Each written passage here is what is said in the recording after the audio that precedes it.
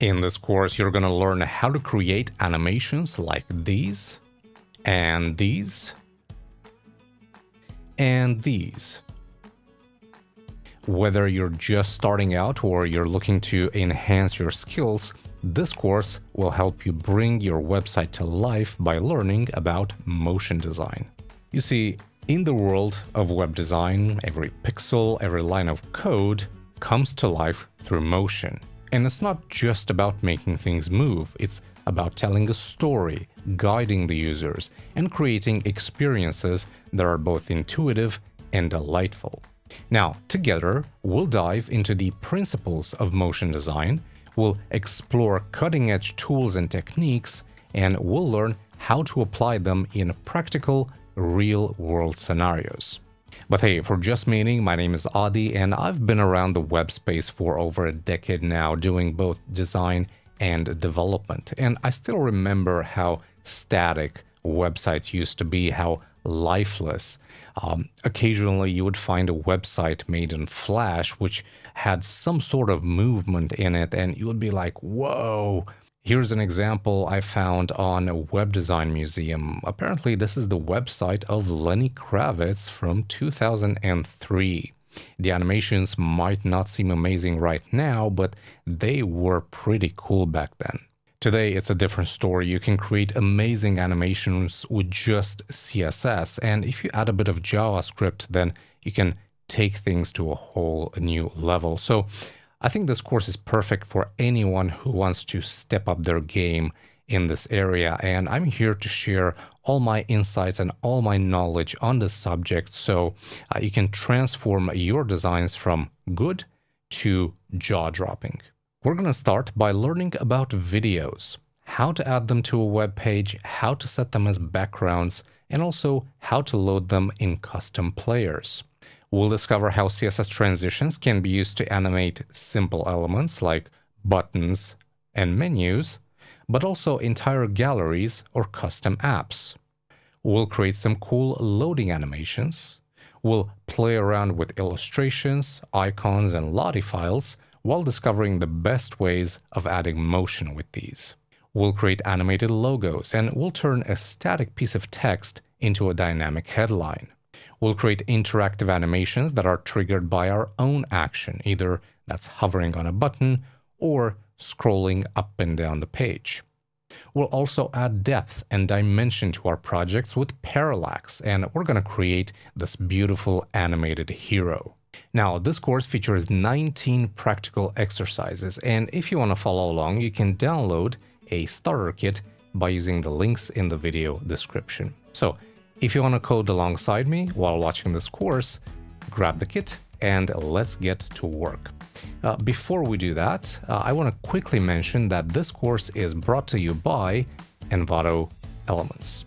Envato Elements is your gateway to unlimited creativity. A single subscription grants you access to a wealth of digital assets like stunning photos, captivating videos, beautiful fonts, and eye-catching graphics.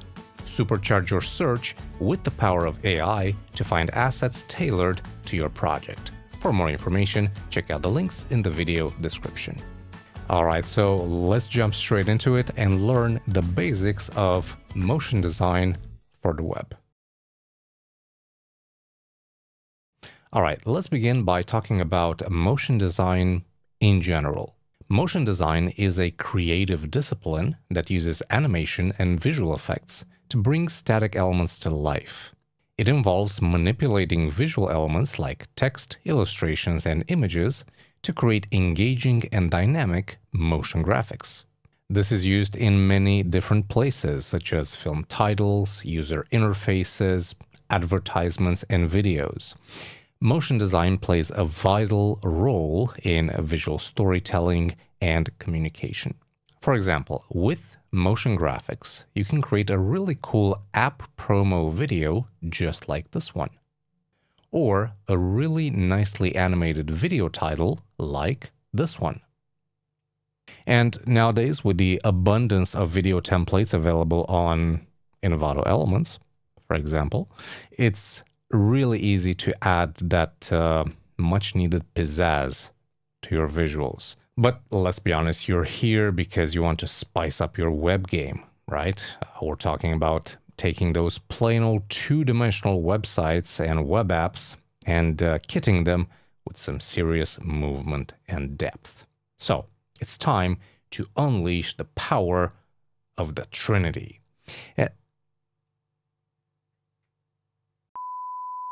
So it's time to unleash the power of the Trinity. And the Trinity consists of, surprise, three things videos, transitions, and animations. And together, they're like the Avengers of the web design world, ready to swoop in and save your digital creations from boredom. Let's start with videos. These are like the Hulk of the group, very efficient in delivering information in um, a truly smashing way. Well, we all know the saying, a picture is worth a thousand words, right? Meaning a picture, an image can describe something a lot more efficiently than written or spoken words. Well, based on that, we can say that a video is worth a thousand pictures. That's because videos have this magical ability of blending visuals, audio, motion, and storytelling, uh, leaving individual images or written descriptions feeling a bit inadequate. Now, prepare yourself for a peek into Apple's world of video mastery as they showcase their newest creation, the Vision Pro mixed reality headset. They've got the perfect combo here written text for information, and background videos to say, hey, this is what you'll experience when using our new headset. And let me tell you, some of these videos are out of this world. There's this one, for instance, that takes you on an intergalactic joyride while watching a movie. It's like entering a whole new reality, a whole new dimension. And watching that video will evoke emotions in a way that's not really possible just by reading a piece of text, no matter how detailed that text is. But videos are not the only way to add motion to the web. Uh, our dynamic trio would not be complete without animations and transitions. Now, these are like the Hawkeye and Black Widow of the group sleek and precise in their roles.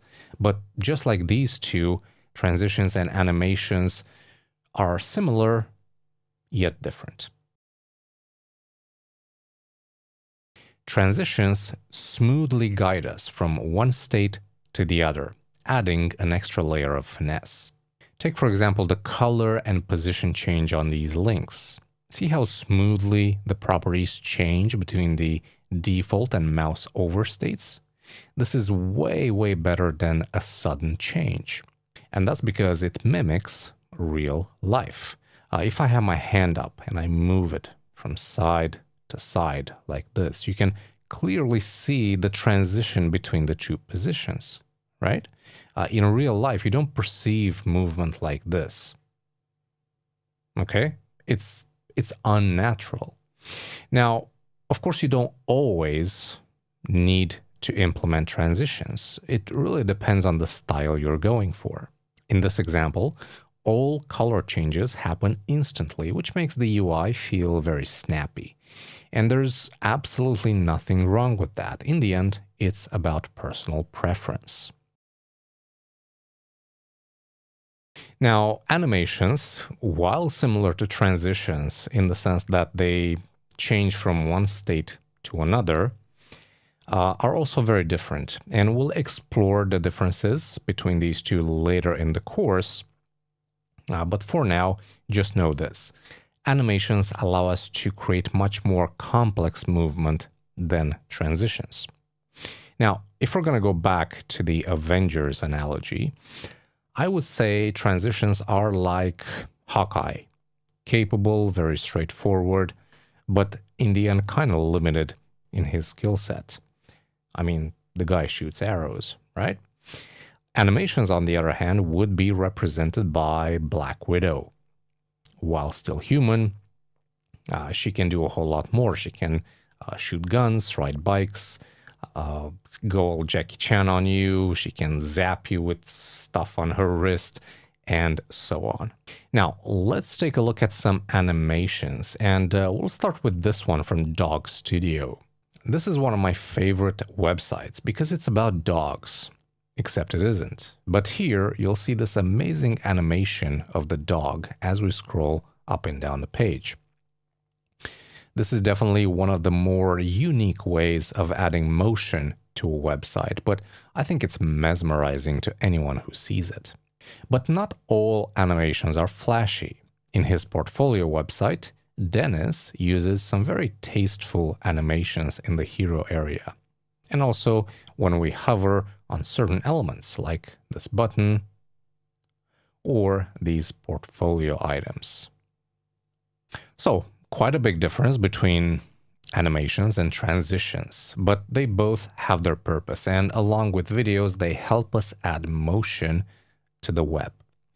Now, why should we care about adding motion? I mean, it looks cool, but is it actually helpful? The answer is definitely yes. You see, motion enhances the user experience. So, for example, if I'm browsing a website, I'm going to have a good experience if I find the information that I'm looking for quickly. Uh, but the experience is going to be even better if the information is delivered in a dynamic and engaging way. And this is exactly what videos, transitions, and animations do. With that said, motion has two main purposes informative and aesthetic. It's informative because you can use motion to show users how to interact with the UI or even show them what actions are available. For example, Dennis uses animated buttons, or rather, they become animated on hover. This is telling users that the element is interactive, that clicking it will do something, right? The animation can also be very subtle. In this example, we can see a short animated element under the scroll text.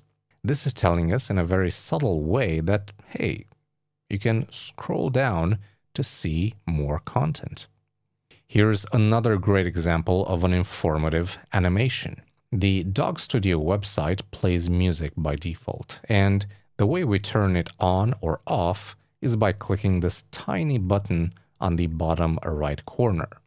And to make that very obvious for the users, the button has the simple ripple animation that draws your attention. And so you immediately know, oh, okay, so this is an interactive element. Now, being informative, motion also has the ability of focusing a user's attention to something important. So let's say we have some product features that we want to showcase. To get the user to focus on those, we can animate images like we see here. And this works great because when I get to this section, my eyes are immediately drawn to the area. So those are just a few examples of how motion can be informative. Now, the second purpose is aesthetic. That's for adding personality or character to your uh, to your web project. And uh, a good example uh, for this would be a loading screen. Dog Studio does a great job with this because it shows this loading animation of a dog running. This is great because it's in tune with the brand and the rest of the website, and it helps build that unique character. We can also see a great example of aesthetic animation on Dennis's website. Notice how these two rows of images shift position on scroll. This is a really nice effect. It doesn't serve uh, an informative purpose, but aesthetically, it looks fantastic. It adds personality and style to an otherwise standard layout. So, in this lesson, we learned that motion design is a discipline that uses animation and visual effects to bring static elements to life. You can use motion design in a bunch of places like film titles, user interfaces, advertisements, and videos. When it comes to the web, we can add motion by using videos, transitions, and animations. Videos can deliver information in a very dynamic and effective way because they're a blend of visuals, audio, motion, and storytelling. Transitions are effects that gradually change the properties of an element from one state to another, and they're best used for simple from-to movements. Animations are similar to transitions, but they allow for more complex and continuous motion. And finally, we learned that motion has two main purposes, informative and aesthetic. Motion is informative because it can show users how to interact with the UI and what actions are available. It can even focus the user's attention to something important. Motion is aesthetic because it can be used to add personality and style to a standard layout.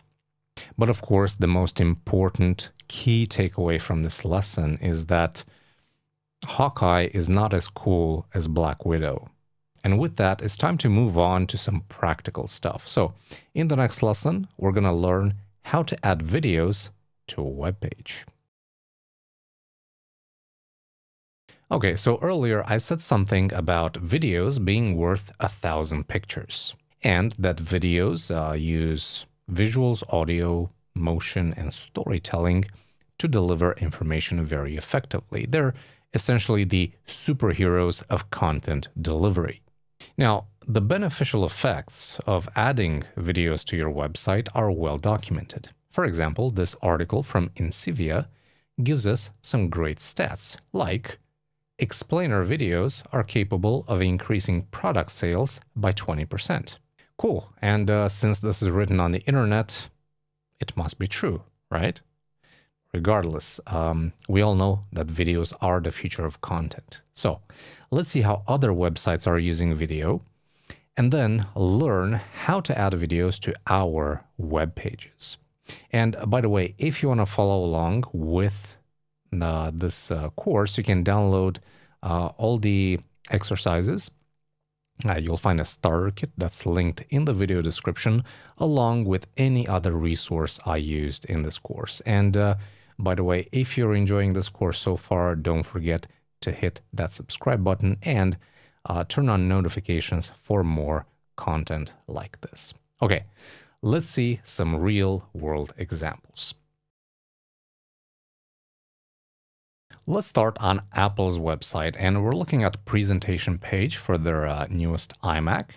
And as we scroll down, we can see our really nice presentation video for um, for their iMac showcasing the uh, seven colors uh, it comes in.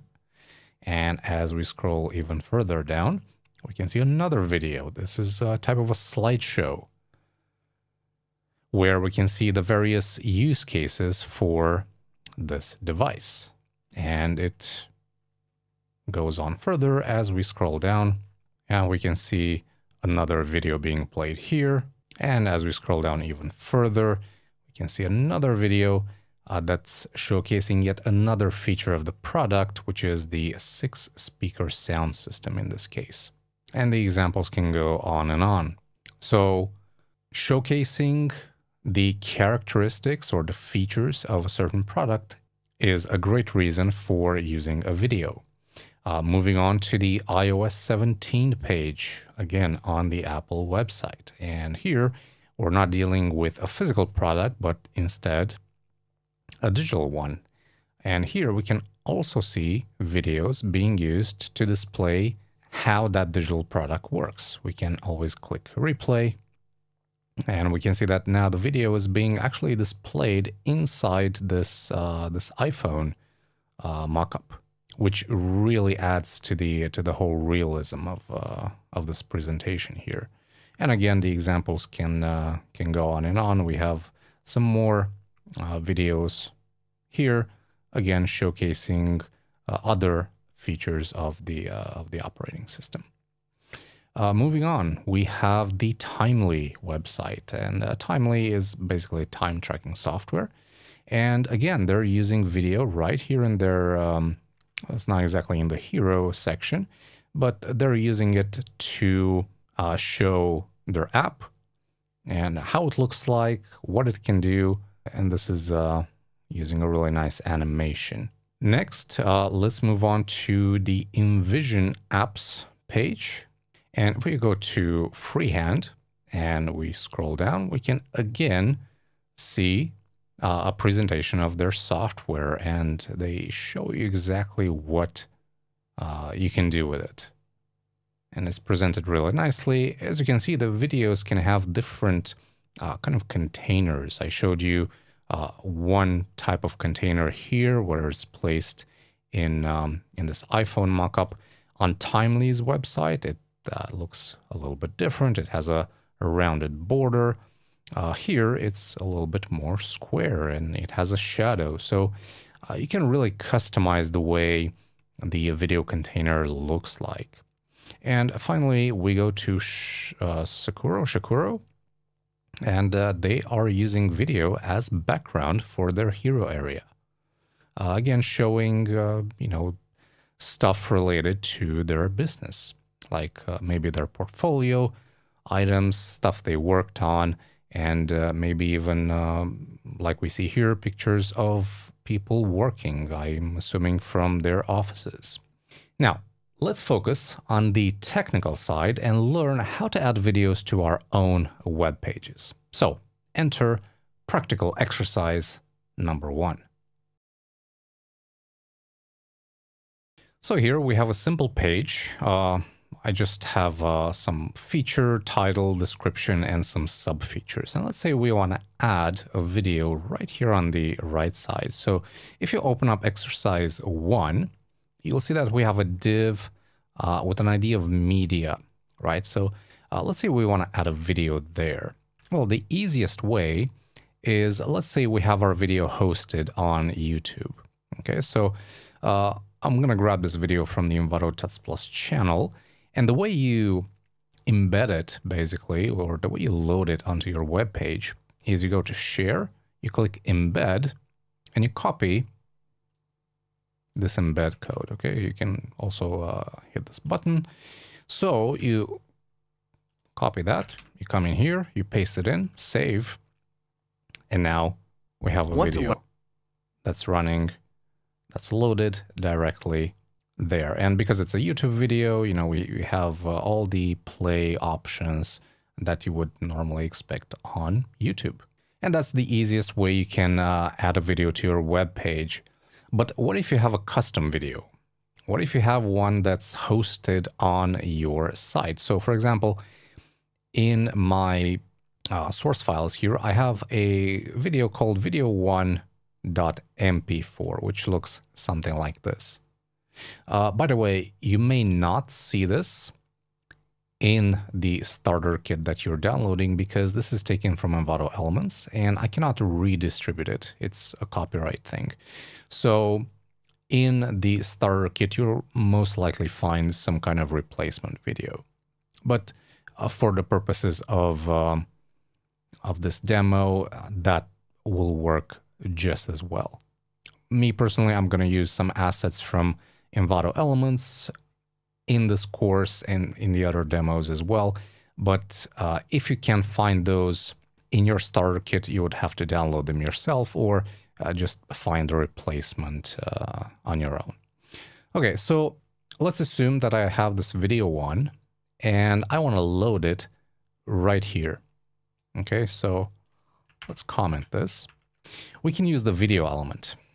So we're going to say video src we're going to go to videos, video one, and we can hit save. So now if we refresh, yeah, we can see that video being loaded on the right side of my content, but it's like super big. How do we make this smaller? Super simple to do that. We have some attributes we can use on the video element, such as width, height. So we can say width, uh, let's do 640 pixels. Uh, we can do a height of like 320 pixels. And now the video is displayed properly at a much better dimension. But it doesn't play. or actually it doesn't show us any kind of controls. Well, the thing with the video element is we can right click it on any browser and, you know, we can have the option to show all controls. So we can play, we can pause, we can scrub, we can make it full screen, and we have some additional options here. And we can also choose to loop it, which means when it gets to the end, it's going to go back to the beginning, right? It's just going to keep playing over and over again. Now, what if I don't want to have to right click uh, to display those controls? Very simple. We have another attribute called controls. And that's going to display the controls I showed you earlier by default. And if your video has um, audio, it has sound, and you don't want that playing, uh, you can also use the muted attribute, and that's going to play, as you can see here, it, uh, it has a crossed uh, speaker icon. So it's going to play muted. Something else you can do is you can add a poster. So by default, if the video uh, is loaded and it's not playing, it's going to show probably like uh, a still image from the first few frames or even the first frame of the video. But if you want to add like a, uh, a separate image, a standalone image, uh, you can do that by using the poster attribute. So you can say here poster equals, and you would give it a path to an image. Uh, in my case, I have an image called videoposter.jpg. So now that image is displayed instead of whatever it was before. Really cool. Now, in case the browser you're using doesn't support the video element or the video tag, you can actually uh, put some text in here, something like this. Your browser doesn't support HTML5 video tag. So if the browser doesn't support it, it's not going to show the video. Instead, it's going to show this piece of text. This is uh, just a fallback, really, but nowadays all major browsers support video, so you shouldn't uh, have this issue. Now, how exactly do you customize uh, the way this video container looks like? Well, the answer is with CSS. So in here, I'm using, by the way, for all of these demos, I'm using uh, like internal CSS. It's just uh, a little bit easier. So to style that, yeah, you would say the following. Uh, first of all, we have uh, a div ID media, which contains all of this. So you would say media, video, and you can do a lot of things. You can uh, add, I don't know, a border radius, for example, let's say one rem, and that's gonna round it off. I'm not sure if you can see it here. Uh, but you can also add a border to it, right? So let's say border, if I can type border, one pixel solid, and let's give it a color like 5521 dB, right? And that adds a nice purple border around it. Uh, what about this poster image? It's it doesn't fill like the entire video container because of the of the aspect ratio of the image. So to get around that, you could say object fit cover, save, and there you go. Now the image fills up the entire video container. And by the way, this also works for uh, for the iframe. So if you don't have a video here, and instead you want to use you know the iframe instead, uh, you can do that as well. Just add the um, the CSS there as well, the selector. And now the iframe or the stuff that you got from YouTube as an embed has the uh, has the rounded corner and the uh, colored border. On top of that, if you want to customize this further, you can use a library called Video.js. So you basically go to videojs.com and you can see some of the examples of the players or the player themes that uh, that you can use, and um, you know you'll find all the uh, the instructions on how to customize things in here. We're not going to do that right now, but videojs.com and you can uh, make your video player look any way you want. Now let's take a look at another exercise where we have a simple hero area with a header, some text, a little icon here, but there's something missing, right? How about we add a video as a background to the to this entire section? How exactly would we do that? Because uh, we can't just go into CSS, uh, go into the hero and say, okay, background image, and uh, we'll just load the video. That it doesn't work like that. So we kind of have to work around that uh, that limitation. So here's what we do. Uh, let's take a look at the structure first. We have uh, the section with an ID of hero. This is basically the container for everything we have here on the top. Then we have the header, the H1, and the image. That's this one here. Now, to add a video as a background, we will create a video element, and then we're going to absolutely position that and stretch it to fill the entire hero, and we're going to position it behind all the other elements. Here's how you do that. First of all, let's create the video element. So in here, and by the way, you can uh, create this anywhere you want inside the hero, but I'm going to put it right here as the uh, as the first element. So we're going to say video. Uh, so let's go to videos, and I'm going to load this uh, this MP4 video2.mp4, and here I'm going to set uh, two extra attributes. I'm going to set autoplay and also muted. And uh, let's actually do one more. We'll set loop so that it just keeps on uh, repeating itself. And as you can see, the video is now displayed, although it's the wrong size and it's positioned incorrectly. But we can easily fix that from CSS. So let's go and target the video element. We're going to set position to absolute. And by the way, for this to work, we first need to set a position relative on the hero element, which I've done like right here, okay? So just keep that in mind. So we're going to say video position absolute, and we're going to set top zero, left zero. Okay, so now it starts from the top left corner. And let's set a width 100%, height 100%. Okay. And now for the magical stuff, object fit cover and that's going to basically fill up the entire available space. It's going to clip the video on the top and bottom. And now all we got to do is move it behind everything else.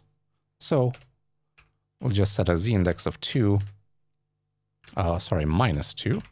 And that's going to put it behind everything else. Now, I already made some preparations beforehand. And those preparations look like this. So uh, on the hero, I have a before pseudo element defined that has a background of 80% of this color, right? And it also has a z-index of minus 1. z-index minus 1 basically puts it under all the content inside the hero because that's by default z-index 0. So I'm adding this color overlay. So what I did with the video is I did basically the same thing, but I set a z-index of minus 2. So now the video goes behind that color overlay, and the rest of the content goes on top. All right, so now we know how to load videos on a web page. So we're done, right? Ah, but not so fast. You see, performance is also something that we need to consider. Let's take a look at the file size of the first video we loaded. If we go to, uh, to VS Code here and we open up the first video, we can see that it has a whopping file size of 59.80 megabytes, so about 60 megabytes. That's massive for a 10 second video. Now, this loaded just fine for me because I'm working locally, but imagine this video was hosted uh, somewhere and I had to download it uh, with a slow mobile connection, right? It would take forever. And personally, I'm not going to wait for that. I'm not going to wait a minute, two minutes uh, to download uh, a video. Well, unless it's a funny cat video. But anyway, uh, most people will not wait for it to download. So performance really is critical. Now, what can we do in this situation? What can we do uh, to lower uh, that file size? Well, first of all, we can use a different file format, a, a different video format, okay? And so far in this course, we used the MP4 format, which is like the gold standard for video. Uh, most of the time, this uses the H.264 codec, which offers great quality and is supported by all media players and browsers, even older ones. Now, the MP4 format is like the Batman, reliable and versatile, but a bit slow at times. And just like Batman, MP4 files are a bit on the larger side.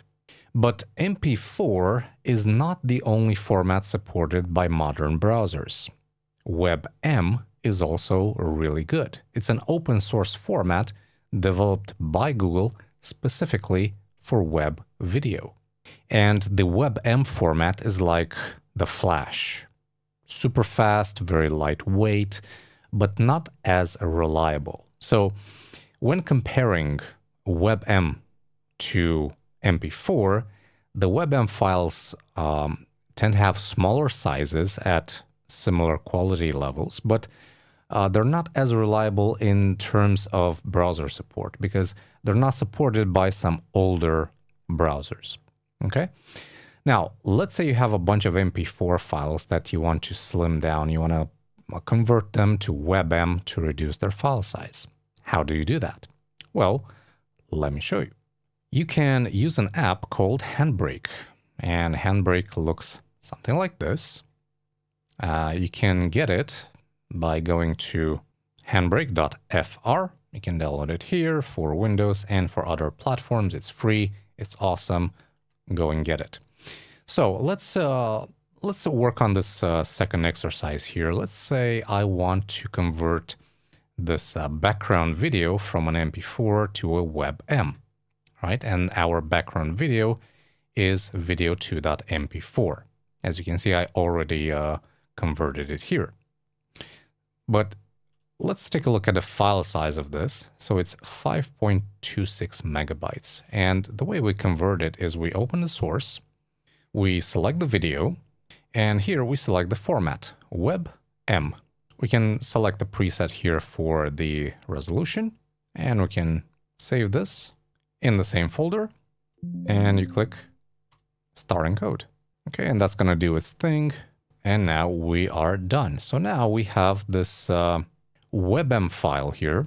Of course, uh, VS Code cannot uh, load it properly, but now if we look at the file size, it's about half of what we had here, 5.26 megabytes, 2.54 megabytes. So now with the video converted, how about we add it to our page? And here, I actually want to show you a different way of adding videos. And that's by skipping the SRC attribute here and instead using this source and then SRC. And we're going to go to videos. Uh, first, let's load the MP4 and I'm going to set a type of video slash MP4. And then I'm going to duplicate it and I'm going to select the WebM version and choose WebM right here. So now, if we take a look, and actually, let me comment this bit, the MP4 source. Uh, now the WebM video is loaded and it looks just fine, but it's a lower file size, which is great for us. Uh, the reason I'm using this approach is that if a browser cannot or doesn't support WebM, it's going to use MP4 as a fallback. But uh, by default, browsers will generally prefer WebM. Uh, also, when working with video, please pay attention to the resolution of that video because that plays a huge part when it comes to the file size. A higher resolution video will, of course, have a bigger file size than a lower resolution video, but in most cases, you will not need a 4K video. Like For instance, in the example that I showed you here, uh, with the background video, you don't need a 4K video there. A 1080p will do just fine, right? So also think about the resolution uh, when using videos onto your web page because um, you're gonna or you'll most likely be in a situation where you're gonna bog down your page, you're gonna make it load super slowly just because you're using a high resolution video when you don't have to. Okay, so keep that in mind.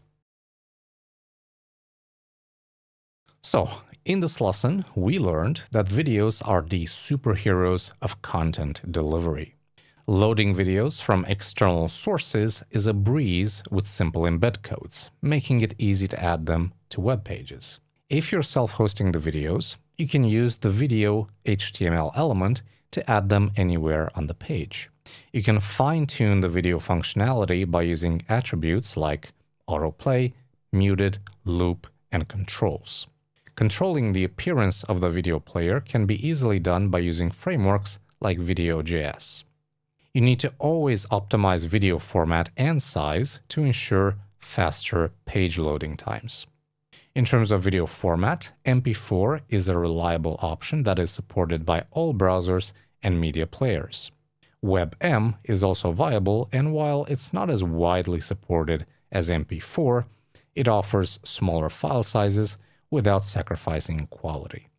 To compress a video or convert it to a different format, you can use the free app Handbrake. All right, that's a wrap for videos, and we've officially tackled the first member of our dynamic trio. Now, it's time to shift gears and dive into the amazing world of CSS transitions. CSS transitions are like the smooth operator at a party, guiding elements through changes and making your website look sleek and sophisticated. CSS transitions are a functionality provided by CSS that enables smooth and gradual changes in element properties over a specified duration. They provide a way to add animation and visual effects to elements without using JavaScript or other complex coding. Now, do not confuse CSS transitions with CSS animations. We've talked about this before. Remember the Hawkeye dude. Uh, so CSS transitions are pretty limited in terms of what they can do because they basically animate a property from point A to point B. There's nothing in between. It's like shooting an arrow, if you want. The arrow goes from the bow to its target. It doesn't do anything in between. It doesn't stop for coffee mid-flight, okay? The same goes for transitions. There's nothing in between. They go from point A to point B. So let me show you how you can create some in CSS. Let's work on practical exercise number three, where we have a simple header that has a logo and a navigation.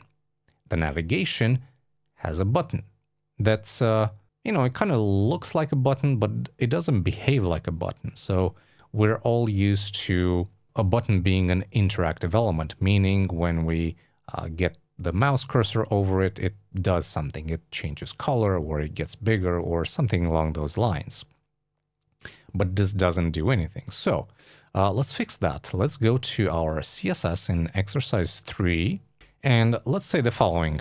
Uh, sorry, btn. So we have a class defined here.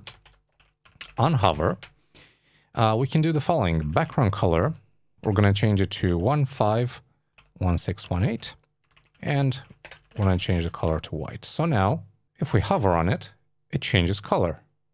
Pretty cool, right? How about we add a transition to that? And the way we add a transition is we target the original element, so btn, and we say transition property, what are we changing? We're changing the background color, right? How long should this transition be? Let's say 400 milliseconds. So we can say transition duration, we can do 400 ms or 0.4 or 0.4 seconds. Okay, So now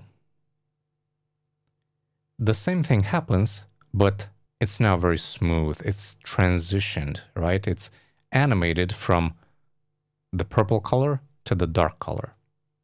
It's not as abrupt as before. Now we can do a lot more with this. We can uh, specify a timing function. So we can say transition timing function. Let's do an ease in out. And that's gonna basically change the curve of the animation. So it's it looks just a little bit different. It's uh, actually kind of hard to see on a color change, but as the course progresses, we'll uh, we'll talk more and more about um, timing functions. And we can also give it a delay if we want to. So we're going to say transition delay, let's say two seconds. And that's going to basically start the transition after two seconds. Okay, so I hover, one, two, and then it does the transition. And it does the same when I hover out, one, two, and it does the uh, transition in reverse. Now, these properties can be condensed in a shorthand notation. So instead of doing all of this, we can simply say transition and we specify the property, in our case, background color, the duration, the timing function, and if we need to, the delay, two seconds, like that. Okay, and you'll see that it now behaves exactly the same. And let me just remove that delay. We don't need it for, uh, for this exercise. So instead of using these four properties or these three properties, uh, we can use just one called transition and we place the, uh, uh, the values in here. Now, if we want, we can transition multiple properties. So let's assume that instead of this, Instead of this, we're going to change the background color to white. Uh, I'm going to change the color to that uh, dark one we had before, and I'm going to change the border color to the same value. Okay, so now it looks like this. But notice that the background is transitioned, but not the other properties. So we get a, a really weird effect where the uh, border and the text color is changed instantly, while the background is transitioned. So to fix that, we can add a comma here, and then again, color 0.4 seconds, ease in out, or whatever easing we want. We can specify different easings for different properties. And we also want to transition the border color. We can put a different duration if we want here, although it's not necessary in this case. 0.4 seconds ease in and out. Okay, so now everything transitions at the same time and we get a really nice effect. If we want, we can also specify transition all properties 0.4 seconds ease in and out and that's we don't have to worry about anything. Any property that can be transitioned on this element will be transitioned. And even though this is um, uh, easier and more convenient, I don't recommend you do this because it's not very good in terms of performance. Uh, you're going to give the browser a lot of tasks and you're going to be uh, animating some properties that don't really need to be animated. Now, before we wrap up, let me anticipate uh, one of your questions, and that is, Adi, why does the transition need to be applied on the element itself and not the pseudo class, for example? Well, uh, two reasons for that. When you're attaching the uh, transition to the element itself, okay, you have more control over how the animation behaves. And a reason too is that when you're applying it here, whenever the properties change, the transition will be applied regardless of what triggered the change, right? So it's either uh, hover or press or focus. If you were to specify it on the pseudo class, like we have here, uh, you need to do it for all of them, for you know the hover, the press, whatever it is. It's much easier to specify it here on the uh, on the main selector, on the element selector. In this lesson, we learned that CSS transitions are a CSS feature that allows for smooth and gradual changes in element properties. CSS transitions are different than CSS animations, mainly because they go from point A to point B with nothing in between. Applying transitions in CSS is done by using the transition property, transition duration, transition timing function, and transition delay properties. You can also use the shorthand notation of transition. You can transition multiple elements at the same time by separating them with commas. The browser can be instructed to transition all available properties at the same time by using the value all. However, this should be avoided due to possible performance issues. All right, so in this lesson, I showed you the basics of working with CSS transitions, but I haven't really focused on creating motion with them. So how about we do that next? In this lesson, we'll dive into the realm of CSS transitions and see how they can transform static elements into dynamic visual experiences. And before we do that ourselves, I think it's only appropriate to see how others are using transitions. And we start with the portfolio website of Simon. Um, as you can see, when we hover on these cards here, we have a really nice effect. We, uh, we get a shadow added behind the card. And also the background image, if this is a background image indeed, uh, it kind of shrinks a little bit, creating this very smooth transition. And of course, uh, the same thing happens on the others. And I think the card itself actually scales up just a tiny bit. So yeah, a really simple transition, but one that uh, adds a lot of style to uh, to a relatively simple layout. Uh, let's move on to Marie Weber's website. And here we can see that when we hover on these titles, there are a number of things going on. First of all, the text or the small badge on the top right of each title changes to reveal a bigger text. And it's doing so with a very simple, a very smooth transition. And also the images on the right side reduce their opacity, they scale up or down.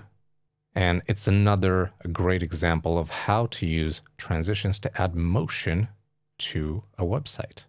Moving on to Miti Navi. If we scroll all the way down to the footer, we can see these links. And when we hover on each link, we can see a nice transition. The original text kind of scrolls up or uh, slides up, and then another text slides in from the bottom. Very simple effect, very cool. And again, one that adds just a little bit of motion to this website. And finally, we go to Vool Studio, which has a lot of transitions here. And we can see the first one, if we uh, scroll up and down, we can see this sticky header just popping down. Yeah, so it goes, it changes position, it goes from the top to the bottom, and it also transitions the opacity of that element. Again, when we hover on these cards, they kind of scale up, they change their background, and all of these properties are uh, transitioned. And then when we scroll down uh, from the top, actually, you can see that the uh, entire page background changes from this dark blue to this white. And that's also a transition.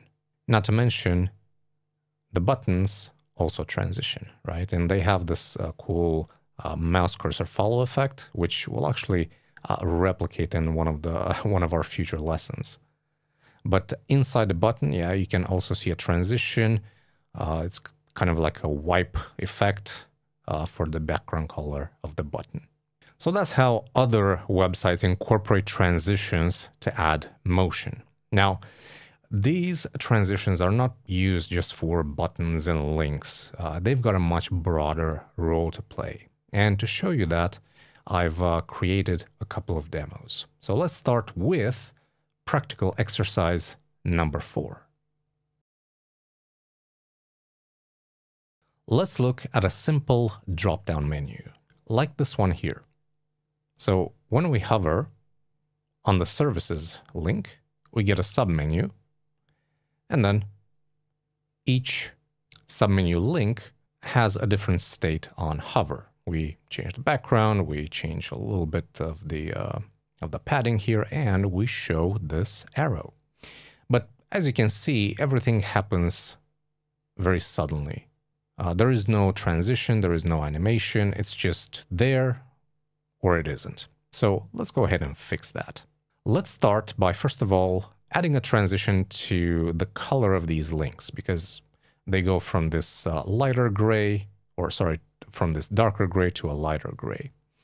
So in here, in exercise number four, let's do the following. We're going to target nav ula because that's currently our structure. We go nav, ul, uh, and then a. All we got to do here is say transition, property, color. And then, let me just copy this. Right at the end of our style sheet, we're going to do the following. Transition duration. And here I've actually defined a variable called default transition duration and transition timing function ease in and out. Now, the reason I'm doing this, the reason I'm separating the properties like so, is that I want to apply the same transition duration and timing function to multiple elements.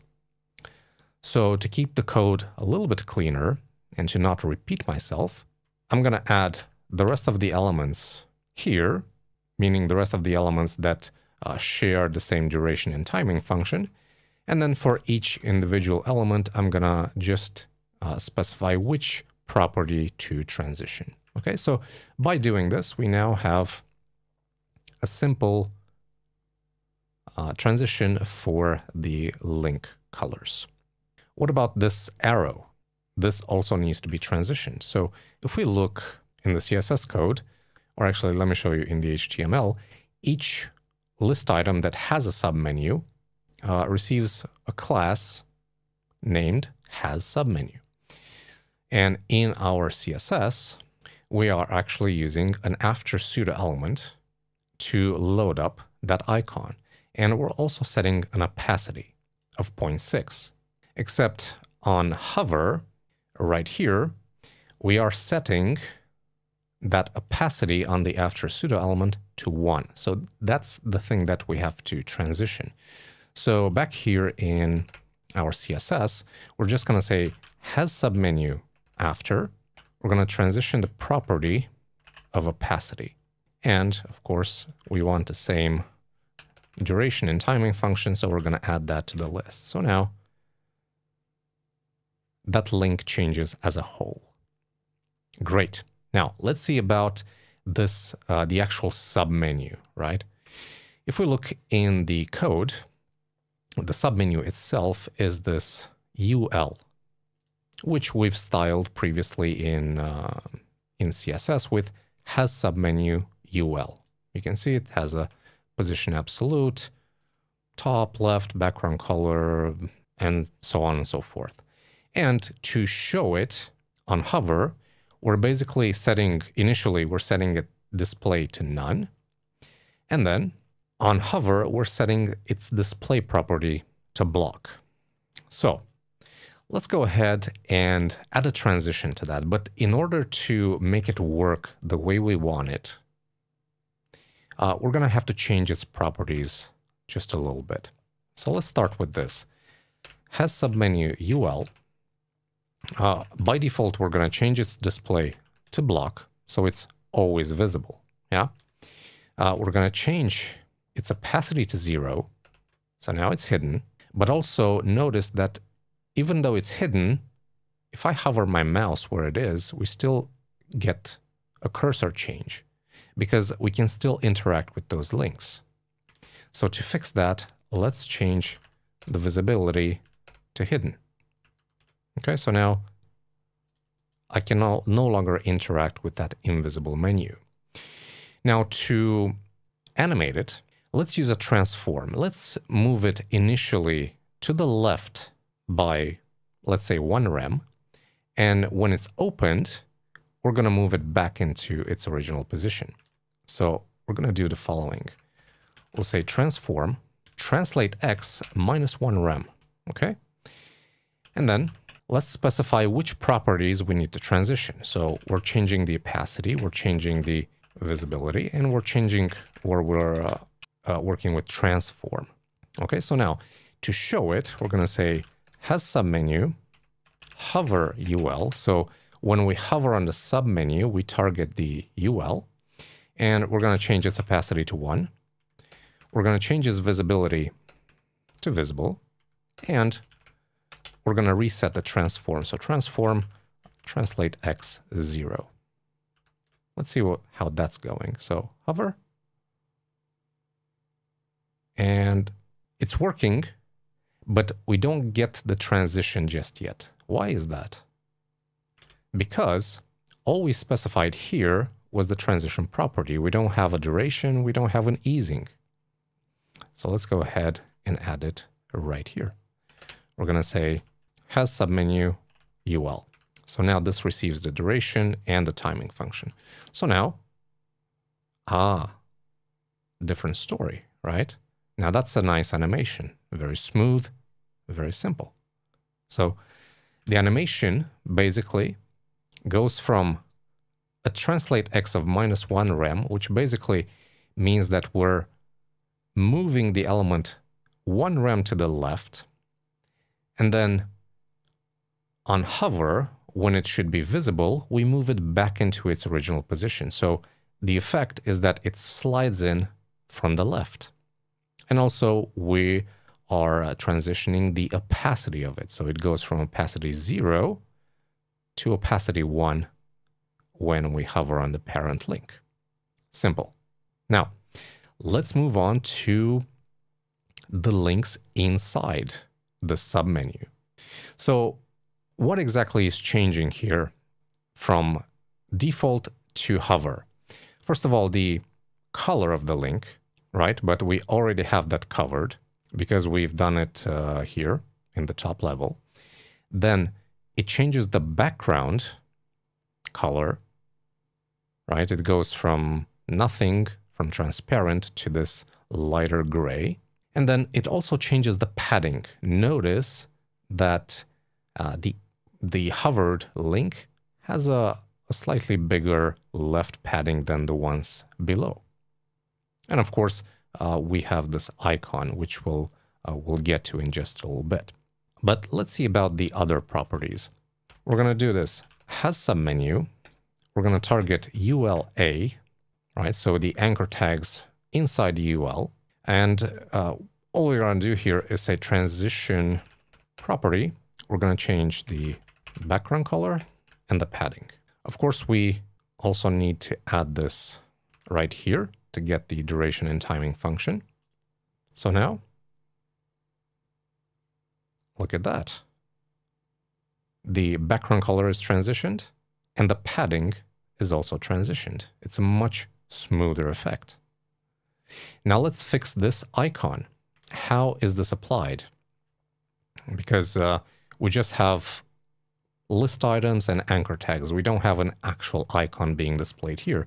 But if we look at the CSS right here, has submenu ULA, we're using again an after pseudo element and we're loading this icon, this SVG icon. And the way we're uh, displaying it is by default, opacity is set to zero. And then here we're setting its opacity to one. So in our CSS, we need to do the following. We need to say has submenu ul a after. So we're basically targeting that, uh, that icon. And we're going to say transition property opacity. And then, of course, we're going to get this, copy it, paste it in here to give it the duration and timing function. And that should be it. Now the change in opacity for this purple icon is also animated. And with just a few lines of code, you saw how we turned this uh, submenu from just appearing or disappearing into an element that adds some nice motion to our uh, header area. Let's move on with our next practical exercise, number five this time. So we have an image gallery that currently looks like this. So it's basically a list of destinations. And when we hover on each image, we get some information about that particular destination, like how long the trip is going to take, where it is, or what it's called, uh, where it is on the globe, uh, a little description, and the starting price. And of course, we have a little accent icon going on here. Of course, this gallery is perfectly functional. We see all of the images and we have all the information on hover, but it's static, it's boring. So let's add some motion to it. Let's have a look at the code actually first. So there's quite a, a lot of things going on here. Let me walk you through each image or each gallery item. So we're basically using a figure element and then inside we have an image, the actual image, wrapped in an anchor tag because we want it to lead to somewhere else. And then all of the content that you see, all of the text content, and uh, of course the, uh, the icon here is placed in a fig caption. And that fig caption is further divided into a main section that basically has the first three elements. And then it has a footer and the footer contains the price and the, uh, the arrow. In terms of the CSS, uh, there's a lot that I've already written here, but the one thing that we're interested in, or the main things that are uh, that we're interested in, are the interactions, right? How are we getting them to show up? So the dark background is actually uh, created by using a linear gradient yeah, on the fig caption. The main and the footer, by default, they have their opacity set to zero. And when we hover, oops, when we hover on the figure, we set their opacity to one. So that's a good starting point.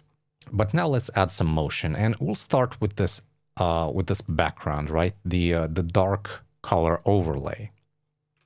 Now, traditionally, you would say, okay, so we want to transition that uh, that background. Let's do this. Let's do figure, uh, fig caption, and we'll set transition property to the background. Uh, maybe a transition duration, let's say the default that we're using, and the timing function, uh, an ease in and out. Save that, refresh, and nothing happens. That's because we cannot transition the background property or the background uh, image property. Let's say this was, I don't know, a background image and we want to transition the background image, right? It doesn't work because uh, that's currently not supported in CSS. So instead, let's replicate this uh, color overlay in such a way that uh, it can be animated. And that's with the help of a pseudo element. So let's do the following. Let's uh, comment this bit. And also let's comment this bit. And we're going to say here, not supported. Okay, so now uh, we're actually missing that overlay.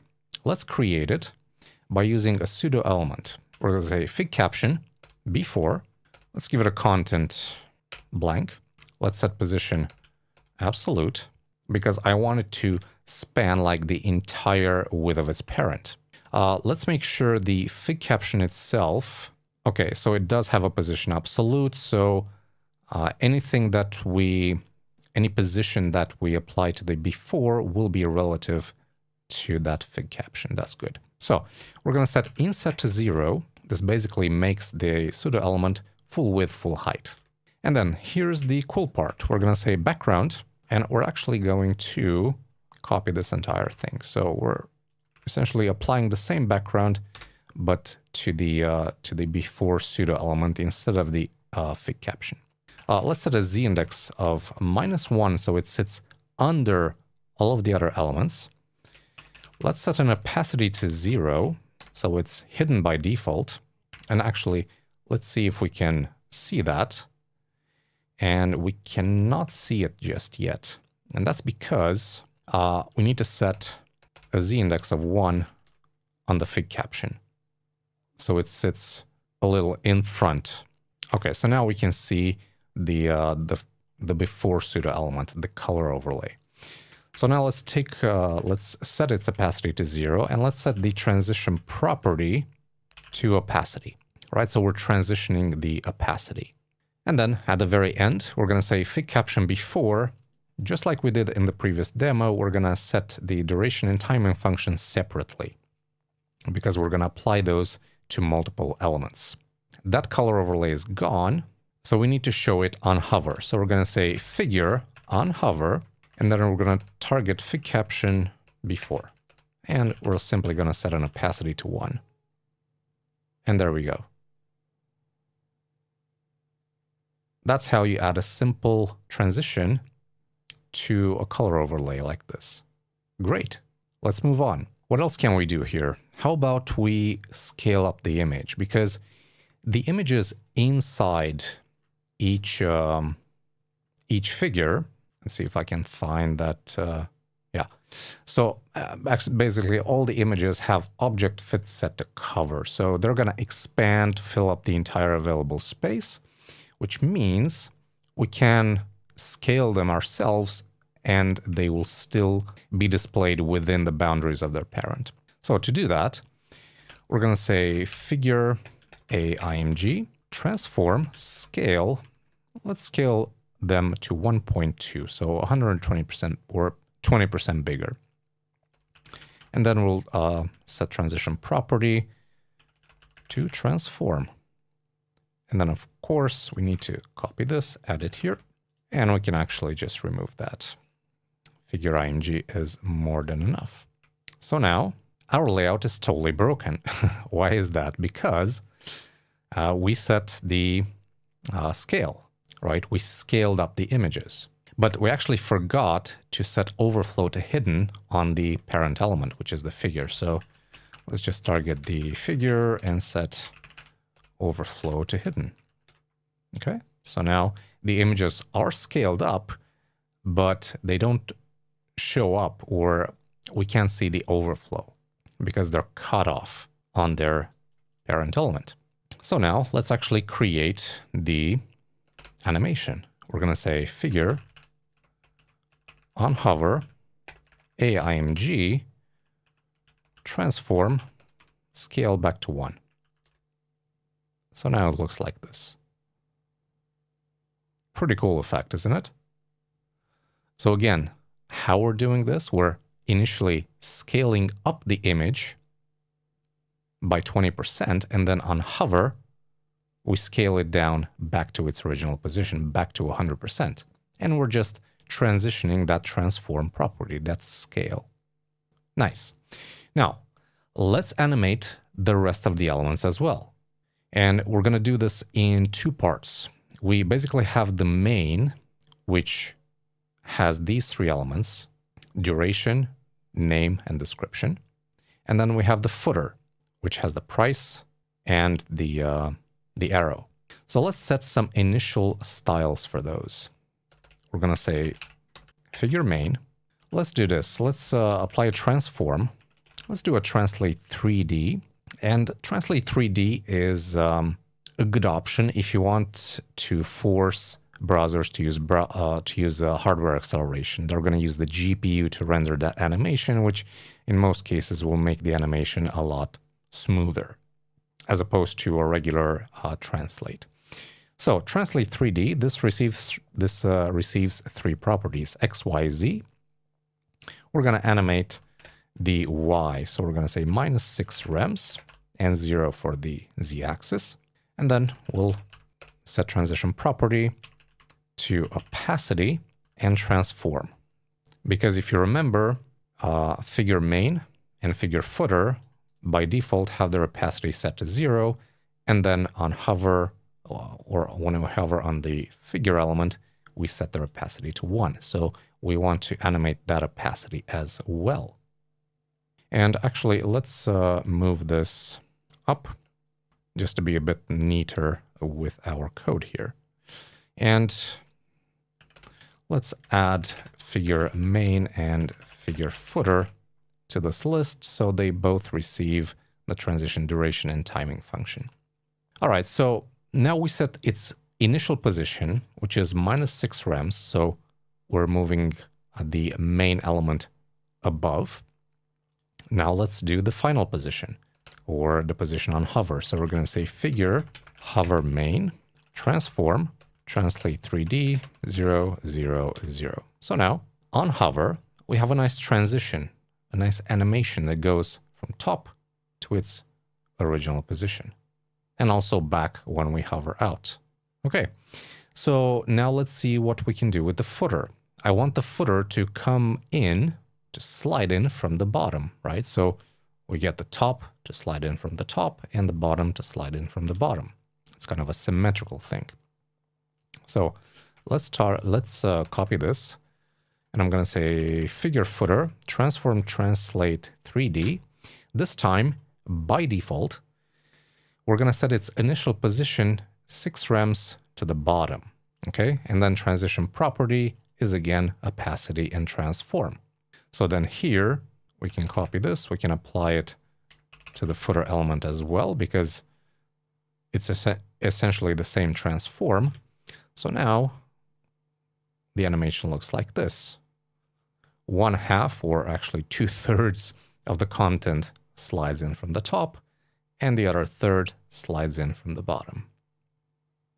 Nice, right?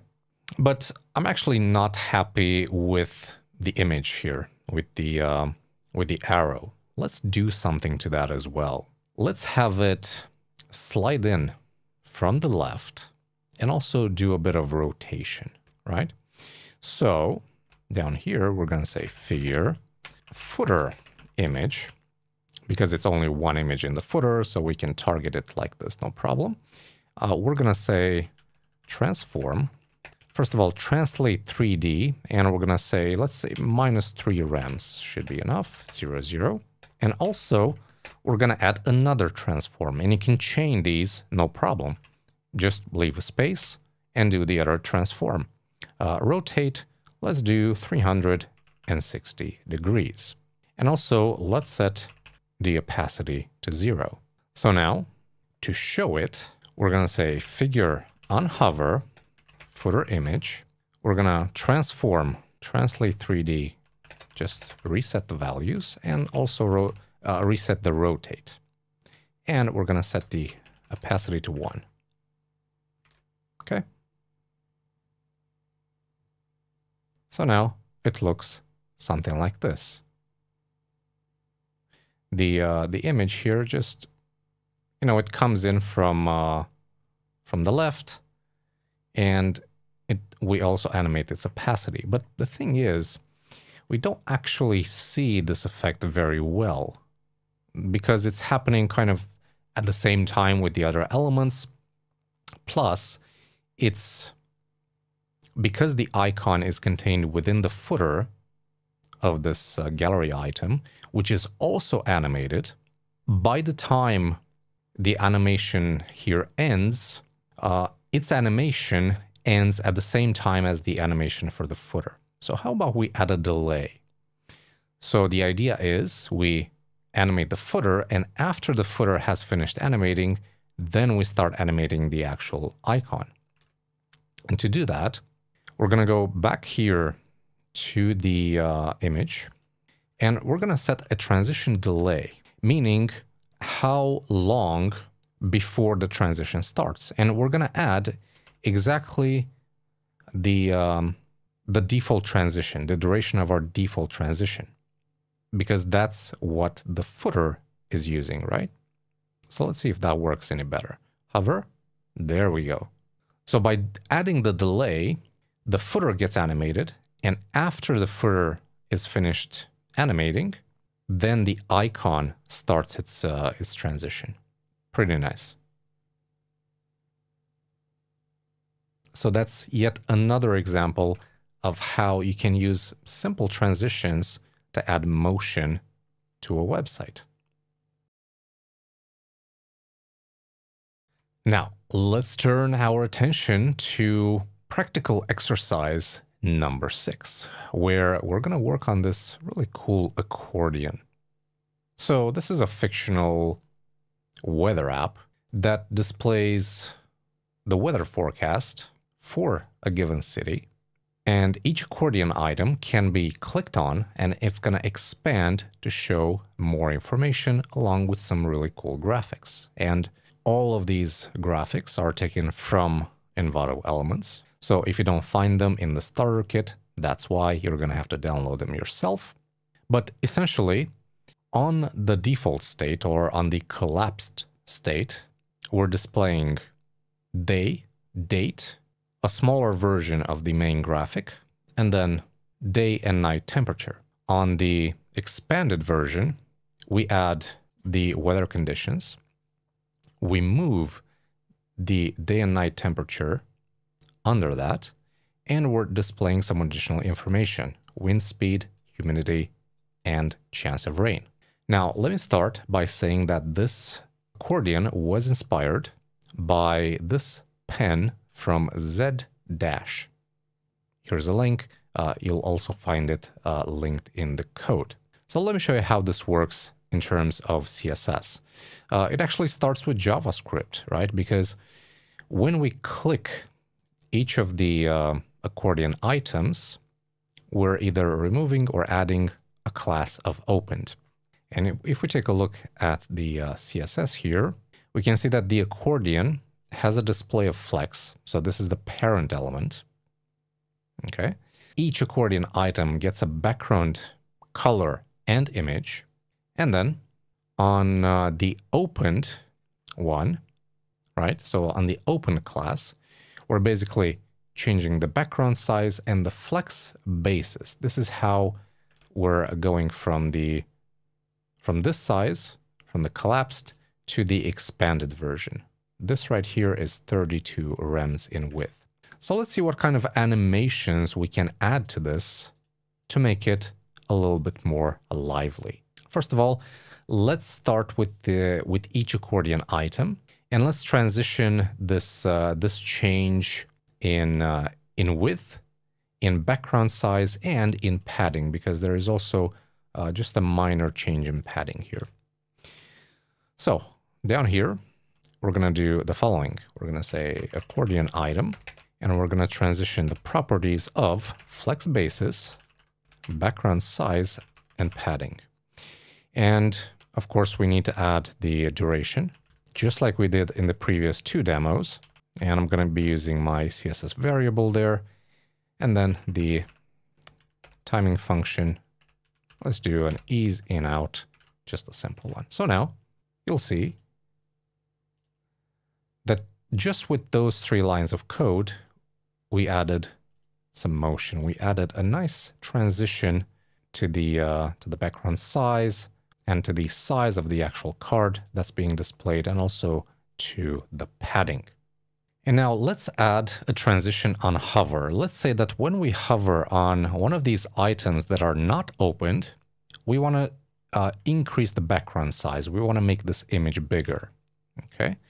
So we're going to say accordion item on hover, and we're going we're going to target the ones that are not opened. And this should actually be a class here. So for the ones that are not opened, we're going to change the background size to 32 rems. And we're going to change the padding block. Padding block basically means padding top and bottom in a, regular or in a layout with, uh, with a default uh, direction. So padding block, let's set that to 3 rems. So now we get this, right? The background changes and the padding block, right? That pushes the, uh, the content on the top, it pushes it down. And it only works on the stuff that's not opened. Okay, Now let's uh, try and make this uh, this animation a little bit smoother because there are certain elements that are not uh, animating properly. Like for example, this temperature, right? So when we click on it, it just disappears, right? And when we uh, collapse it, it just shows up. So let's see what we can do about that. First of all, uh, let's target it. So we're going to say accordion item, unhover, and also not opened. And let's target bottom temp. By default, let's add a transform, and we're going to move it down. So translate 3D 0, minus 1 rem, and 0. So on hover, yeah, we push it up. Uh, I, I, think I said we move it down. No, we actually push it up. We say uh, y minus 1 rem, so we move it up. Now, of course, let's uh, do this, bottom temp. Let's add a transition to that. So transition property. Uh, what are we transitioning? The, uh, sorry, transform. Okay. And let's also add the um, uh, duration and timing function. Now let's actually move these down just so they're right at the end so we, we can find them a little bit easier. Okay, so now uh, both of these elements are animated correctly. But now on opened, I want this bottom temp to kind of move down, to fade down. Because what happens is, unopened, if we look at the original code, opened bottom temp, it's set, uh, it has its opacity set to zero. So it basically disappears from there. So let's actually add the opacity here. Let's transition it as well. And we're going to say opened bottom temp. Let's do a transform. Translate 3D 0, 2 rem, and 0. And the 2 rem is just to push it down like so, you know? So pay attention to it here. When we click this, or it's actually better visible here. When we click it, it's going to move down and disappear like so. It's a very subtle effect, but uh, it's much better than uh, for it to just disappear all of a sudden. Okay, so far we have a nice transition on hover and we started to work on these elements for when the um, accordion item is opened or is expanded. But we still have a bit of work to do because we still have the temperature, which needs to be somehow animated, and these readings, right? So let's get to that. First of all, let's start with the uh, with the temperature here, and that's positioned in a class of temp. So we're going to say temp. Let's transition the opacity and transform. Okay, because by default, we're going to set the transform to translate 3D to 0 minus 4 rems on the y-axis. So it's above and then 0.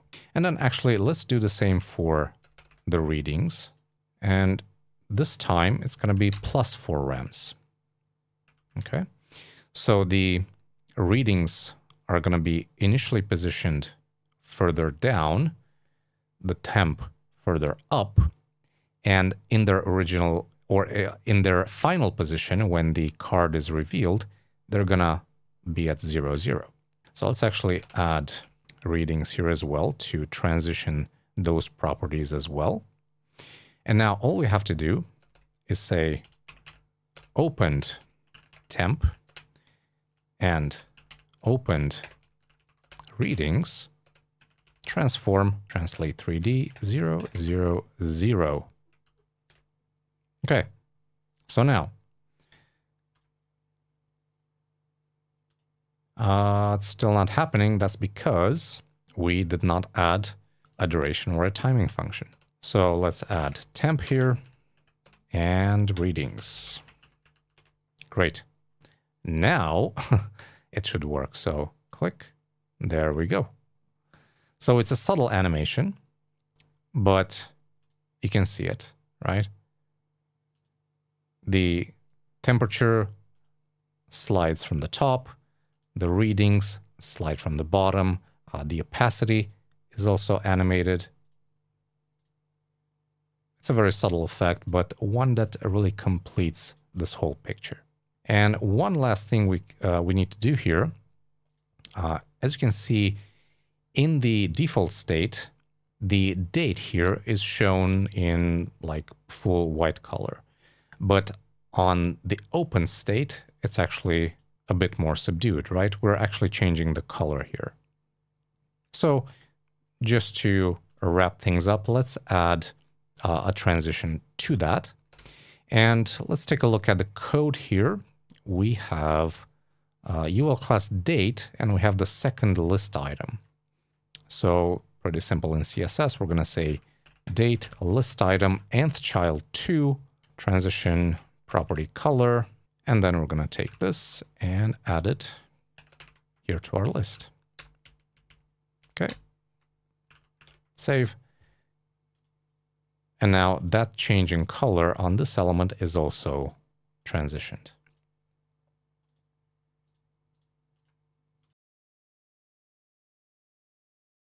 So in this lesson, we worked on three demos with CSS transitions. And the first thing we learned is that not all CSS properties support transitions, like for example, background.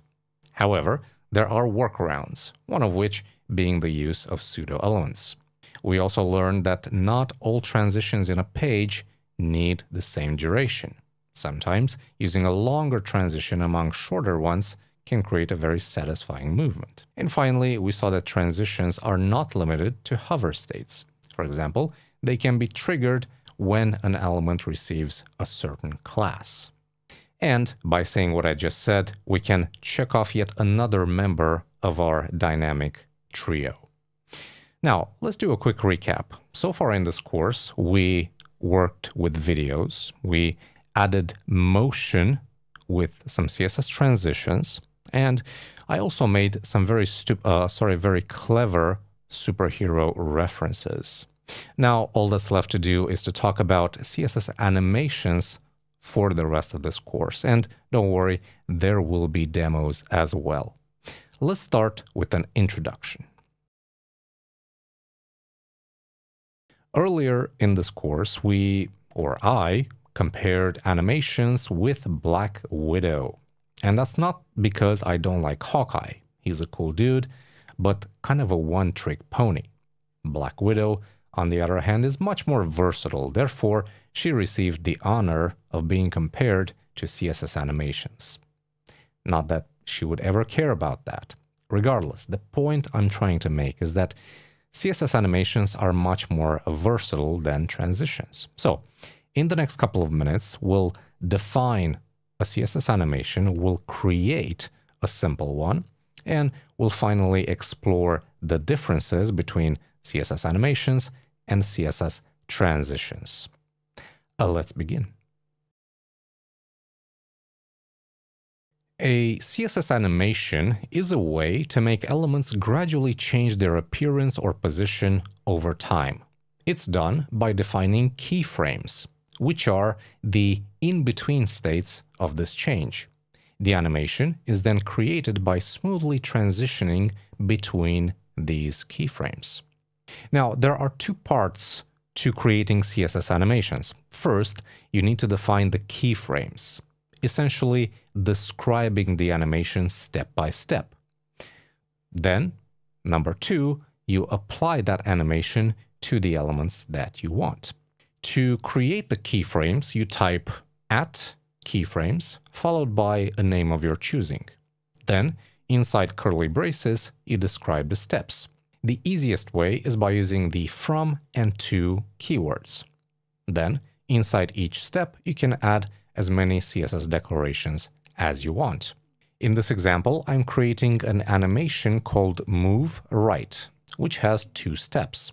In step 1, I'm setting a transform property to translate x 0. In step 2, the translate x is set to 100 pixel. This animation will essentially move an element 100 pixels to the right. Now that you have keyframes, therefore you described the animation, you need to apply it to whatever elements you want. And to do that, there are several animation related properties such as animation name, animation duration, animation delay, and so on. But in most cases, you'll be using a shorthand notation. And the recommended syntax goes like this. The property name is animation and is followed by a list of values for duration, easing function, delay, iteration count, direction, fill mode, play state, and name. In this example, we're applying the move right animation we created earlier to the elements with the class of box. The duration is set to 3 seconds. It uses ease in out as the easing function. It has a 1 second delay and it runs twice. Notice how the code in this example did not use every animation related property. And that's because you don't have to. At a minimum, you need to specify an animation name and an animation duration. The rest can be used as needed. So now let's go to practical exercise number seven, where we have a simple image. This is an SVG actually, that I got from Envato Elements. Now, let's create a simple animation. Let's, uh, let's make this into a page loader. And to keep it simple, let's make it breathe, meaning from its initial size, it grows a little and then it shrinks back. So let's see how we can achieve that with CSS animations. So if you remember, what was the first step to creating animations? Defining keyframes, right? Describing the actual animation. So we're going to say keyframes. We're going to call this breathe.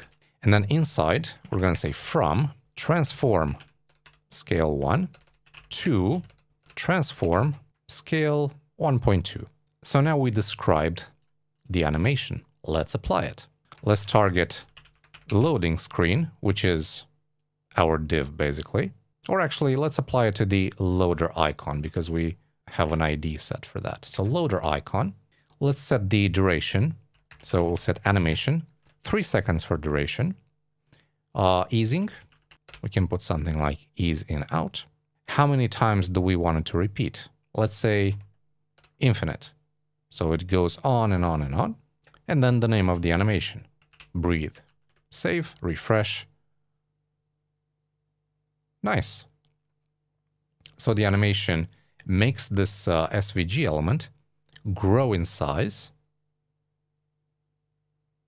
over three seconds from scale 100 to 120%. But there is a weird effect after the animation ends, it kind of goes back to its original position. And it's not exactly a breathing effect, right? Because the scale down, basically, so the scale from 120 to 100% should also be animated. So the way we can do that is by adding alternate. And let's uh, reapply that. So alternate basically solves our problem. But what exactly does it do? Well, the animation, if you remember from the slides I showed you, uh, the animation has a direction. So it can go forward or it can go in reverse. By default, the animation goes forward. So from to. But if we set the direction to reverse, let's actually do that right now. Reverse. It goes from scale up to scale down. So it goes from 120% to 100% in size. Now, alternate, this is the animation mode. Alternate basically does one iteration of the animation in forwards and the other in reverse. Okay, so uh, this one is in forwards, and when it reaches the end, alternate does the other iteration in reverse, therefore giving us the breathe effect that uh, we're after. Now, let me preemptively answer this question. Does the order of the values matter? Meaning, does the code on the left do the same thing as the code on the right? Uh, the answer is no. Each of those two code snippets produces a slightly different result. And the answer is yes, the order does matter. You see, the order of time values is important. So the first one that can be parsed as a time value is assigned to the animation duration, and the second one is assigned to the animation delay.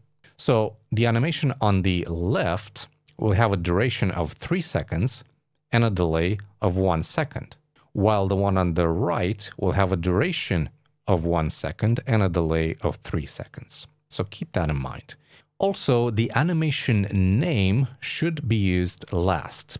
It's considered best practice, and the reason for that is very simple. If a value can be used for something other than the animation name, it's applied to that property first.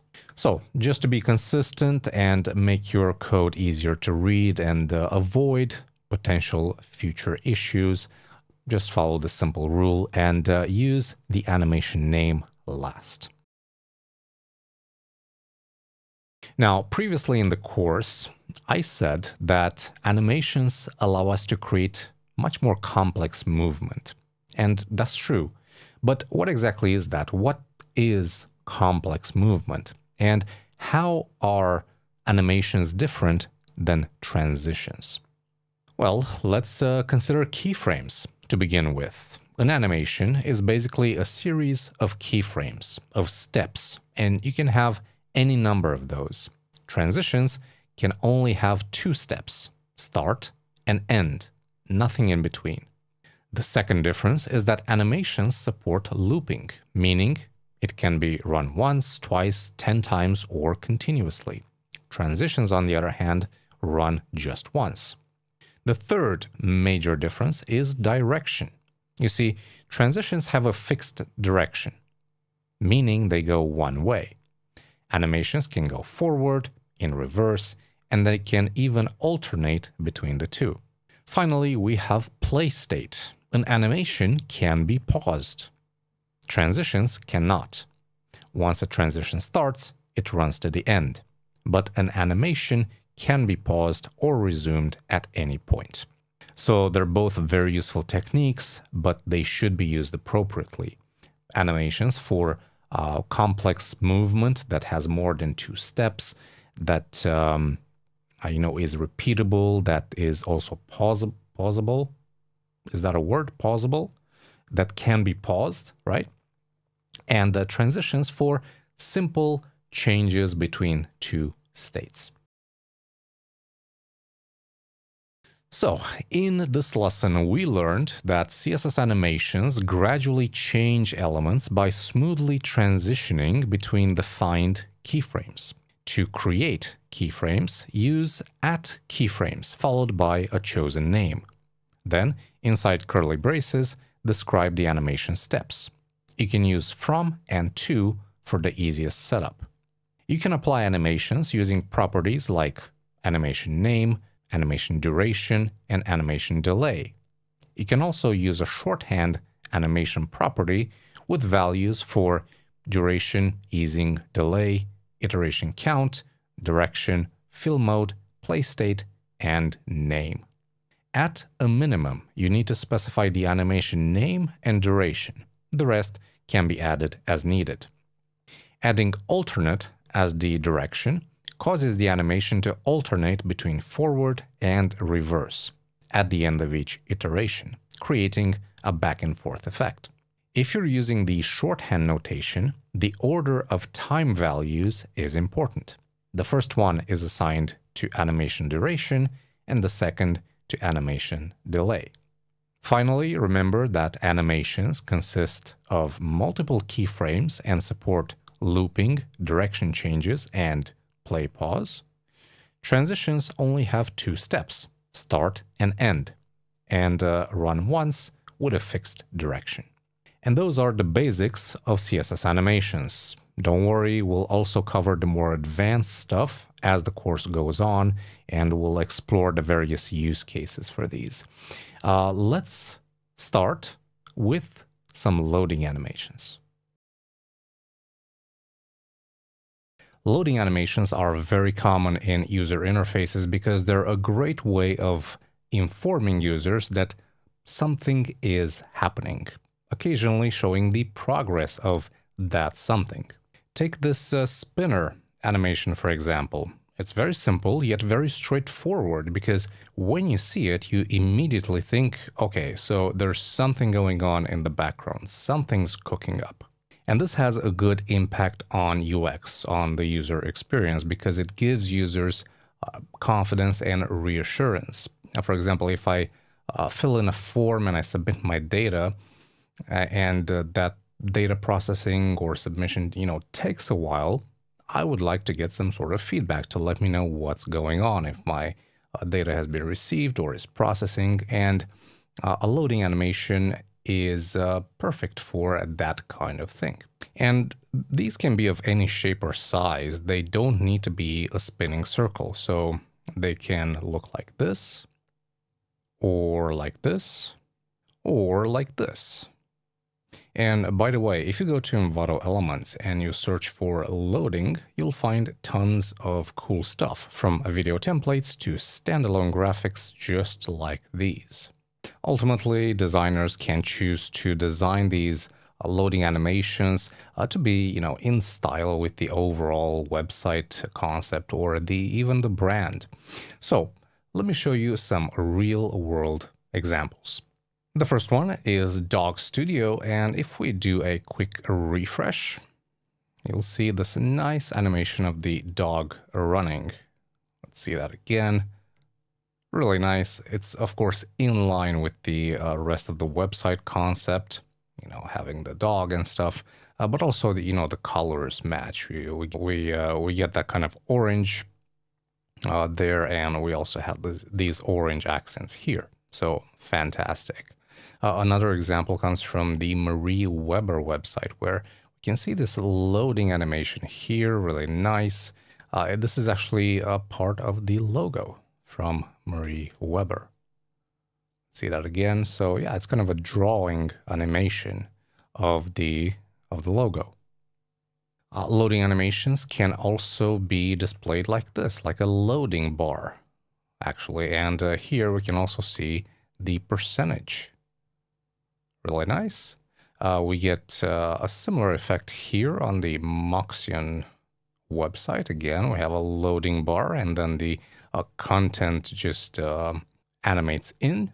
And finally, let's have a look at the Sketch website. And if we scroll a little bit further down to the uh, to the features here, we can see that we have some loading animations right here. So the idea is when a certain feature is being um, displayed, or rather the, uh, the image for that feature is being displayed, uh, this gets highlighted and we get a loading animation telling us how long that feature will remain uh, highlighted. Now, the loading animations I just showed you are used almost exclusively as a placeholder uh, until the page fully loads, and they are also known as site preloaders. But not all loading animations uh, should be used like that. And let me give you an example. If we go to MTB Riders and we uh, just select any product, we click Add to Cart, watch what happens inside the button. Saw that? It was pretty fast, but let's do it again. Yeah, we got a brief animation of some dots running telling us that, okay, you clicked add to cart, we're working on it. And then at the end, uh, I also got this nice message that says, okay, we added the item to your cart. So that's considered as, you know, another loading animation, but it's not used as a site preloader. Instead, it's used in another part of the UI.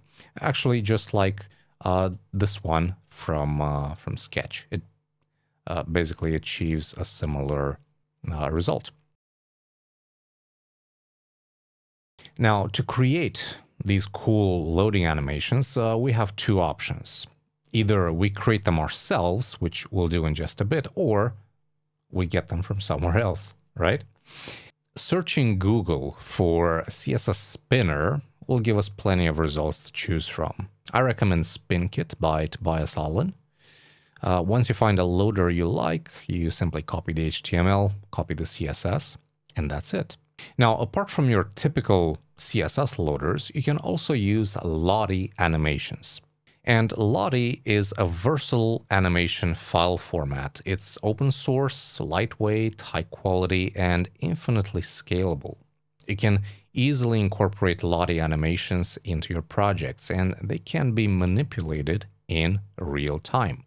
Fun fact, Lottie animations are super popular among the top 500 uh, apps in the App Store, and um, they're super popular or they're heavily used by uh, some big names like Apple, Google, Adobe, uh, Disney, Netflix, and many more. If you're on the hunt for Lottie animations, your first stop should be the official website at lottiefiles.com. Here you can simply search for something like Loader and check out all the cool animations created by the community. You'll find both freebies and premium picks. And when you find one you like, just click on it to see how you can use it in your project. And with an active subscription, you can download tons of Lottie files from Envato Elements. For example, here are some really cool animated technology icons. There is a lot to talk about when it comes to Lottie animations. That's probably a, a separate course on itself. So for now, let's focus on this course and this lesson, which is about loading animations. And let's get practical. Let's create some of these animations ourselves. Time for practical exercise number eight. And for this, we're going to be creating a site preloader, and we'll use uh, one of our older uh, demos, this uh, nice image gallery here. And the reason why we would need such a site preloader is that there are a lot of images here and it might take a while to download, especially if we're on a slow connection. So it's a good idea to show some kind of loading indicator uh, while the page is loading in the background. So if we go to uh, the network here and we do like, uh, let, us do something like a slow 3G uh, simulation and we'll disable the cache. Uh, you can see that the images, once we uh, refresh, right, it's going to take a while to download. And so the end user doesn't necessarily need to see this, doesn't need to wait for the images to, uh, uh, to load, but instead we're going to show a nice loading animation. And as you can see, it still uh, takes quite a while because I used uh, large images here on purpose. And it's just going to keep going. All right, so let's close this for now and uh, start working on our site preloader. And we're going to start with the HTML. So we're in exercise 8 here. And the way I have this set up is uh, I have all of the page content uh, placed in a section that has an ID of page content, right? We have the header here, the gallery, and there's nothing else on the page uh, apart from that. So let's actually create our loader container here, and we're going to use some CSS to style that accordingly. So I'm going to say uh, div class uh, loader container, and inside I'm going to create another div with a class of loader. Now, we're not going to use a pre-made loader. We're going to create it ourselves. It's super easy to do from CSS. So right now we just have two empty divs. Now, let's go in here in our CSS. And we're going to say the following. Let's start with the loader container first. So what I want to do here is basically have this div fill up the entire page. And we're going to give it a background color. And uh, we're going to place it above everything else on the page. Okay, so the way to do that very easily, we're going to uh, set a position to fixed. Uh, we'll set inset zero so it fills up the entire viewport. Uh, we're going to set a z index of 999 so it's really high. Uh, and then let's set a background color and I'm going to use 0C0603. And then I want the actual loader to be placed in the middle of, uh, of the page basically. So I'm going to use grid for that because I can do place content center and that's going to center everything nicely without me having to do anything. So right now, as you can see, I have this black screen almost. It's not exactly black, but it's, uh, it's a very dark color screen and it covers absolutely everything. Now, let's work on the actual loader, the, uh, the loading animation. So let's target the loader class. Oops. And let's do this. Let's do with four rems. And just so you know, we're going to do like a spinning circle. Uh, I'm going to do a height of four rems. And let's do the following border. We're going to do 0.4 rems solid. And let's give it a color of F2 7541. Okay, so now we basically have, let me zoom in here. We basically have a box with a border, right? So now what I'm going to do is say this border left color transparent, and that's going to get rid of the left border. I'm going to do the same for the right border. So it looks like this. And now I'm going to say border radius 50% to turn it into a circle. Pretty cool, huh?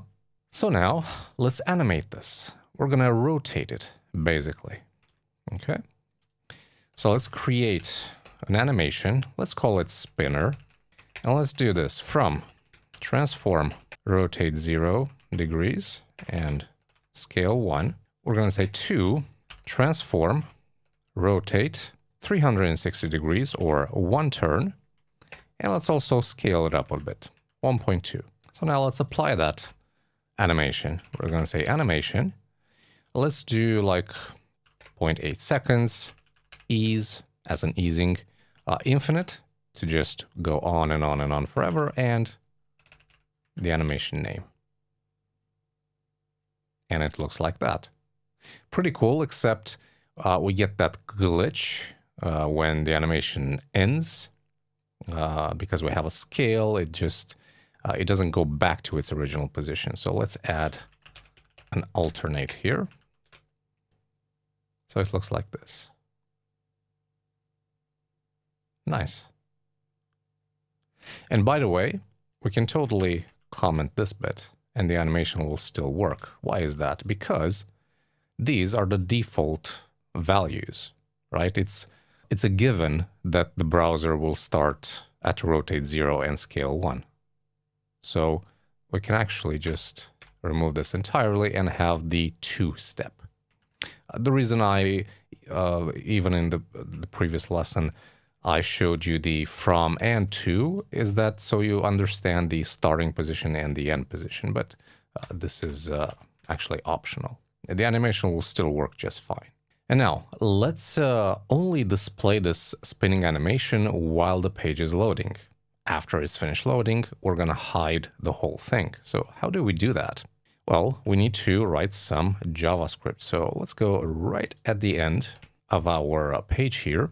And we're to start by defining some constants here. First of all, we're to get the loader container, and we'll do a, a query selector for loader container, and we'll do another constant for the page content, right? And that's also a query selector for the uh, page content.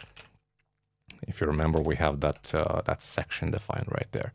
So this is super easy to do. We can say window add event listener, load, and then we're going to pass in like an anonymous function. And we're going to say loader container class list add hidden, and then page content class list add visible. Super simple. So basically, when the window finishes loading all of its assets, it's going to add the hidden class to the dark loader container and the visible class to the page content. So now uh, we basically have to go back to our CSS and create those classes. So we're going to start with the loader container with the class of hidden. Uh, that's basically going to say opacity 0, visibility hidden. And then the page content, by default, it's going to have opacity 0. And let's actually do like a like a simple uh, transform effect. Uh, we're going to say transform, translate 3D, let's do 0 minus 1 rem. So we push it up a little bit. And then page content uh, with the class of visible, we do what? We say opacity 1, and we reset the transform, like so. So let's see if that works. Uh, let's open up a, a console here to see if we have any errors, and we do not. And let's go to network. Let's uh, simulate that, uh, that same page reload. Okay, so we're showing the, uh, the loader until the page finishes downloading basically all of its assets, which uh, is going to take a while apparently. And there we go. Once it finished downloading, it took 25 seconds. It hid the uh, loader and it showed it and it uh, sorry it showed us our page now of course that just suddenly appeared because we didn't add any kind of transitions. So let's go to the loader container and we're going to transition here the opacity opacity. Let's do like 0.4 seconds ease in out and also the visibility because we're also animating that one. Ease in out. And uh, that's for the loader container uh, we also need to apply a transition to the page content right here okay so we'll say transition uh, for what the opacity Let's do 0.6 seconds this time, so a little bit bigger. Uh, ease in and out. And we're also transforming, right? So transform, 0.6 seconds, ease in out. So the page content between it being in its default state and being visible, yeah, we change the opacity and we change the transform. So that's uh, those are the two properties we're transitioning. So now uh, let's go back here and we'll do basically the same test. And uh, last time it took about 25 seconds, so it's probably going to take exactly the same this time because we disabled the cache and we're using the same 3G, um, fast 3G preset. But yeah, as soon as that's, that's finished, uh, uh, we get a nice transition. The uh, the page content kind of slid, slid, slided. I think slided. The page content kind of slided from the top uh, while also animating its opacity. So pretty cool effect. Uh, very simple to do, and um, you saw how easy it is just to create uh, a loader with a couple of lines of CSS. This uh, first demo was super simple, so you can uh, understand the whole process. But as you saw from the real world examples I showed you earlier, loading animations can be way more complex. So time for practical exercise number nine. So when I was um, working on the demos for this course, I was wondering what I should do for a loading animation.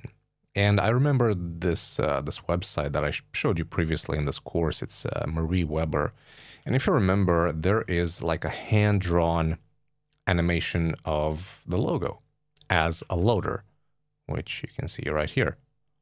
So that's pretty cool. And I thought, okay, so I want to do something like that, but what if I want to do it with text? And thankfully, if we're doing this using SVG, there's actually a pretty cool technique uh, we can apply uh, by using something called uh, stroke dash offset and stroke dash array. Those are properties which can be animated. So uh, let me show you uh, how we can do something like that. So uh, we're going to start here in exercise 9 and we're going to create our SVG. And don't worry, it's, it's nothing super complicated. And let's uh, give it a view box. And we're going to say 00. 0. Uh, we're going to make this a text 400 by 160.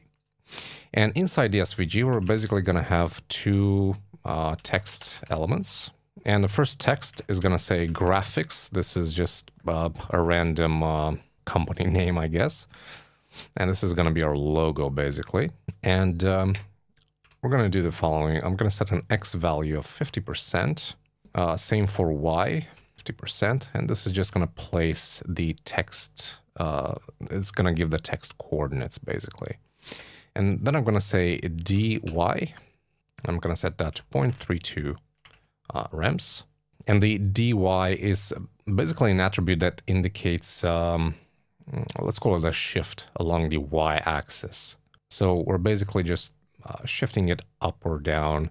And I'm doing this, this just for alignment purposes. Don't worry about this too much at this point. Uh, also, I'm going to set text anchor middle. That's going to serve as a reference for the coordinates. And then I'm going to give this a class of text body. Great. Now, uh, I'm actually going to copy this and I'm going to add a dot in here. So if we uh, check this out, yeah, we can't actually see anything because uh, we need to uh, to set some CSS for it. So uh, let's go ahead and do that right now. I'm going to say SVG, uh, SVG text, actually. And let's do the text body first. Let's add a stroke, and I'm going to use a variable here called loader text color. And let's actually give this a font size. Let's say 5 rems.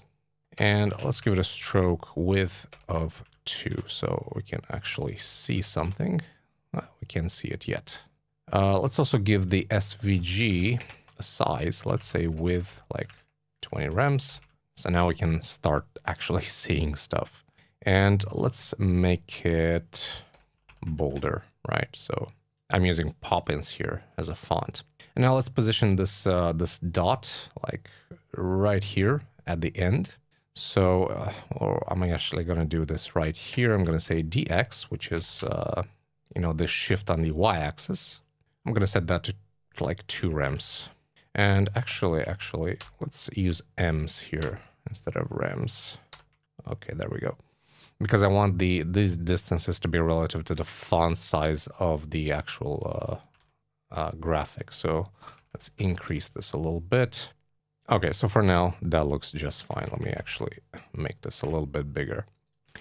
All right, so coming back to the CSS. Uh, I would like the letters here to be just a little bit closer together. So let's actually add a letter spacing of minus 6 pixels. So something like that. And now let's create the animations, right? So keyframes, let's call this animate stroke. And we're going to add this to the text body, right? So I'm going to say animation. Let's uh, run this over four seconds, infinite, uh, alternate, so it goes in both directions, and animate stroke. Okay, so here's how we're going to create this animation. Basically, I want this SVG text to be almost drawn. You know, I want the outline to be drawn step by step. So let's start with this. Instead of uh, from and to, we can actually use percentages. I can say 0%, and that's the start. We're going to fill this transparent, or we're going to set the fill to transparent. I'm going to set the stroke to the loader text color. And now I'm going to say stroke width 3. So this is what we got so far. And then the two properties that are going to make this happen are stroke dash offset. I'm going to set this at 25%. And then stroke dash array 0 and 32%. Now, let me quickly explain these two properties. Stroke dash uh, dash array. Let's start with this one.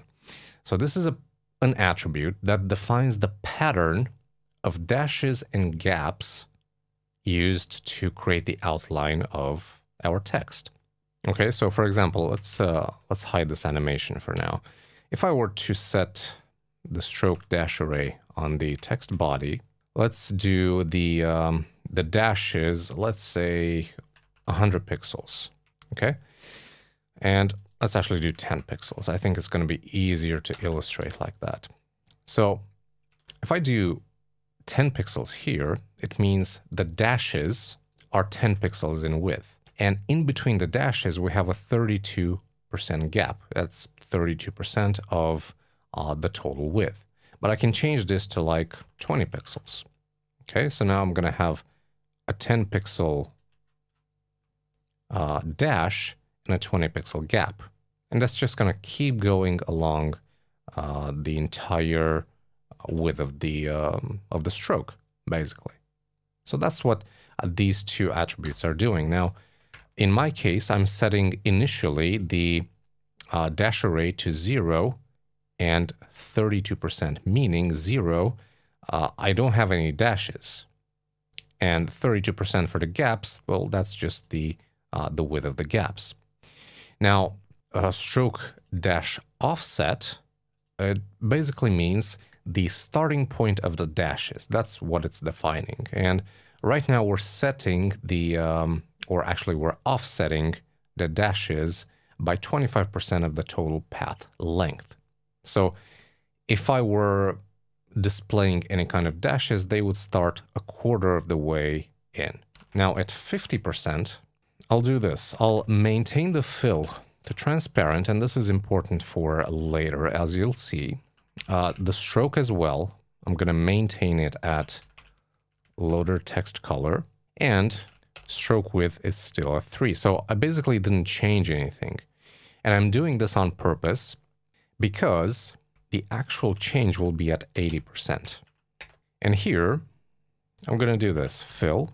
I'm going to change the fill to the loader text color. I'm going to change the stroke to transparent. I'm going to change the stroke width to zero. And I'm going to change the dash offset to minus 25% and the dash array to 32% and zero. So let me show you what, how that works.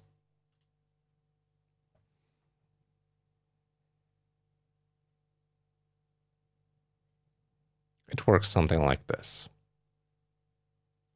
But of course, we we have a bit of a an issue here where the um, the fill just kind of blinks twice, as you'll see. So it fills up and then back and then back. And the reason for that is we need to specify what happens at 100% as well. And that's going to be exactly the same thing at 100%. So now this is the end result.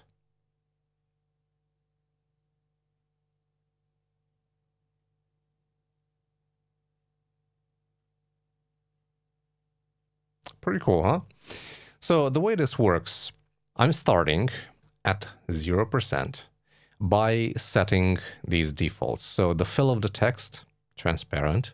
The stroke is this loader text color, which is the white basically. And then stroke width 3. And then I'm starting with the dash offset of 25% and the dash array of 32%. And the endpoint, which is 80% and 100%, I'm basically changing the fill from transparent to the white. I'm changing the stroke from the white to transparent. I'm changing the stroke width to zero. And these two properties are what makes uh, everything work.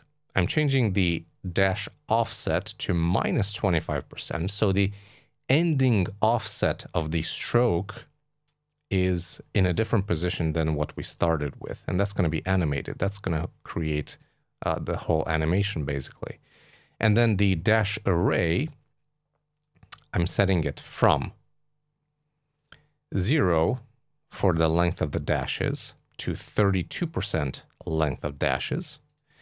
And from 32% gap to zero gap. And that's basically gonna uh, create this full outline shape. And I can actually make this a lot longer so you can see how everything works. As the animation uh, is closing in on the 100%, yeah, the gaps in the strokes start slowly disappearing, and in the end, the stroke disappears altogether while the text fills up. And when it goes in reverse, you'll see that the uh, the stroke or the dashes get smaller and smaller until they disappear completely.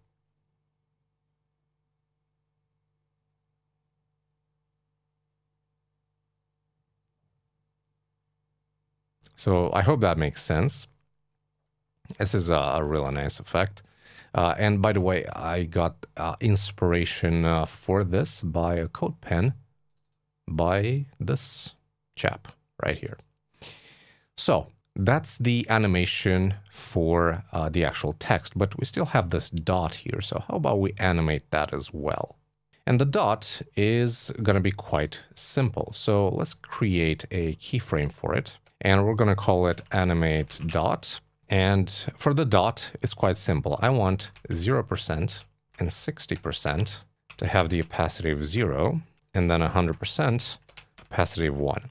And if you're confused as to why I'm using these two uh, different stops, it basically means that I want the opacity of 0 to be applied both at the beginning but also at the 60% point. So by doing this, I'm basically saying, okay, just animate the opacity between 60% and 100%. If I were to do just this, it would animate the opacity between 0 and 100%. And that's going to be a longer animation. But if I'm doing this, it's going to be a shorter animation because it's the animation itself will only happen when we're already past 60% of the duration of the animation. I hope that makes sense. So let's actually uh, go and target that SVG text with a class of dot. Uh, let's actually fill that with the dot color. And let's give it a stroke. It's also going to be the dot color. And for animation, we'll again add four seconds, infinite, alternate, animate dot. So now the animation looks something like this. You can see the dot there on the left is also animated. And in the end, it's nicely displayed. Uh, let's actually change this back to four seconds.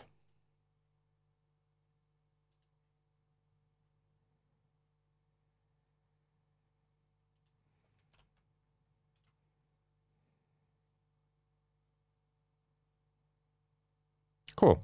And that's how you create a loading animation based on text, based on SVG text, to be exact. And that was another example of loading animations. A bit more complex this time, but just like the first one, it still served as a site preloader. But as I showed you previously, not all loading animations should be used for that. They can be used in other parts of the UI as I'll demonstrate in practical exercise number 10. And for exercise 10, we have this uh, very simple login form where we can fill in our name, our password, and then we can click login. But just in case the login action takes a bit of time, I want to add some sort of indicator inside this button to let the user know that, okay, we've got the, uh, the data you filled in and we're executing the login process. It, it might take a while. So I want to display some kind of loader in this button while this is taking place.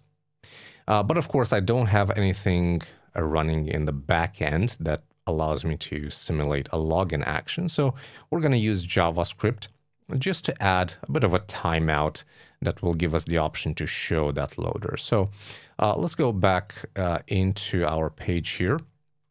You can see that I've uh, declared some constants here for the submit button and the submit button text. And what I want to do is on uh, is when we click the button, uh, I'm going to do, uh, first of all, event prevent default. That's going to just prevent the default submit action of the button. And then I'm going to add the uh, loading class. So I'm going to say submit button, class list, add loading. And then finally, I'm going to use the set timeout function in JavaScript to set a timeout of four seconds before I execute the following. We're going to remove the loading class. So we're going to say submit button, class list, remove loading. And we're going to add the class of success. So submit button, class list add, success.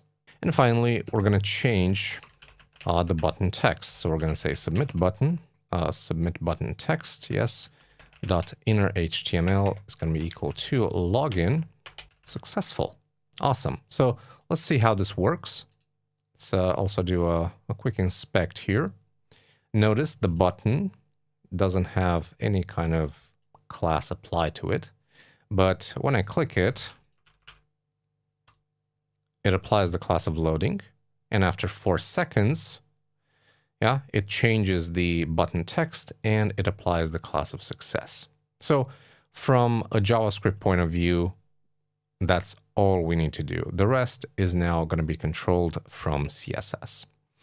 So let's actually add, uh, let's create the, uh, the loading animation. We're going to start in HTML where I'm just going to define three divs because I want to do like a, like a dot animation with three dots that are uh, animated individually. So I'm just going to create three divs, three empty divs inside my button. And of course, this doesn't do anything uh, visually because we need to apply some CSS. So in terms of CSS, actually, let's wrap this in a div and let's give this a class of button loader.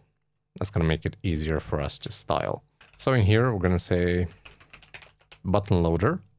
Uh, let's use flexbox, as I said, display flex, and let's set a gap of 0.25 rems. Okay, great. Then let's target each div. So we're going to say width.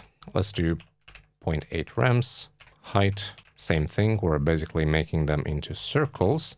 Let's make them white. Let's make them round. And let's see what we got. Okay, cool. So now let's create the animation. We're going to say keyframes. Let's call the animation scale up. So for scale up, I basically want to use scale 0 as a default, and that's gonna like shrink it all the way down, and then scale 1 uh, somewhere in the middle. So what I can do is say 0%, 80%, and 100%. I want transform scale 0. And then at, uh, let's say 40%, transform scale 1.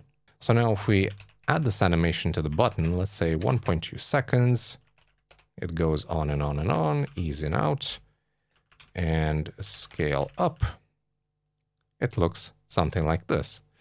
So the dot basically is at scale zero, so it's basically invisible at 0%, 80%, and 100%, and it only scales up to 1 around the middle point. And that gives us this nice effect. If I were to remove these, it would look something like this, which is not what we want. So by doing this, we're saying that, okay, I want you to animate between scale zero and scale one. Yeah, right? That's my animation. So I want this animation to take place between 0% and 40%.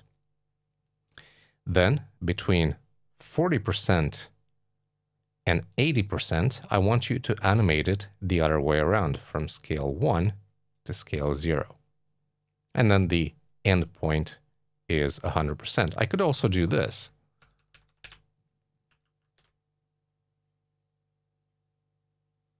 Right, and it's still going to work. But the animation will just take a tiny bit longer. So it's really up to you uh, how you want to do this.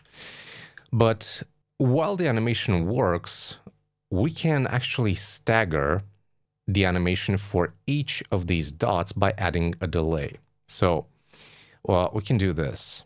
We can say button loader div nth child 1, and I can say animation delay, let's say minus 0.32 seconds.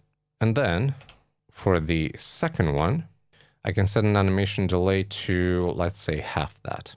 So now the animation is the same for each of these dots, but they're staggered. The nth child 1 starts with a bigger animation delay, nth child 2 starts with a smaller animation delay. So that gives the illusion that they're kind of um, using a sort of timeline uh, to be animated, one after the other, which is cool. So the animation here is actually complete, but it's uh, it's always present and it's in the wrong position. So let's go ahead and fix that. I'm going to target the button and I'm going to set a display to flex and I'm going to align everything to the center. So justify content, align items, so center on both axes. So it currently looks like this. And I'm also going to give this button a minimum height of three and a half rems because we're going to start hiding certain elements. And I don't want the button to uh, suddenly change its height uh, when that happens. So I'm setting a minimum height. So now, by default, button loader, I'm going to set its display to none. So we hide it.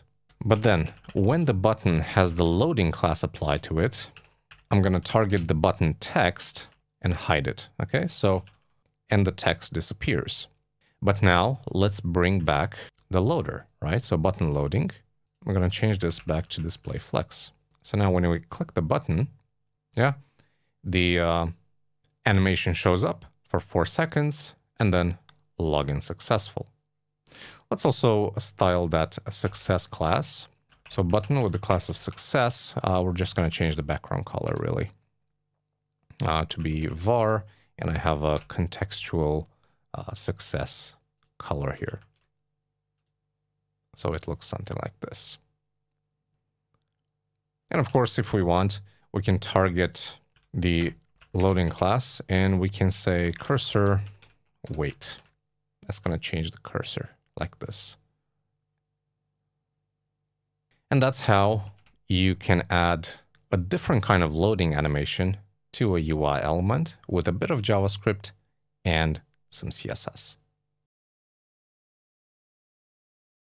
So in this lesson, we explored loading animations, and these have the task of keeping users informed and sometimes showing the progress of a certain action. Most of the time, these animations will be used as website preloaders. However, they can be used in other parts of the UI, like for example, in a button.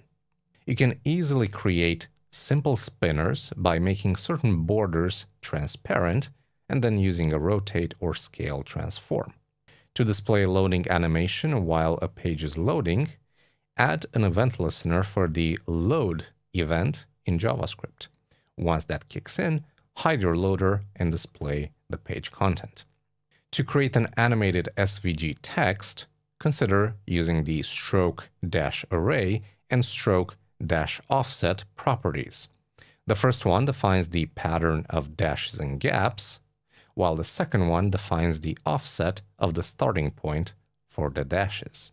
When creating a loading animation that has multiple elements, consider adding a different animation delay to each element for a unique movement pattern.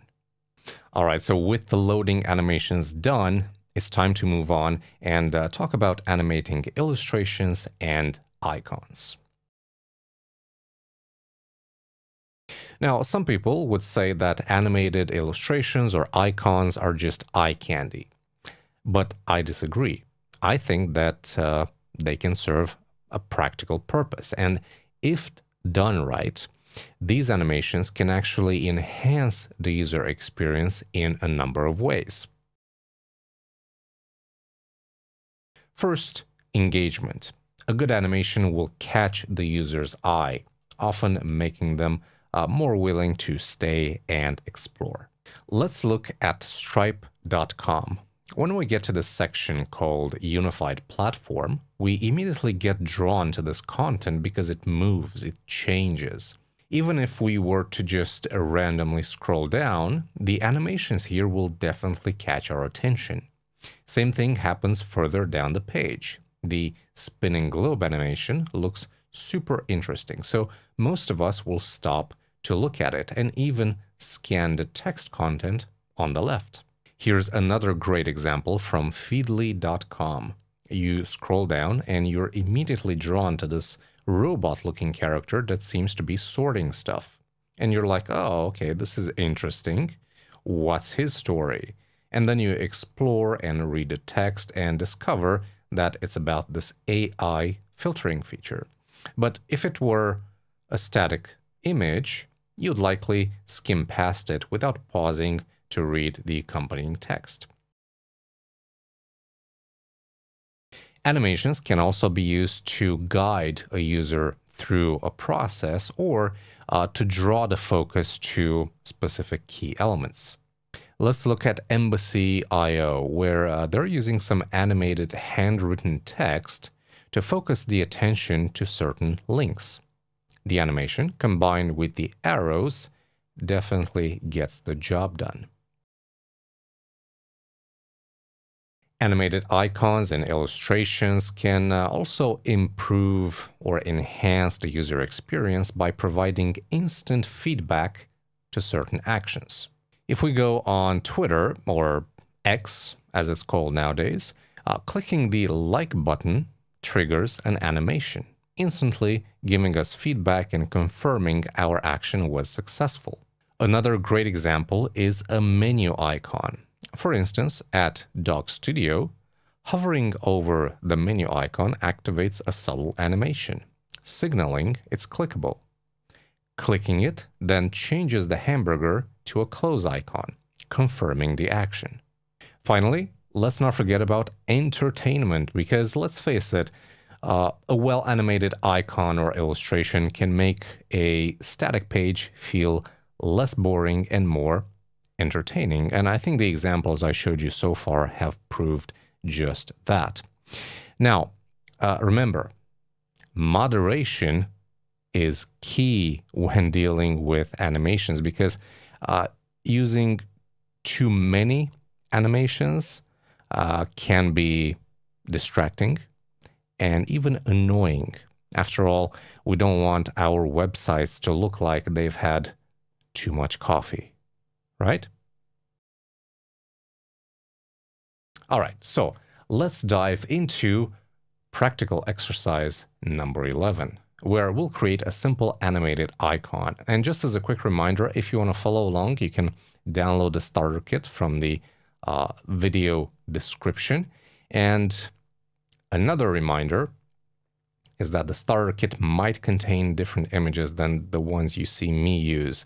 Uh, the ones I'm using in this demo are from Envato Elements. And uh, because they're licensed there, I cannot redistribute them uh, like separately. I cannot give them to you in a starter kit. So if you want the exact same assets that I'm using, uh, you're going to have to download them yourself from uh, Envato Elements. With that said, let's go. For exercise 11, let's revisit one of our older demos. This is uh, the one where we used video as a background. And if you remember from that original demo, we had a, an icon here. We had a like a mouse icon. So I want to add that again, but I want to make it animated. I want uh, to have the outline of a mouse and then have a little dot inside that just scrolls up and down just to signal that, hey, scroll down to find more. Now, we're going to be using Lottie files uh, for this, and uh, this is the only lesson I'm going to be using Lottie files in because I want the rest to be a little bit more focused on, uh, you know, using JavaScript and CSS to create the uh, the animations. But I couldn't just pass the opportunity to show you how to work with Lottie files. So here we go. Now I went to uh, lottiefiles.com and I searched for a mouse scrolling icon. You'll find a link to this. And I found this bit. Okay. And once you find it, you know, you can uh, add it to one of your projects. You, you, have to create an account, which is free.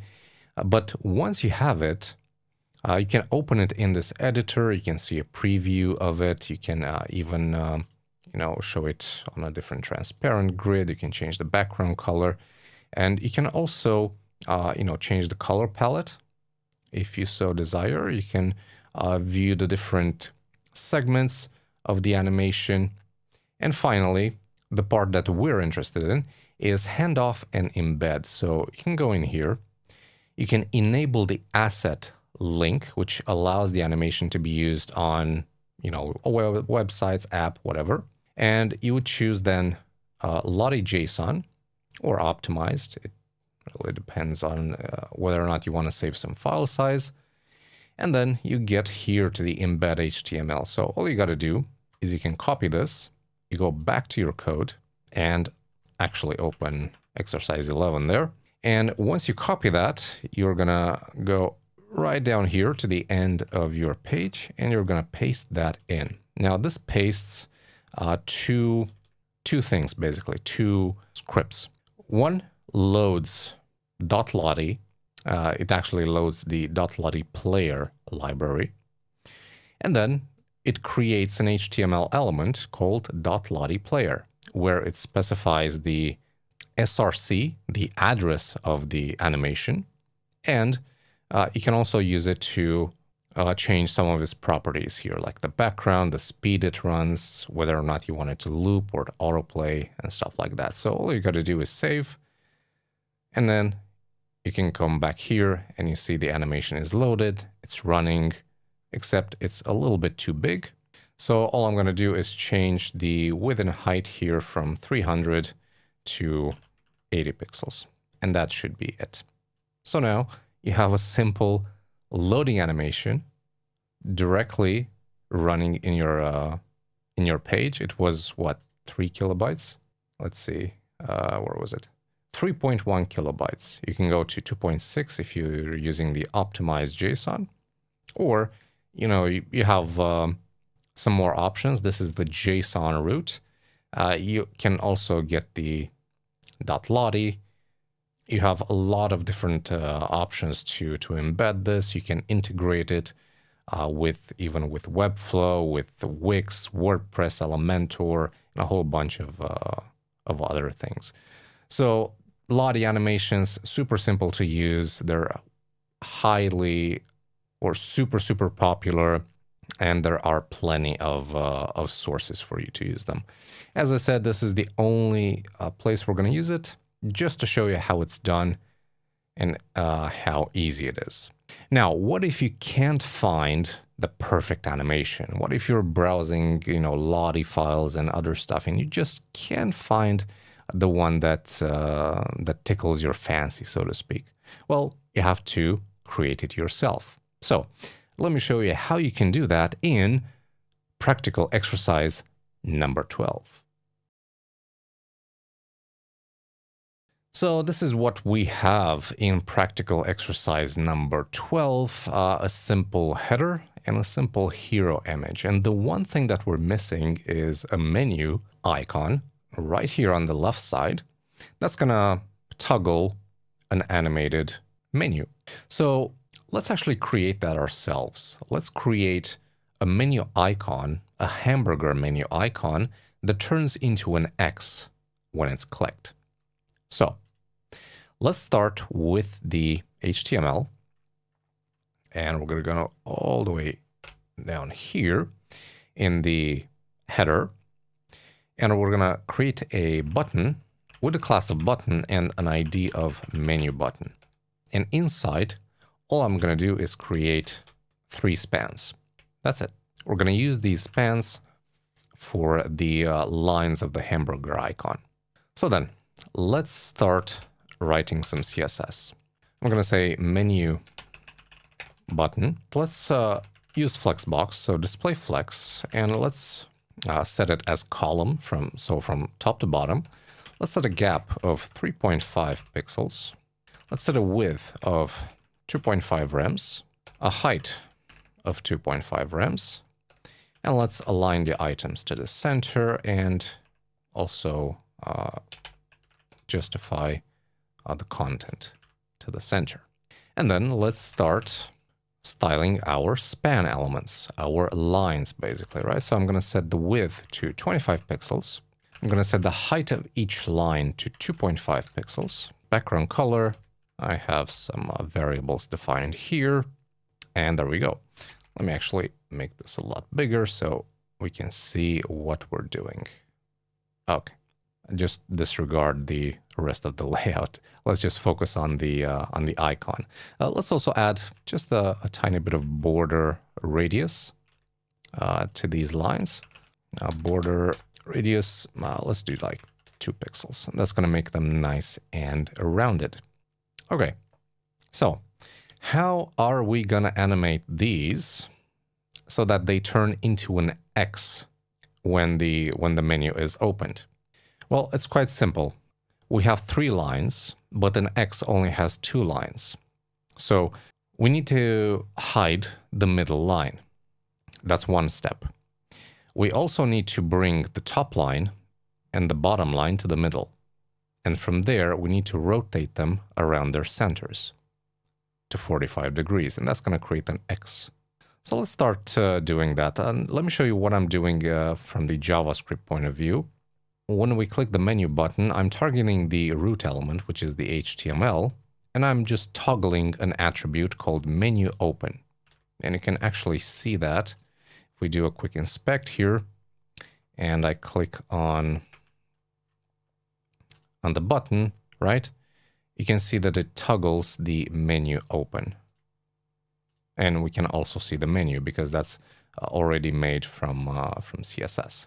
So it just toggles menu open, on and off. That's it. Now, going back to the, uh, to the animation here.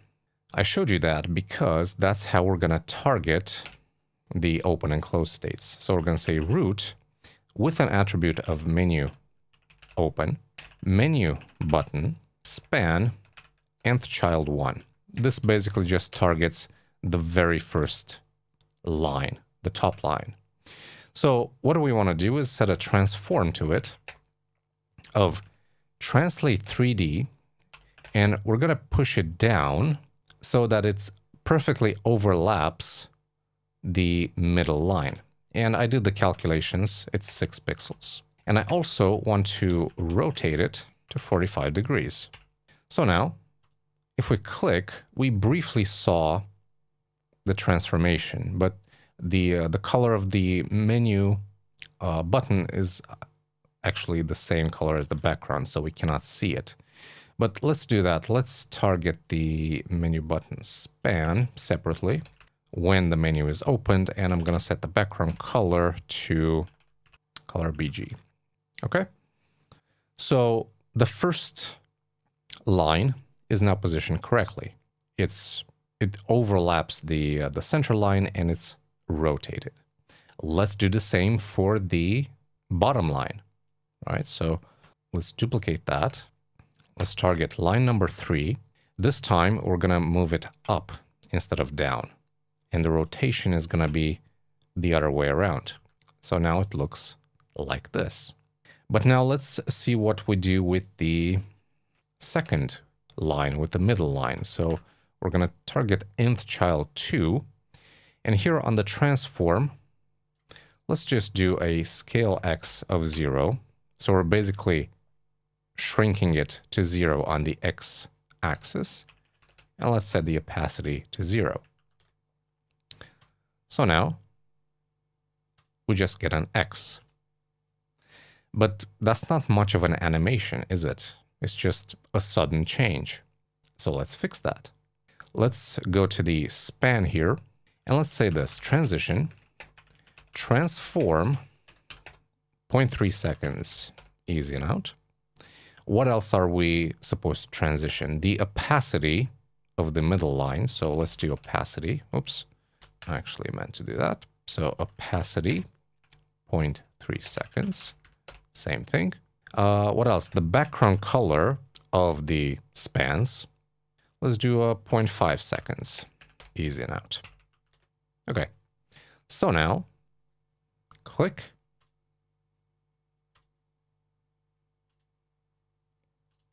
And we get a nice animation. And that's how you can easily turn a hamburger icon to an X and vice versa. And what we just created here is called a micro interaction. I'm just going to introduce this, uh, this new term for you. And a micro interaction is basically a brief moment of interaction between the user and the UI, right? So for example, the like buttons, right? If you click the, the like button on X, like I showed you previously, that does something. It creates an animation. Well, that's a micro interaction because it's super brief, just like this one. It's just a simple animation that shows me the original menu icon turned into an X. And this is now telling me that, okay, this is where you need to click to close out that menu, right? That's a very brief interaction, but one that does its job. And we actually created uh, a micro interaction before, if you can remember, uh, was it in exercise 11 or 10? Yeah, right here. This one, where we changed the text to the uh, dots, that was also a micro interaction. And that's a very easy way of creating this very popular animation. I'm sure you've seen it around, and at some point you're going to have to create something similar to this. So I think it's a great one to have in your toolkit. Now, there are a billion ways of animating icons, and I invite you to discover other ways of doing that. Uh, using SVGs uh, is also a very popular, but we could probably make an entire course just about that. So for, for the time being, uh, we're just going to stick to this one demo. Now, let's talk about animating illustrations. And for that, we'll go to practical exercise number 13. And we're going to use the exact same demo as before, but this time we're going to focus our attention on a different part of the page, in particular to this animation right here, which can be uh, downloaded from Envato Elements. You can find a link in the uh, lesson description and in the video description as well. Now, how do we animate an illustration like this? Well, the most important part is that we have the uh, layered version. Okay, so this is an SVG that I have here in Figma. And as you can see, it's layered. Each individual piece is a separate layer. Without this, if you want to animate the individual pieces of it, you're going to have to cut it yourself if uh, you had like a raster image. But because we have it as a, as a layered SVG, it's, uh, it's really easy for us to work with it. So I want to animate a couple of different elements. And before we get to the code part, we're going to work a little bit here in Figma because we need to group those elements and give them some proper names. That's going to really help us later on. So first of all, I want to animate the stars, right? You can see that each one of these stars is a separate layer. It's a vector, okay? So let's grab this, this, this, this, and this. We have five stars and we're going to group them up and I'm going to call them stars. Next up, I have this location pin here, and I'm going to rename that to uh, location pin. And let's also give it a dash there. Uh, next up, I would like to animate this line, right? I want to make like a, a dotted line, which gets slowly animated, but I can't really do that with this vector because of the way it's constructed. So I'm going to have to recreate this line myself. That's uh, not really hard to do. Let's grab the pen here. Let's start here. And I'm just going to create a few points, trying to match the curve there.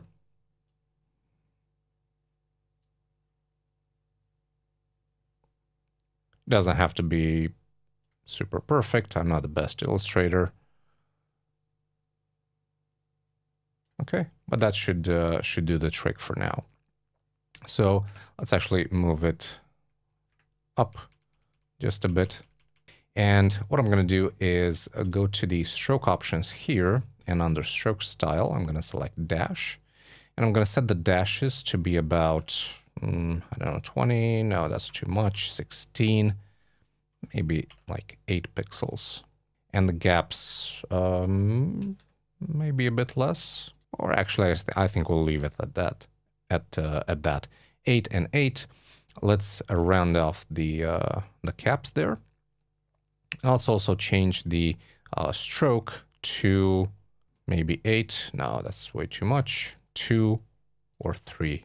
I think 2 should, uh, should do the trick fine. And let's also grab the color for that, paste it in.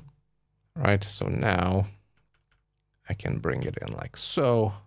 And I can actually, I can hide that original one or I can delete it altogether if I want to. Let's call this dotted line. And that looks pretty good. It looks relatively close to, uh, to what we had before. Great.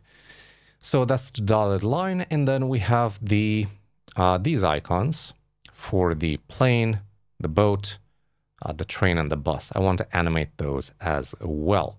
So let's grab, uh, let's see, these should be together here. So let's grab this. Let's call it icon, uh, what is this, plane? Then we have this, that's icon boat. And then we have the next one, group that up, that's icon uh, bus. And this final one, without that one, that's icon train.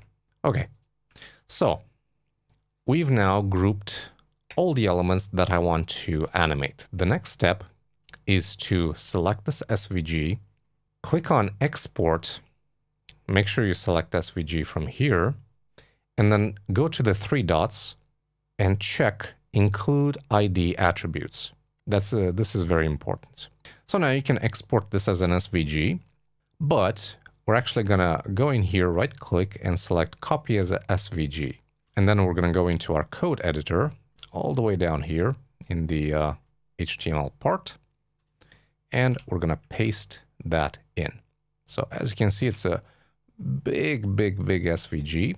But the important parts are that because we checked this box here, we now have the correct groups with the correct IDs, with the layer names from Figma, basically, right? So we can target those in, uh, in CSS. So for the time being, let's just collapse that SVG. Let's save.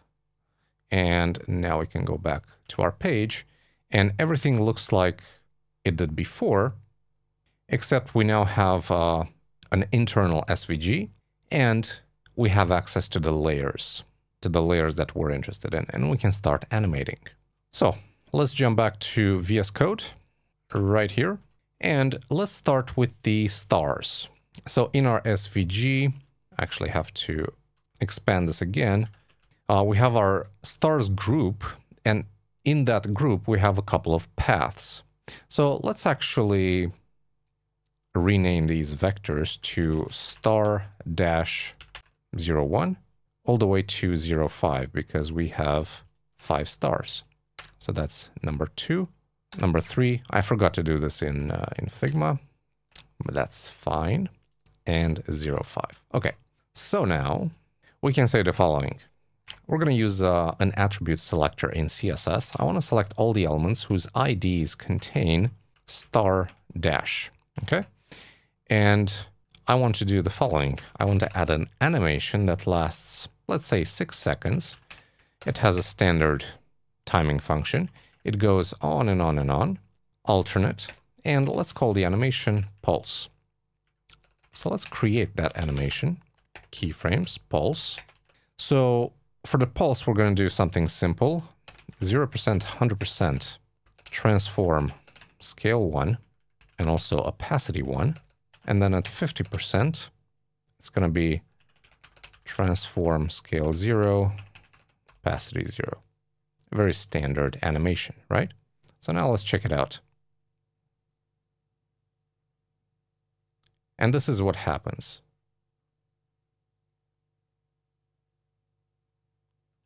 We can also set the transform origin to center so that the um, animation will start from the center or relative to the center of the element, but it's still not what we're after, right? Because these stars, these SVGs are, sure, they're scaling up and down, but they're not scaling relative to themselves.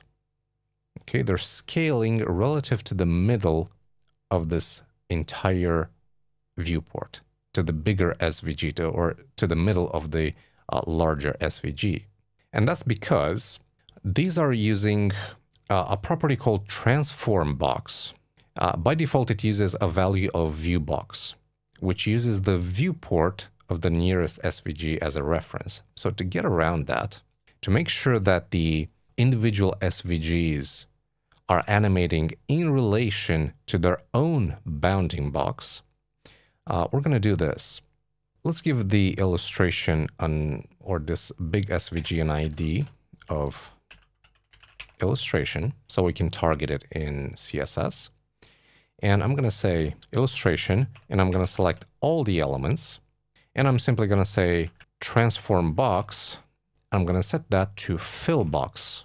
As I said, view box is the default, but it uses the viewport of the nearest SVG as the reference. Fill box uses the object's bounding box as the reference. Okay, so now after we save this, you'll see that the individual SVGs, yeah, they're now uh, creating those animations or performing those animations in relation to their own position and size, which is exactly what we want. And let's actually go and um, set a delay for these because I don't want them uh, animating at the same time. So right here, I'm going to say star 2 animation delay, let's say, I don't know, 1.2 seconds. And star 3, 4, and 5. Let's increase this. Let's double it, in fact. So 2.4 seconds, uh, 3.6. So not, uh, sorry, not double. Just add 1.2 seconds on each uh, each of these. So 4.8. Okay. So now you see that these will animate, but they're going to be staggered right? Not all at the same time, but one now, one after 1.2 seconds, one after 4.8 seconds. So uh, the effect is totally uh, or kind of random. Okay, so that's the first uh, animation done. That's for the stars. Okay, let's see about the location pin, right? It's this one. Now, what kind of animation would I want to create here. Let me actually make this bigger. Uh, it's a location pin. It shows a location, right? And it should draw the attention to a specific location. So how about we do a bounce animation? Hmm? So for the bounce animation, let's do this. I'm going to say uh, location pin, I believe I called it. So location pin, uh, let's do animation Let's do four seconds infinite. And let's do a bounce animation. And then we'll say keyframes, bounce. And now instead of trying to create a bounce animation from scratch, which can be quite hard, we can uh, use an existing one. So if we go to Animate CSS, uh, this is uh, a CSS animation library created by Daniel Eden. Uh, we have a bounce animation, something like this. And we can actually uh, check out the uh, the core, the source of that. If we go to the uh, to the CSS and we search for bounce, quite simple, right? And actually, let's just copy the entire keyframes from here, and I'm going to paste them right here. Just going to do a bit of cleanup here. Uh, we don't actually need the, the prefixes here. And as you can see, uh, this is using some custom um, timing functions, and it would have taken us quite a bit uh, to do it from scratch. So let's do that, and finally that, and finally that. And of course, normally I would leave the, these in, the, uh, the vendor prefixes, but I want to make this code as clean as possible for you so uh, you can understand this better. So now this is how the animation looks like.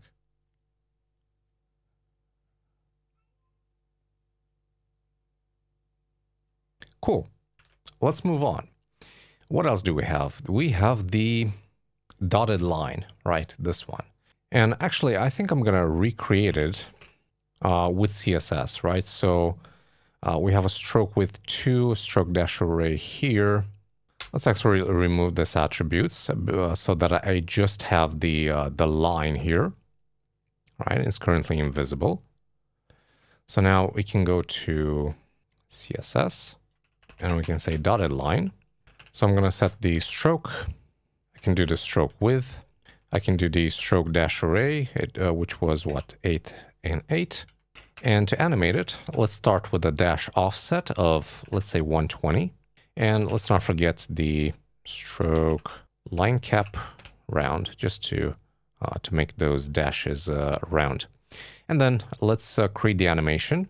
So I'm going to say keyframes dash. And in here, I'm just going to say 2 stroke dash offset 0. And let's also, let's do 5 seconds, linear, infinite, and dash. Okay, so now the animation just keeps going and going and going. And if I don't like how it looks like, I can always play around with uh, the values here. Like I can increase the, uh, the stroke width, the dashes. It's a subtle animation, but if I were to make every single animation here like super big and obvious, uh, I think it would be too much. So we're doing a little bit here with the stars, a little bit here with the location marker, uh, a little bit with the um, with the dashed line, and finally, let's do a little bit with the four icons. So, travel icons. I would like these to have like a breathing effect where they momentarily scale up and then scale back down. So let's do this. Let's target uh, what was it? Icon uh, bus, icon plane. And actually, you know what? Let's uh, let's add a class here. Let's add a class of animated icon to all of these because it's going to be a bit easier to uh, to target, right? So icon dash. Okay, let's add it here. Let's add it here, and let's add it here. Great. So now back in CSS, I can just target that animated icon class. So what do we do here? First of all, I'm going to set the transform origin to the center because I want the kind of the scale to, uh, to originate from the center. And then I want, let's set the keyframes here. Let's add a breathe effect. And here, very simple, 0%, 100%, transform scale 1, and then 50% that's going to be a transform scale 1.4. So now let's add the uh, keyframes and I'm going to say animation. Let's go it over one second. Let's do an ease in out and breathe. And let's do infinite. Now let's add an animation delay for each of these. So I'm going to say animated icon nth child 2 let's say. So let's target the second one. So animation uh, delay, one second. Let's actually do this, uh, three and four. And let's uh, increase this by one second, like this. Uh, oh, sorry, what am I doing? No, that's, I was wondering why this wasn't working. This is a class, so what am I doing using nth child on that? Uh, here we can just use the IDs. So uh, icon boat, icon bus, and icon train. Okay, there we go. Sorry, I had a, a kind of a brain freeze there. I don't know what happened. Okay, so we're kind of getting to where we want, kind of. It's not exactly the effect that we're after because I want these sure to repeat themselves, but not like this. So I want the plane to scale up, boat to scale up, bus, and then train, and then wait a bit, and then go over again. If I'm using infinite here, the animation here sure will go right the first time, but then it just keeps going on and on. So this is actually something that we cannot do with CSS. I would like to find a way to uh, create this repeating animation with a delay at the end, but just like the way I specified. So this animates, then this, then this, then this, not all at the same time. And for that, we actually need to restart the animation. So let's do this. Let's remove the infinite from here.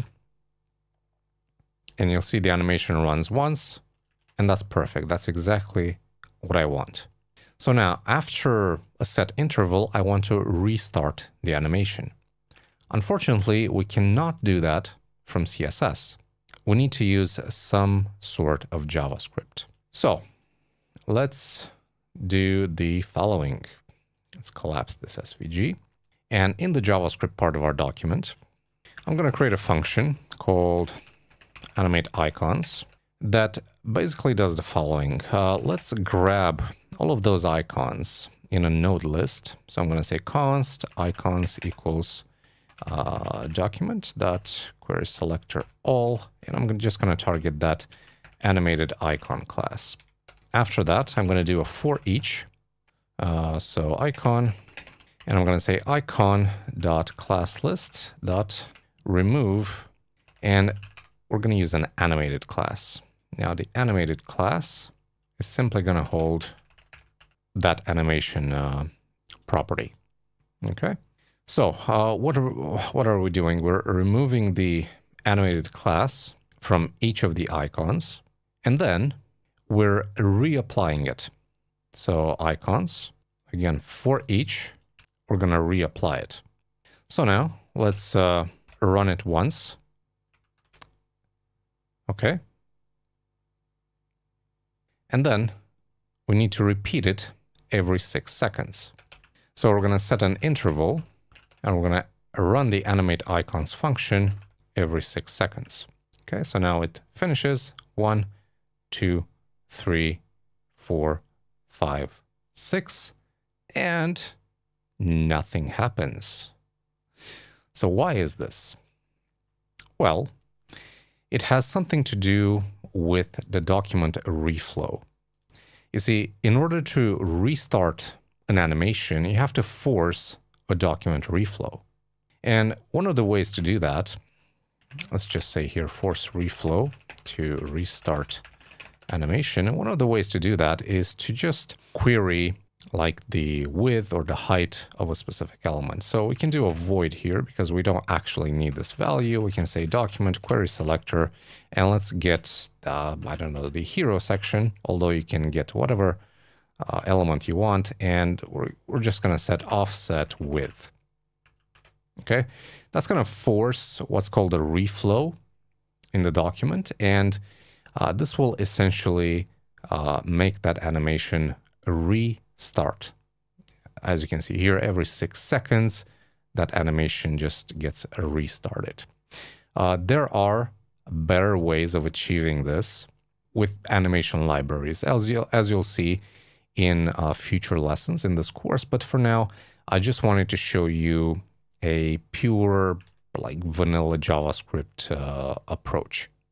So whenever you want to, you know, restart an animation, and removing a class and then adding it back doesn't work, remember you have to force a reflow.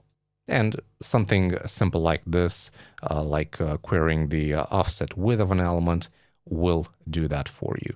Uh, just bear in mind that uh, the DOM reflow operation can be quite expensive, uh, which requires a lot of CPU power. And, um, you know, sometimes it can cause a bad user experience. So just make sure you use this wisely. Uh, let's take a final look. Just by doing that, we've now uh, successfully created an animated illustration. And that's just one of the ways of animating an illustration. And we did that with um, an illustration that wasn't probably designed uh, to be animated in the first place. Now, if you're aiming for more complex animations, then it's probably a good idea to design your illustration with that goal in mind. And this is particularly useful when dealing with, uh, let's say, cartoon characters or game characters. Okay, so let me show you what I mean by that. by going to practical exercise number 14. Now, this is what I want to create. So I've actually done most of the uh, uh, styling here. Okay, so we're basically uh, choosing our adventurer, either it's Luna or Max or Zombo or Ribsy. And the idea is that I want to display these cartoon characters. And by the way, you can get these on Envato Elements. And when I select one of them, I want to animate it. And these are actually animated uh, characters. I have walking sequences for all four of them, right? You can see I have individual images. There are eight items in the sequence. There are basically eight uh, stages of the walking process for all four characters. And what I did was I opened up the, um, the Adobe Illustrator file. I grabbed each of the SVGs and I pasted it in a frame that has the same, the exact same width and height. In my case, it's 520 by 880. So all of these have exactly the same width and height. And the same goes for the other characters as well.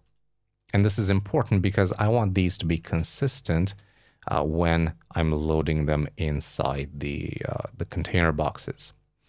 And then I took this entire uh, group of images and I export it as SVG.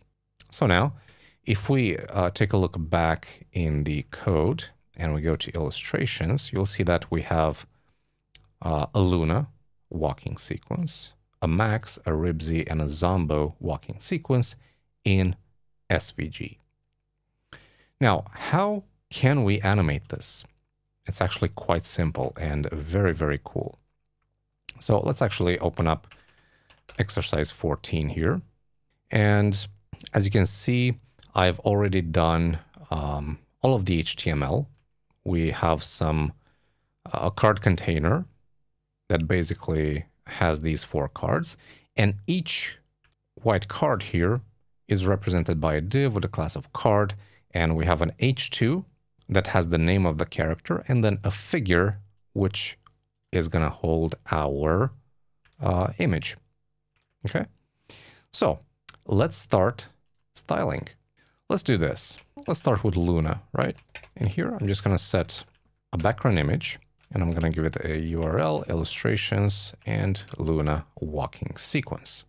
Save that. Nothing happens just yet. We need to select the card figure and give it some dimensions, right? Width, let's say 190 pixels.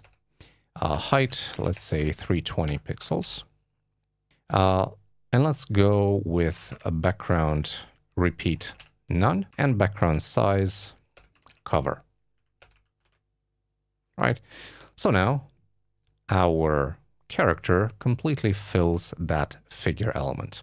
Now let's add the rest of the team. So we're going to have Max, we're going to have Zombo, and we're going to have Ribsy. Cool. Now let's animate them. I want to run that walking sequence or to animate that walking sequence when I select a card. So card with the class of selected, figure, yeah, we're gonna set an animation, let's say to one second, let's say linear, infinite, and the animation name is gonna be walking. So let's create the animation. Here's how we do that. We say to background position 100%.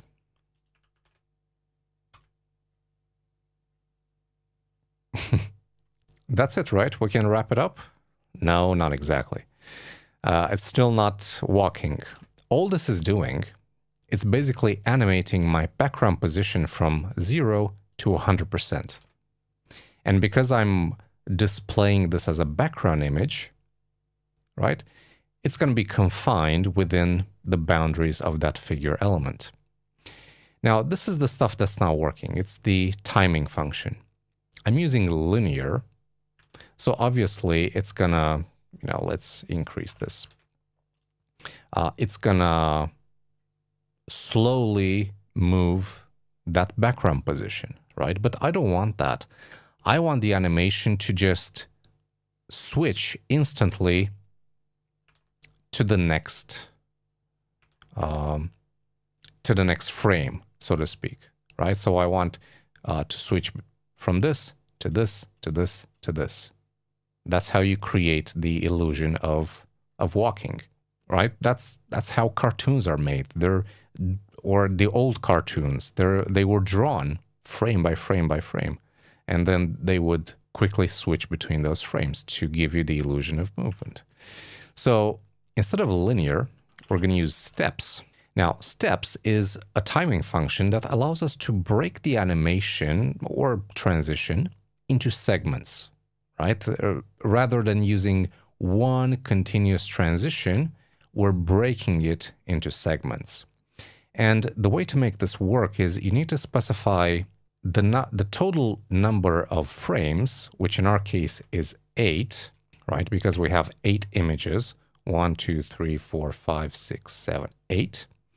Uh, so the total number of frames or images minus one. So we're going to set steps seven. And we're going to bring the duration back to one second. So now we have a character that's walking. And it works on this one and this one, or whatever it is we selected. right? So as a recap, what we're doing here is we're animating the background position, but instead of using like a regular timing function like ease or linear or whatever, which will create a visible movement, we're using steps. And steps allows us to break the animation into segments. Essentially, we're switching between one of the one of the images to the other without any kind of visible transition in between. And this allows us uh, to create this, uh, this walking effect. So, in this lesson, we learned about animating illustrations and icons. These can enhance the user experience if used properly. Animated illustrations and icons can increase the engagement, catching the user's attention and often making them more likely to stay and explore. Animations can also be used for guiding a user through a process or drawing the focus to certain key elements. The UX or user experience is also enhanced when animation is used to provide instant feedback on actions, like, for example, changing a hamburger icon to a close icon on click. Also, a well-animated icon or illustration can make a static page feel less boring and more entertaining. But do this sensibly because too much animation can be distracting or even annoying. On the technical side, we learned that animating an illustration is easily done by first grouping the relevant elements, then loading the illustration as an inline SVG, and then animating the individual elements. Another option is to set the illustration as a background image and then animate the background position. This approach works best for creating animated characters. The key part is to use the steps timing function to break the animation into segments. Now, time to move on, and it just occurred to me that I haven't made a clever superhero reference in quite some time. So, how about this? We all know and love Doctor Strange, right? But what's the one thing that makes him stand out? It's the nose, right? No, I'm just kidding. It's the cape, it's the red cape. No other character has a cool cape like that. Well, apart from Thor, Superman, Supergirl, Magneto, Batwoman? Anyway, uh, Doctor Strange's cape is like way cooler. It can fly. It's almost like it has a life of its own. Now, the reason I brought it up is that Doctor Strange's cape is like an accent piece in his wardrobe. Okay? Similarly, animations can be used to the same effect, to draw attention, right? You can use accent animations to draw the user's attention to a specific part of the page. In web design, accent animations are small, purposeful animations that enhance visual storytelling and user experience without being the main focus. They're like the spices in a dish, not the main ingredient, but essential for the flavor. That's why I mentioned Doctor Strange's cape. Is it the main thing? No, but it adds to his awesomeness. Um, can Doctor Strange be a powerful superhero without the cape? Sure, but it's not the complete picture. Now, before we move on, I just want to make a quick note. The animation types we're exploring in this lesson loading, accent, interactive uh, they're not locked into these unique categories. So, for example, a loading animation can also be accent, or a scroll triggered animation is also interactive, right? So, if you see a loading type animation being used in the accent lesson, it's okay. Don't get too hung up on labels. I'm uh, kind of categorizing these animation types based on their primary function, but in the end, they all uh, belong to this bigger picture of motion design. Got it? All right. Now, uh, we were talking about accent animations, and uh, here's what you would typically use these for. First, to direct attention, to guide users to important elements in the page. For example, if we go to ShipDaddy's website and scroll all the way to the bottom, we can see this simple illustration of uh, the character just pointing up and it's drawing our attention to this area right here, which basically allows us to, um, uh, to go to the contact page or something. Very simple, very cool.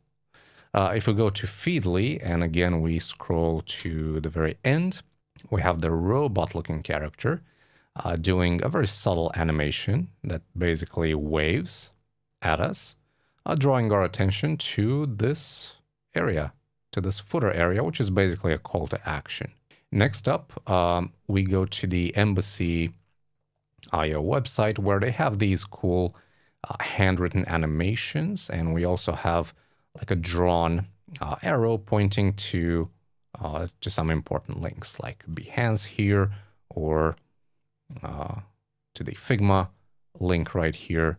Very easy to do and uh, they have a great effect. Uh, next up, let's go to Vool Studio where on the top left we can see a simple uh, simple movement really in the header uh, where they change, they dynamically change these words to um, to probably showcase their uh, their services. And also the Vool uh, site has a cool animation here in the footer of the logo, which uh, changes periodically. Again, drawing our attention to this uh, to this area right here. And finally, uh, we are watching or we're uh, visiting liftoffcourse.com where uh, they are using a typewriter effect in the hero area. Again, drawing our attention to this H1 element. Accent animations can also be used for enhancing interactions by providing feedback. As an example, we're visiting Dennis's website, where if we hover on a specific button, yeah, we get some nice movement, a nice accent animation. It's just subtle, but it's there, and it's present on all of its buttons. Pretty cool. And then uh, if we go to the Moxion Power uh, website and we scroll all the way down to the uh, testimonials, we can see we have some very subtle effects on hover. So here uh, it changes this, this background element. It also rounds off the corners of the card just a little bit more, like so. And it also transforms this dot into uh, an arrow, basically. Pretty cool. Subtle, but very effective in, uh, in enhancing the user experience. Finally, accent animations can be used to improve usability. By visually signaling what can be interacted with, they can make interfaces um, easier to use and more intuitive. And we go back to the uh, Dog Studio website where uh, we see on the bottom right a very simple ripple animation on this dot here, and this is actually for toggling the sound on and off. It's a very subtle animation, but one that's very usable, or one that increases the usability, because when you open the website and uh, sound is playing, you're like, oh, okay, hold on, where is this coming from, and how can I turn it off? And by visually uh, doing these, these ripple effects, like sound waves, uh, you can immediately see, okay, this might be a toggle of some sort. And you click and the sound is off. All right, so we saw how accent animations are being used out there, but how exactly do you create some of these? Well, let's find out, starting with practical exercise number 15. For this demo, I would like to animate this logo right? And it can be used in many different places. I showed you a few examples earlier where Vool, for example, had the logo in their footer and it has a it had a simple animation or you could use this as a page loader. It really depends uh, on where or on the effect that you want to um, uh, to get with it. Uh, for me, personally, I would like to use this as a page loader. So I found this uh, very simple logo on Envato Elements, and I went ahead and recreated it in Figma. So what I have here is basically three paths. Uh, we have this middle path, which is like a, an elongated circle, if I may call it like that, and then uh, two halves, one on the left and one on the right. So what I'm going to do is simply um, select that, make sure it's exported as SVG, and make sure this box here is checked to uh, include the ID attributes as uh, from the layer names. And then I can simply copy as SVG, and I can jump into my code editor, and I can paste it right here. And as you can see, we have a group here. We can get rid of this. Uh, and then we have a rectangle with an ID of middle, path, right, and left. And uh, there are a couple of things that uh, we can uh, do here to simplify this. So stroke, let's actually change this to black. And I'm going to remove the stroke width. Let's do the same for the paths and also the stroke line caps. So let's remove those. So now all we're left with is just the, uh, the rectangle, the paths with a uh, black stroke. And if we want, we can also just remove this. We don't need it. Okay, so checking our page here, this is what we have. So let's animate this, but this time I'm going to introduce you to one of the coolest JavaScript animation libraries out there, and that is GSAP. Right? So with GSAP, you can basically do animations like this. And it's super powerful, super easy to use. And in fact, we're going to use GSAP from now on for the rest of this course uh, to create uh, the rest of the demos.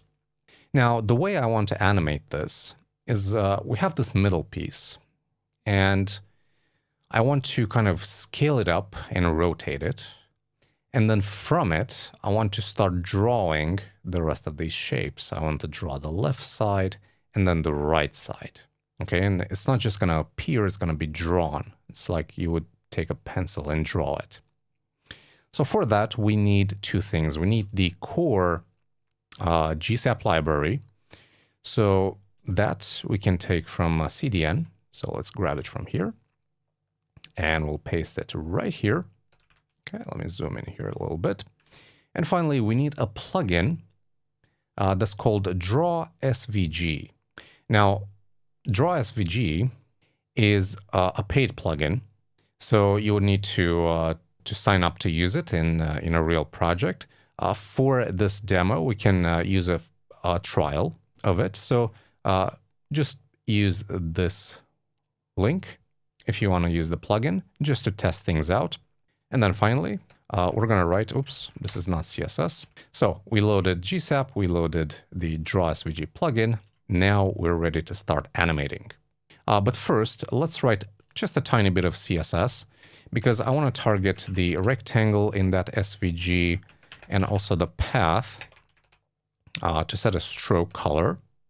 And we're going to use 11 uh, 100319 and also uh, a stroke width of a 20. And also let's do stroke uh, line cap round. Okay. So this is what we have so far. It's very, very similar to our, uh, to our logo here. Now let's animate it. So the way GSAP works is super cool. So you can use the GSAP object and a couple of methods like from, to, set, and a few others. So for example, uh, I have this SVG. Let me give it, or actually, let's uh, let's target this middle part. Yeah, let's say I want to set the middle part to scale to 0.5, and this just scales it down to whatever value I set here. And this is uh, the general syntax you specify the uh, target, and then you pass in an object with all the changes that you want to make. And you can do scale, you can do uh, like x20, and that's going to move it to the right 20 pixels, and a few others. We'll uh, we'll discover this as we uh, as we move on. But here's how you create an actual animation. Let's say I want to uh, to scale up this middle part, right? So by default, I'm going to set it to zero and I'm going to set its transform origin to 50%, 50%. So then I can say GSAP to, again, we're going to target that middle element. We're going to pass in an object with the following properties. I want the scale to be one. I want the rotate uh, rotation is actually correct rotation 360 degrees. And let's give it a duration of 1.2 seconds. So now watch what happens. That's going to animate the middle from whatever was set before, either with GSAP or just from regular CSS, to these properties, to scale 1, rotation 360, over 1.2 seconds. So it's that easy to animate with GSAP. And GSAP, what's really cool about this is it has a bunch of easings. So uh, if you search for easing in the uh, in the docs here, uh, you can actually see a visualizer, and there are a bunch of them to choose from. Elastic is a pretty cool one, right? And you can click this again to see a preview. And if you want, if you like it, you can actually copy this and you can paste it in your code. In my case, I'm just going to say elastic.out. So now,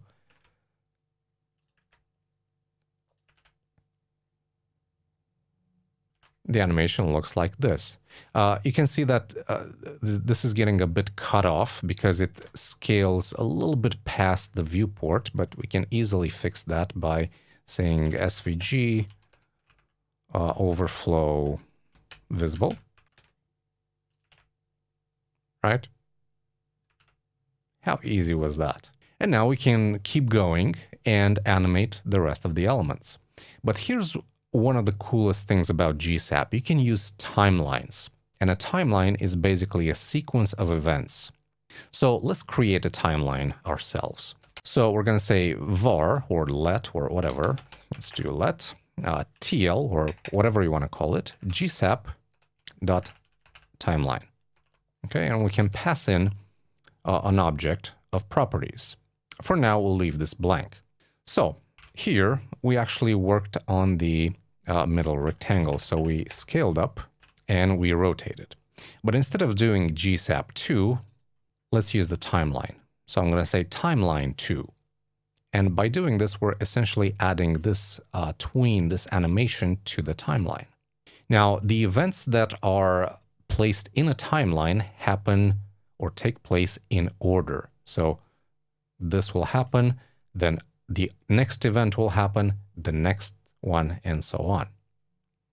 So now let's animate the left handle drawing. Now here we're going to say TL, the timeline, and we're going to use something called a from to method. And we're going to target the left one. Now from to receives two parameters. The properties that should be set initially, that's the from, and the properties it should be animated to, okay, from to. So I want this, uh, this left handle to go like this. Draw SVG 100% 100%. And then 2, draw SVG 0% 100%. And I'm also going to set a duration, let's say 1.2 seconds. As for easing, we're going to use power 4 in out. So let's see what we got. So the middle part animates, and then the next animation in the timeline happens, where we draw the left handle. Now, what exactly is up with these percentages, right? 100%, 0%.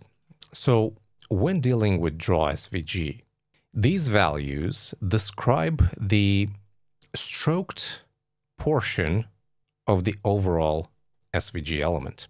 So in my case, 0% 100% will render the stroke between 0 and 100. So it will render the whole thing. If I were to set this uh, 20% and 70%, it will only render the stroke between 20% and 70% of the total length of that stroke. Okay, or if I were to do between 40% and 50%, that will only generate it uh, between those percentages.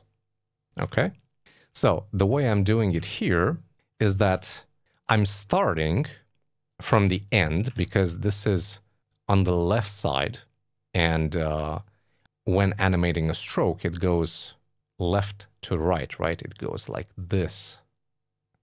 So if I were to animate this from 0% 0% it would animate it from here okay but by setting it to 100% 100% it means the starting point is at the end Okay, so it starts to animate it from here. It basically does the, the animation kind of in reverse, right? So the end position is to draw the SVG between the 0 and 100% point. And I'm doing that over 1.2 seconds, and I'm using a custom easing. So the effect is this. It goes from here to here. So I hope that makes sense. Now, let's see about the right handle. And the right handle, we're just going to duplicate this code. We're going to animate the right handle drawing. So we're going to target the right side. Now we're going to animate from 0, 0 to 0, 100. Okay, so now we animate the left and then we animate the right. That's pretty awesome. Now, how about we also change the color? Because in the in the uh, Figma design, we uh, we have a different color uh, here at the end. Uh, we can easily do that with GSAP. We have a timeline, so let's change the color. And let's say timeline 2, and this time we're going to select middle, left, and right. So you can select multiple elements, and we're going to pass in the object that says stroke is going to be equal to A41FF6 with a duration of, let's say, 0.4 seconds. So now this animates, left animates, right animates, and then I change color. And now finally, what if I want to repeat this over and over? Well, we can go to the timeline and we can pass in some parameters there. I can say repeat, let's say two times. That's going to repeat once, or it's going to execute once, and it's going to go again and again. So it repeats two times. If I wanted to repeat indefinitely, I can just say minus one. And now this will just keep going and going and going. Now, what's nice about GSAP is that you can add a repeat delay between these uh, animations. So you can say repeat delay, let's say 1.6 seconds. So now it's going to run the animation. It's going to wait 1.6 seconds and then repeat it. But what if I want the animation to run in reverse, like alternate between forward direction and reverse direction, like we have in CSS? We can add another parameter called yo-yo, yo-yo true. So now it's going to run the animation normally, and when it reaches the end, it's going to do it in reverse. And then it starts all over again. Now, one of the examples I showed you earlier in this lesson was a typewriter effect, where uh, you would dynamically change one or two words in that sentence. So let me actually show you how to create that typewriter effect with GSAP in practical exercise number 16. Now, this is the stuff that we're trying to create. We basically have this uh, big title, big headline in the hero area. And I want to change the last word, right? You can see we have a cursor here. And on, I want to change that at a set interval with, of course, a typewriter effect where each letter at a time gets deleted. And then when it reaches the end, it gets it uh, gets replaced with another word. So to do that, uh, this is what we have currently in uh, in our page. And if we take a look in our code here, uh, we can see that the H1 has a span inside it for um, for that word that uh, is about to be changed. Now we're actually going to comment this and we're going to change it with something else so we're also going to have, or we're still going to have an H1. However, uh, we're going to have two spans, right? So one will have the ID of typewriter, and it's going to be blank. And the other one is going to have an ID of cursor. And we can just put like a pipe character in there. Save that. So that's the HTML part taken care of. Now let's animate it. And again, we're going to use GSAP. So we're going to click here, get GSAP. We're going to click get uh, from CDN. And we're going to also use a plugin here, the text plugin, right? So copy this and let's go down here, paste it in, and let's start animating. We're going to define a constant for the words, and that's going to be an array that looks like this. Boldness, clarity, originality, and precision. Next, we're going to create the main timeline. So let main timeline equals gsap.timeline. And uh, let's actually make this repeat indefinitely. Okay, so here's what we're going to do. For each word, we're going to create a new timeline. We're going to use the text plugin, and we're going to append that timeline to the main one. You can do that in GSAP. So we're going to say words for each word. We're going to create the text timeline, and that's going to be equal to gsap.timeline. And we'll leave this blank for now. So now, animating the actual word, we're going to say uh, text timeline to, we're going to select the typewriter span, and we're going to pass in the following. I want the text of it to be the word, so the one that we're getting from the array. Uh, we can also set a duration, let's say one second, and then we can say main timeline dot add text timeline. Okay, so it kind of works, but it's not the effect that we're after. So let's do this. In the main timeline, or sorry, in the text timeline, I want this to repeat just one time. And I want it to go back and forth. So yo-yo true. Okay, so now it types the word, then it deletes it. And I also want a repeat delay of, let's say, six seconds. And this six seconds is the time between the word is typed and the word is deleted. So uh, GSAP uh, types the word like so. It waits six seconds and then it wipes it like this. And that's really all you have to do with it.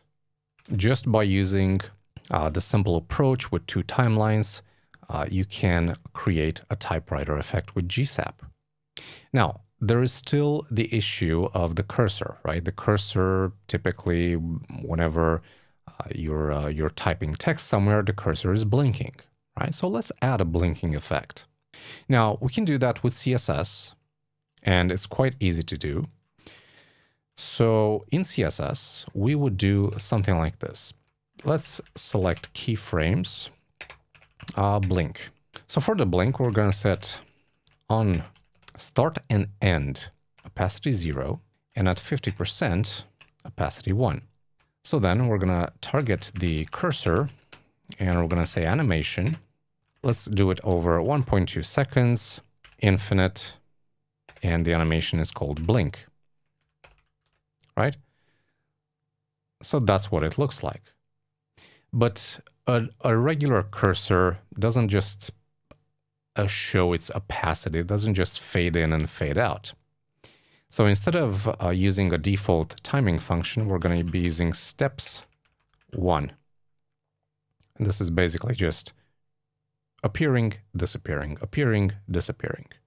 Okay, that's an easy way to create a blinking effect in CSS. But here's the thing that I don't like. The cursor blinks even when the text is typed or deleted. And on pretty much any text editor, the cursor is always visible when you're typing or, or when you're deleting. Okay, so how do we do that? How do we tie in this animation with what we're doing in GSAP? Well, short answer, we cannot. So how about we ditch this animation from CSS and we replicate the blinking animation with GSAP. So that goes something like this. I'm going to say blinking cursor. So we're going to create a cursor timeline. And again, we're going to repeat it indefinitely.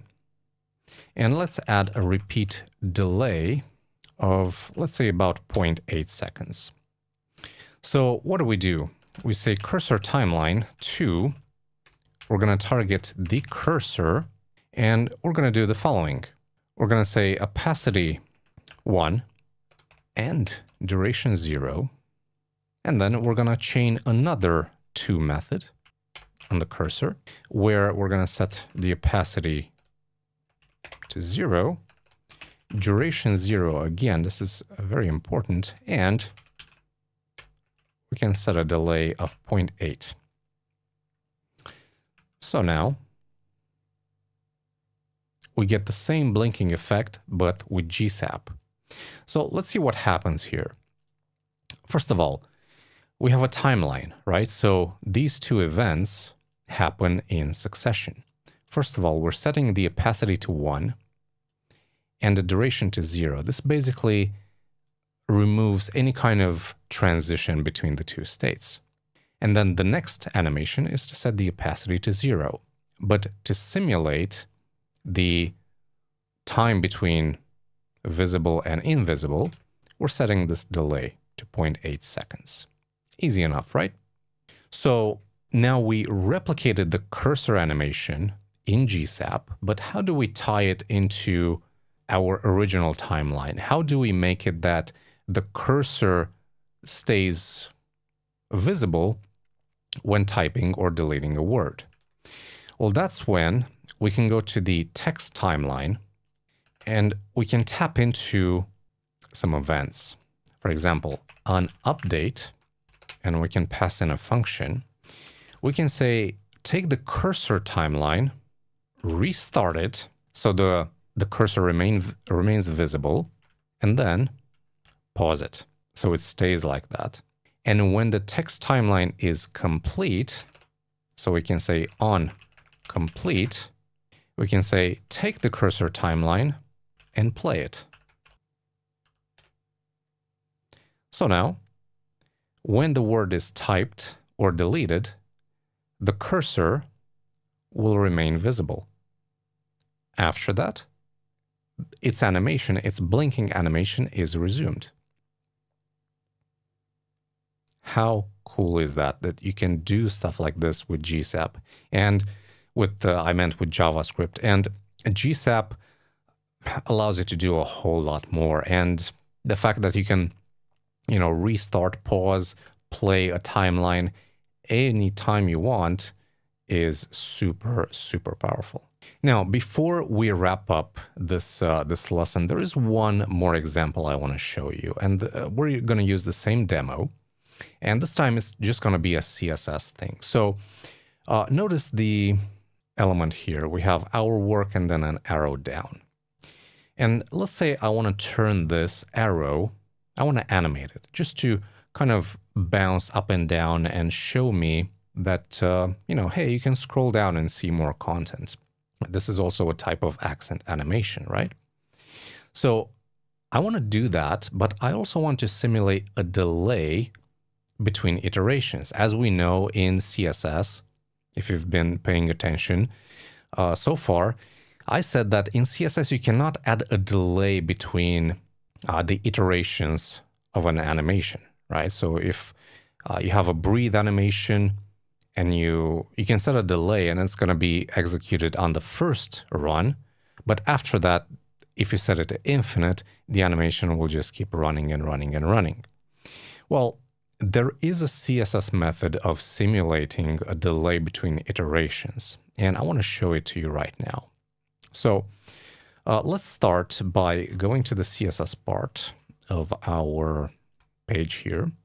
And I'm going to target, uh, I believe it's called our work, and I'm going to target the SVG. So that uh, this arrow here. And I'm going to say the following animation. I want it to run over five seconds. Let's do ease in out for now. Infinite. And I want the animation to be called point down. So now let's define keyframes, point down, and let's create it in such a way that it uh, it simulates a delay between uh, between its iterations, right? So, for example, let's do this zero percent. So the starting point is going to be a transform translate 3D zero zero zero, and at hundred percent, I want this to be transform translate 3D, 0, uh, 1 rem, and 0. Okay, so now if we take a look at the animation, the arrow, you know, is pointing down, it's going down, and then it comes back up. But I want this to repeat at an interval, right? I don't want the animation to start right away after it finished. So to do that, we can say something like this. 10%, 40% and 100%. And here, let's swap this to 25%. So now let's look what happens. See? There is a delay between when the animation ends and when it starts again. So how does this work? Well, basically, I said here that in the start and in the end, I want the arrow to be its in its original position, but also at the 10% mark and at the 40% mark. And then only animate it, only changes position at the 25% mark. So what happens is the animation itself takes place between 10% and 25% of the total animation duration, right? This is what it refers to. So the animation starts when it reaches 10% of its duration, it starts animating from this to this. It's going to finish animating when it reaches 25% of its duration. From that point, between 25% and 40%, it does it in reverse, right? It goes from this to this. And then from 40% to 100%, it's still in its default position, so it doesn't do anything. Okay, so if we set this animation to run over 10 seconds, right? You'll see the animation takes place between one second and four seconds. And at two and a half seconds is going to be uh, down here. For the rest of the time, it's in the default position. But let's change this back to five seconds. So now, just to spice this up even further, how about we add a custom easing to it? Because, uh, you know, we have a couple of easings defined in CSS. We can do stuff like linear, which will have no acceleration whatsoever. Uh, we can have the ease, which, you know, looks something like this. Or we can add a cubic Bezier. And there is actually a really cool website called cubicbezier.com where you can actually create your own curve and you can actually preview it, right? So the blue one is like one of the standard ones you can select from here and the purple one or whatever color is this, uh, the uh, pink one is um, the one you're creating. You can change the uh, duration here as well. Okay. And the one we're going to create looks something like this. So we're going to go all the way down here, something like this. And we're going to take this handle and bring it all the way down here. So we're going to say uh, maybe something like this and a bit further down, something like this. Okay. So now if we compare, ours is the pink, right? So when it starts, it actually backs up a little and then accelerates and then it overshoots a little bit and then comes back to its original position. Right? So we can copy that and we can replace ease with our custom Bezier. So now our uh, arrow will look like that. And it's just uh, a minor touch, but uh, it's yet another example of an accent animation. So, in this lesson, we learned about accent animations and how these are the thoughtful touches that make a website not just usable, but enjoyable. They're like the spices in a dish, not the main ingredient, but essential for the flavor. We learned that accent animations can be used for guiding users to important elements in the page, for enhancing interaction by providing feedback, and for improving usability by visually signaling what can be interacted with. We also learned about a really cool JavaScript animation platform called GSAP, which stands for GreenSock Animation Platform. With GSAP, you can animate anything you want but also create timelines, which are basically animation sequences. We learned that creating custom easings is super simple with tools like cubicbezier.com, which allows you to create custom easing curves. And finally, we discovered that you can create a pause in a looping CSS animation by adjusting the keyframe percentages. This trick extends the time an element stays still giving a delay effect without extra code. So that wraps it up for accent animations. Next up, we're going to delve into what I consider to be the most popular type of animation, and that is interactive. In a nutshell, interactive animations respond to user input, like clicking, hovering, or scrolling. And they're not just for show. Here are four reasons you should be using them. Number one, enhanced user engagement. Interactive animations capture attention. By responding to user inputs, uh, they create a dynamic experience that keeps users engaged and interested.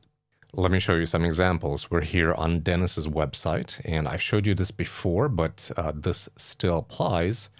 Uh, hover is an interaction, right? So when I hover on this button, the button responds. And it actually follows my cursor around, which is really cool. And these do as well.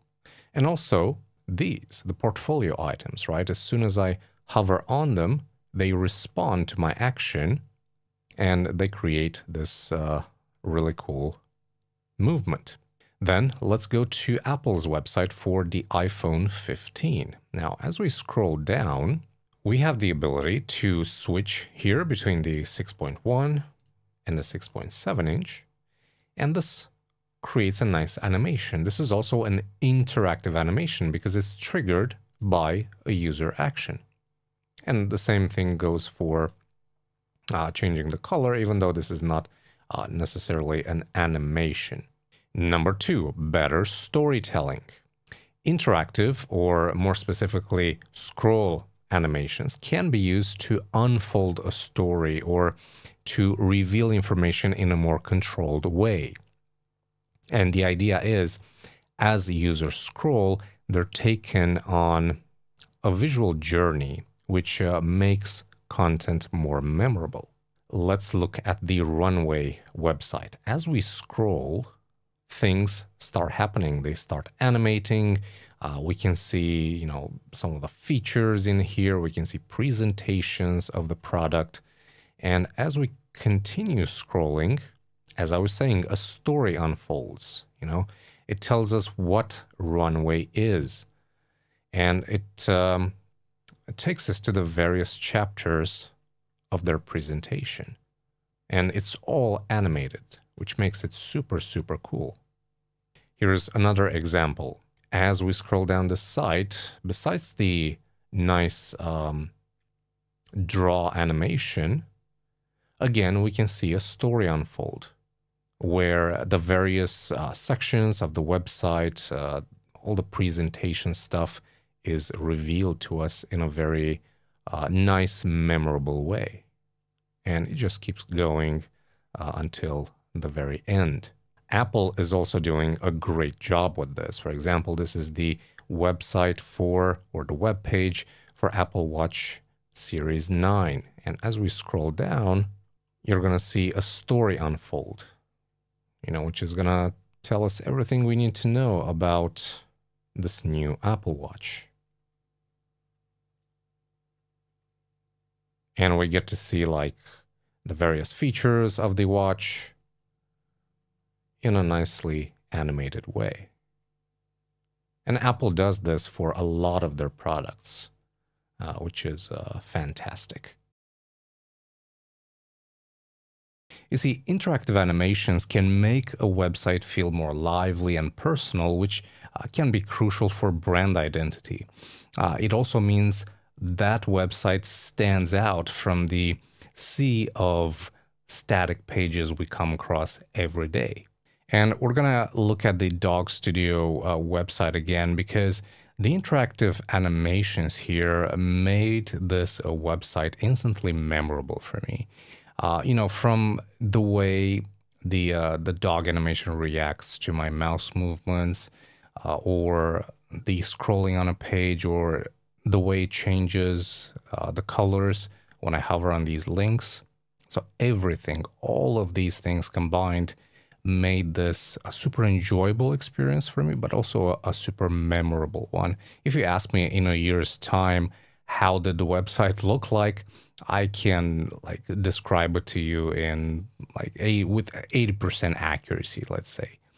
Uh, but yeah, it uh, it's gonna stick in my mind for a very very long time plus uh, this created an emotional connection with me because of the you know the name but also the this uh, beautiful um, animation here because i'm a dog lo- lover myself so uh, whenever i see something like this it hits a nerve so to speak in in the best way possible Plus, uh, you know, the this website ticks the other two boxes as well, uh, you know, with the user engagement and the storytelling. So overall, yeah, really, really cool stuff.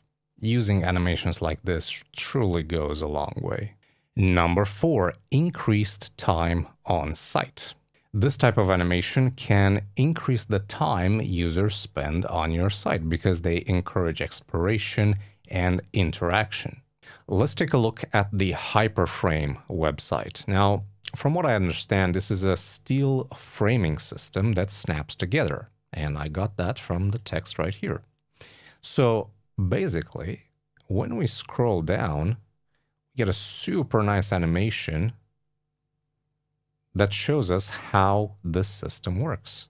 Okay, and of course, as we scroll further and, for, uh, and further, uh, the whole story unfolds. It shows us uh, even more of how the system works. And, you know, we also have this type of interactive animation where we don't have to scroll, but instead we can drag to see how uh, those two pieces fit together. And honestly, these features uh, make me personally want to spend more time on this site, you know, playing around with them and seeing uh, these awesome uh, 3D animations. Okay, so we've seen how real websites use interactive animations. How about we create some of our own? Enter practical exercise number 17. Now, for this demo, we're going to go back to Dennis's website that was featured so many times in this course that you're probably sick of it. But regardless, I've featured it for good reason. It's an awesome website and it has some pretty sick animations, like this one, for example. So, in this demo, I'm going to attempt to recreate this mouse follow effect on hover.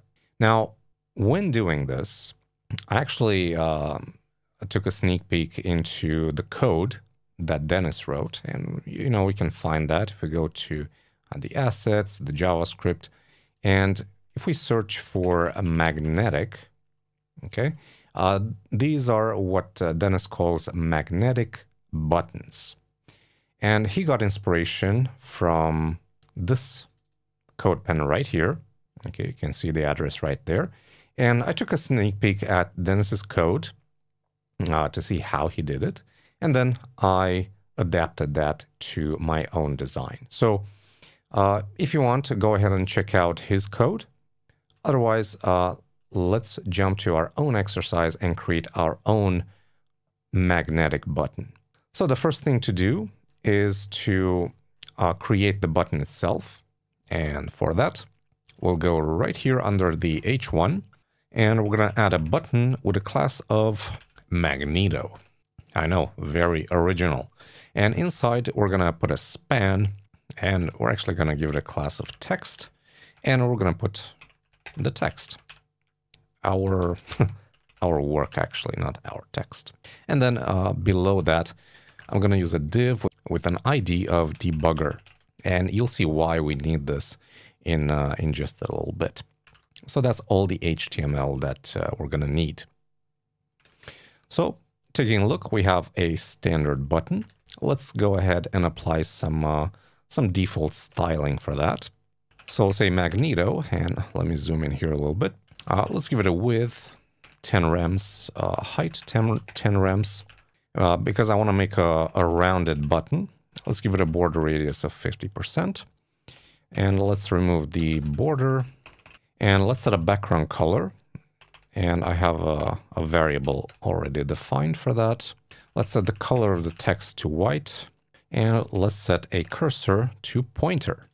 Great. So now the button looks like this. So basically I want to achieve uh, the same effect as Dennis here. So the effect goes like this. It follows or it responds to the movements of my cursor.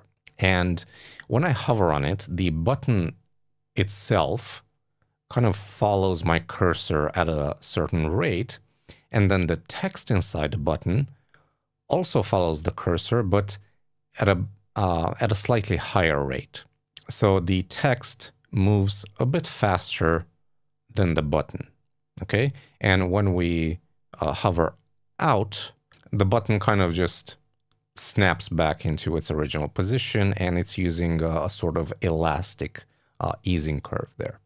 Okay, so for that, let's go to right here and we're going to use GSAP. Uh, if you don't know how to install GSAP, check out the previous lesson.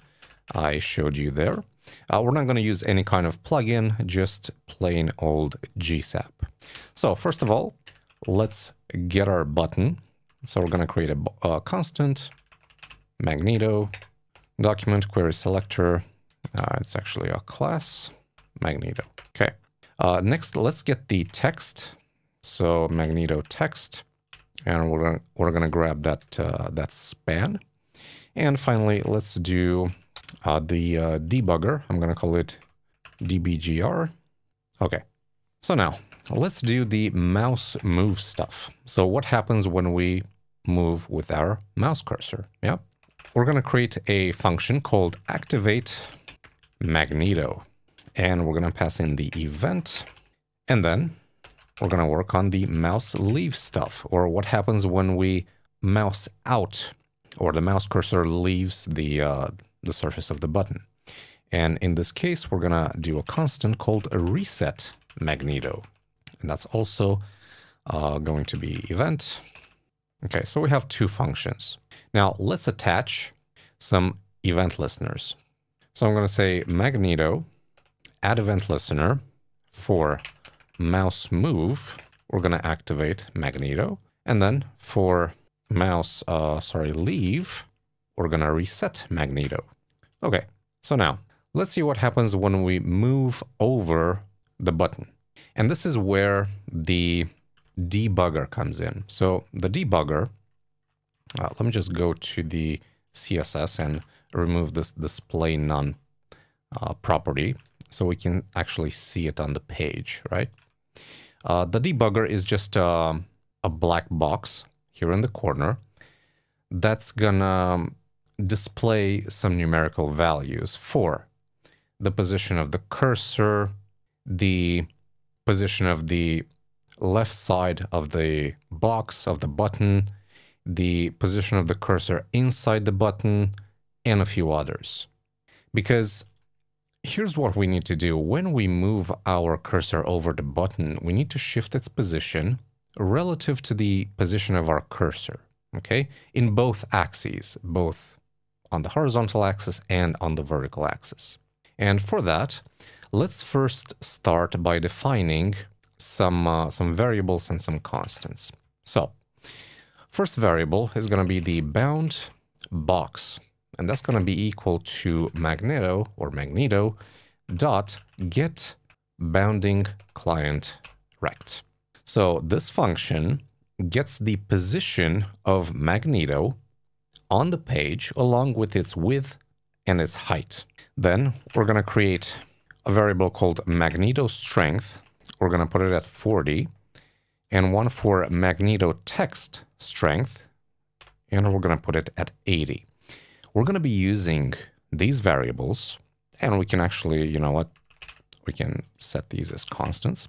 We're going to use these to define uh, the rate of movement in relation to the position of the cursor, right? Uh, we're going to be using them as multipliers. You'll see that in just a little bit. Now, this is where it gets tricky because when we move with our mouse, mouse cursor, we need to calculate a new X position that the button and the text will move to. And of course, a new Y position. Now, how do we calculate those positions? Well, this is where the debugger comes in, and it's just going to help me explain things a little bit better. So let me just paste in some code and let me show you what it's doing on the page, okay? You'll see that when I hover on the button, uh, most of the numbers in that debugger will change. Let me see if I can make this bigger. Okay. So first of all, it changes the position of the cursor, okay? And this is the position of the cursor on the x-axis on the page. Okay, so right now, the cursor is positioned at 768 pixels on the x-axis. The next value is the left side of the box, or the position of the left border of our button in relation to the page. So our button is positioned at 688 pixels from the left side of the page. Then we have our third value, and our third value is the cursor position inside the button. And how do we get that? We subtract the uh, position of the cursor, the client X, or sorry, we subtract the uh, left position of the uh, button from the position of the cursor. And that gives us the position in pixels of the cursor inside our button. So as you can see, right now it's at zero because I'm at the very left edge. And as I move it forward, we get to 160. And 160 being the 10 rems width we set in the CSS. Okay, so this works perfectly. Next up, we change that position to be relative to the total width. So how do we do that? We do basically the same thing as above, but we divide it by the total width of the button. So now, if you look here, it gives me a value between 0 and 1, okay? Of course, I can reach 1 if I position it exactly at the, uh, at the edge here, but you get the idea. So that's how I'm, I'm uh, doing this. I'm taking the cursor value or the cursor position inside the button that we calculated earlier, and I divided by the total width of my button. This, so this one is just to, to specify how many decimal points I want. And now the next one, the one called shifted, basically does the same thing, but it subtracts 0.5. And what that's doing is it allows me to calculate the position from the center. So as you can see, if my cursor is right in the center of the button, the shifted position is zero. If I move to the left, it's going to get me to minus 0.5.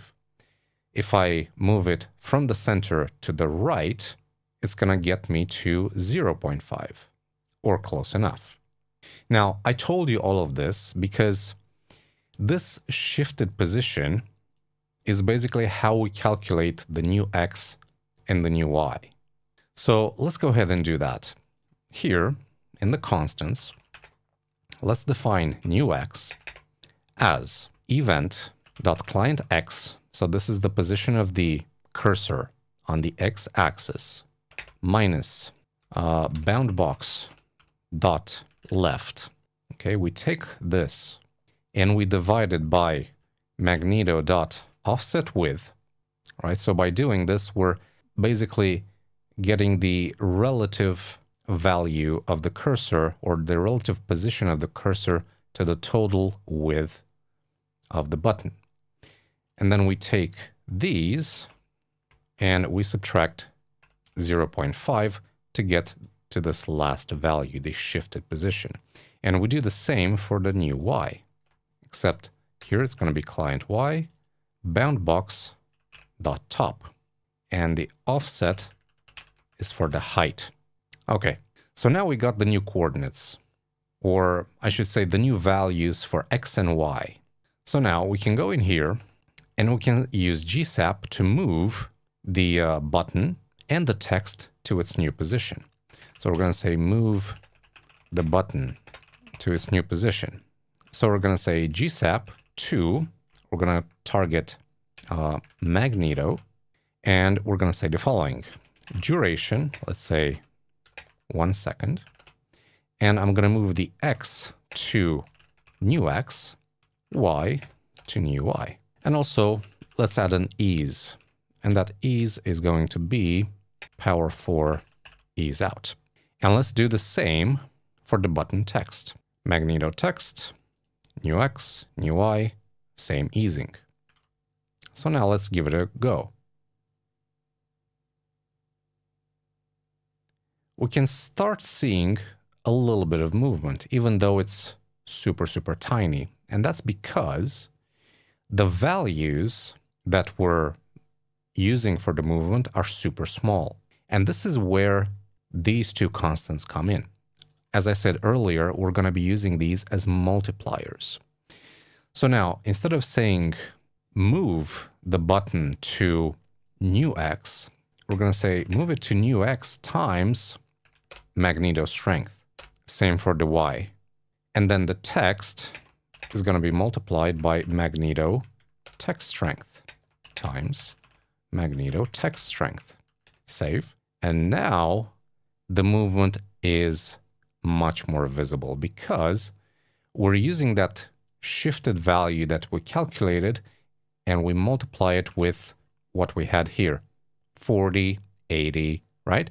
If I'm going to change this to 400, that's going to be a much bigger movement, right? That's going to follow our button even more. But for the purposes of this demo, I'm going to keep it at 40. Now, something weird is happening here, right? Our button, sure, it moves up and down and left to right, but our text moves along with it. And to fix that, what we need to do is set a display to flex inside the button and then just center everything. So justify content center, align items center, save. And now, now we get the effect that we want. So what was happening is that the text was not moving on its own. There were, right, um, transforms. You can see them right here. There are transforms, translate 3D to be exact, being applied to the button as well as the text. But before we applied display flex, it wasn't working. And you could achieve the same effect if, for example, you set the text to be positioned absolute. I'm not exactly sure why this happens, but I have a guess uh, that it's probably because display flex, uh, position absolute, and stuff like that just creates a new stacking context for uh, for the element. So by setting, in this case, display flex, we're allowing that text to become a flex child and we're allowing it to be transformed independently from its uh, its parent element. So that's how this works basically. We're calculating those new coordinates and they are being applied in real time as we're moving above our button they're being applied as translate 3Ds on the X and the Y axes. That's great. Now, what about when we leave the button? Because currently it stays exactly as it was. So let's work on the uh, reset magneto function. And this is pretty simple. We just need to move the button to its default position so we're going to say GSAP to magneto, duration 1, setting the x to 0, y to 0. And for the ease, we're going to be using elastic dot ease out. Again, if you want to learn more about easings in GSAP, uh, they have a, uh, a complete separate um, section in their documentation. Okay, so that's for the button. Let's do the same for the button text. So Magneto text, uh, same thing, duration 1, XY0, and the same easing. So now, save. And as soon as we leave our button, oops, it pops back into place. That's a really cool effect. I really like that. And yeah, it took a little bit of calculation to um, to get it to work. So I hope this made sense, what I explained here. If it didn't, please leave a comment down below and I'll try to explain it in a different way. Now, earlier in this lesson, I mentioned scroll animations and how they can help you tell a better story, or actually tell the same story in a better way. And I showed you some really cool examples, but how exactly do you create something like that? Well, let's find out in practical exercise number 18. And this is the demo we're going to be working with. It's a simple page uh, that has some gallery entries, basically, or some portfolio items, I, I guess you could call them. And as you can see, it's a totally static page except for the uh, occasional uh, transition here and there. But we just scroll, we see the content, and that's about it. How can we add some more life into this? Well, what I would like to do is have these portfolio entries animate on scroll. So when I scroll down, I want the image to slide in from the right. I want the, the text here to slide in from the left. So they will only reveal themselves once they are into view. And when I scroll back up, I want the same animation to run in reverse, right? This one, the image is gonna slide out and the text is gonna slide out in the other direction. Now, there are a few ways to do this, and I'm just gonna mention two of them. Uh, CSS scroll timeline is a great option uh, that uh, allows animation to be driven by a container's scroll position. So it's a great addition to CSS, except it's not supported anywhere. Just uh, it's an experimental feature which can be enabled in Chrome. So this is out of the table for now. In right in November 2023, uh, this is not yet supported. The other option, which is supported in uh, a lot of, uh, or in all modern browsers, is the Intersection Observer API. This is used with JavaScript, and it basically uh, gives us um, a way to tap into the visibility and position of certain elements relative to the, um, you know, to the to the scroll position. But we're not going to use this either.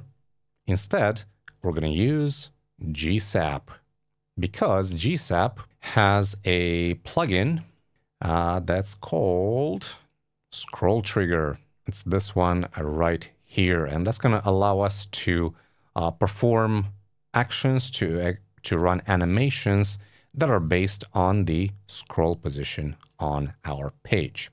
But before we implement GSAP and this uh, very cool plugin, uh, let's first talk about smooth scrolling. And as you can see, this page scrolls uh, just in a normal way. But that's not enough if we want to create like a really cool experience for our website. We need to add some sort of smooth scrolling. And to do that, we can use a library called Lenis. So if we go to lenis.studiofreight.com, uh, we can see that Lenis is a new smooth scroll library. And you can see it being applied to their website, of course. Essentially, this makes the scrolling experience much smoother. I'm not sure if you can see it on video, even though it's recorded in 60 FPS. But if you see it in like real life, right, compared to this, or compare that with this and the the way this scrolls, yeah, it's a big difference. I uh, I think you have to try it for yourself to uh, uh, to see exactly um, how it is. But uh, let's go to GitHub, and here it's actually really simple to uh, to use. You just copy the script and you paste it in your code. And let's actually go to exercise 18 here. And let's go all the way down here. And uh, I've actually already included here Lenis, and I've already included GSAP and the scroll trigger min plugin. Now, there are two other components to make this work perfectly. First of all, you need to include this basic setup, right, for JavaScript. So let's do that here. Let's say Lenis smooth scrolling. And we're just going to paste that in. We don't really need this console log thing. And then uh, there is also, if we scroll down, there's also, there's also a recommended CSS we can use. And we can paste that in. We can say Lenis CSS. Now just paste that in. And uh, also there is a GSAP scroll trigger integration, the one that we're going to use. So we're actually better off copying this instead of the um, instead of the basic setup here. So in the JavaScript, actually delete this and paste in uh, the one that's uh, made specifically for GSAP. So now, if I scroll on this page, uh, that's much better. I can already see the difference. I'm not sure if you can do it too, but th there's sort of an easing when I when the mouse wheel stops. You know, it's like it's not coming to an abrupt stop. It it has an easing to it, and the whole thing is just much uh, much smoother. So whenever you're doing animation projects, I highly recommend uh, you get uh, you get this library. It's pretty small. It doesn't uh, affect your performance in any significant way. So just just get this. All right. So with that out of the way, let's see how we can implement uh, GSAP to animate those uh, portfolio entries. First of all, let's have a look at the, the HTML structure. Each portfolio entry is placed in a div with a class of entry, and the text is inside entry meta. The image is inside a figure with a class of entry media. So with that in mind, let's start by getting all of the entries, right? So we're going to create a constant entries. That's going to be document query selector all, and I'm going to select dot entry. And then for each of the entries, we're going to do the following. We're going to create a variable called entry meta. That's going to be equal to entry query selector. It's actually with double underscores. So entry meta, and then the entry media here. Okay. And we'll do the following.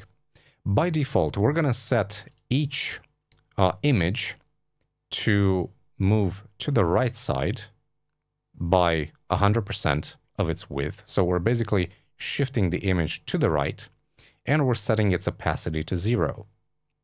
And we're taking the meta, the text, and we're shifting it to the left by using the same principle. So we're going to say gsap set entry meta. So this is the uh, text. We're going to say x percent 100 or I should say minus 100 to go to the left, and opacity, whoa, opacity 0. Okay, let's do the same for the media. This time the X percent is going to be 100. So now, if we take a look, everything is shifted to the right side of the page, right? I just cannot see them.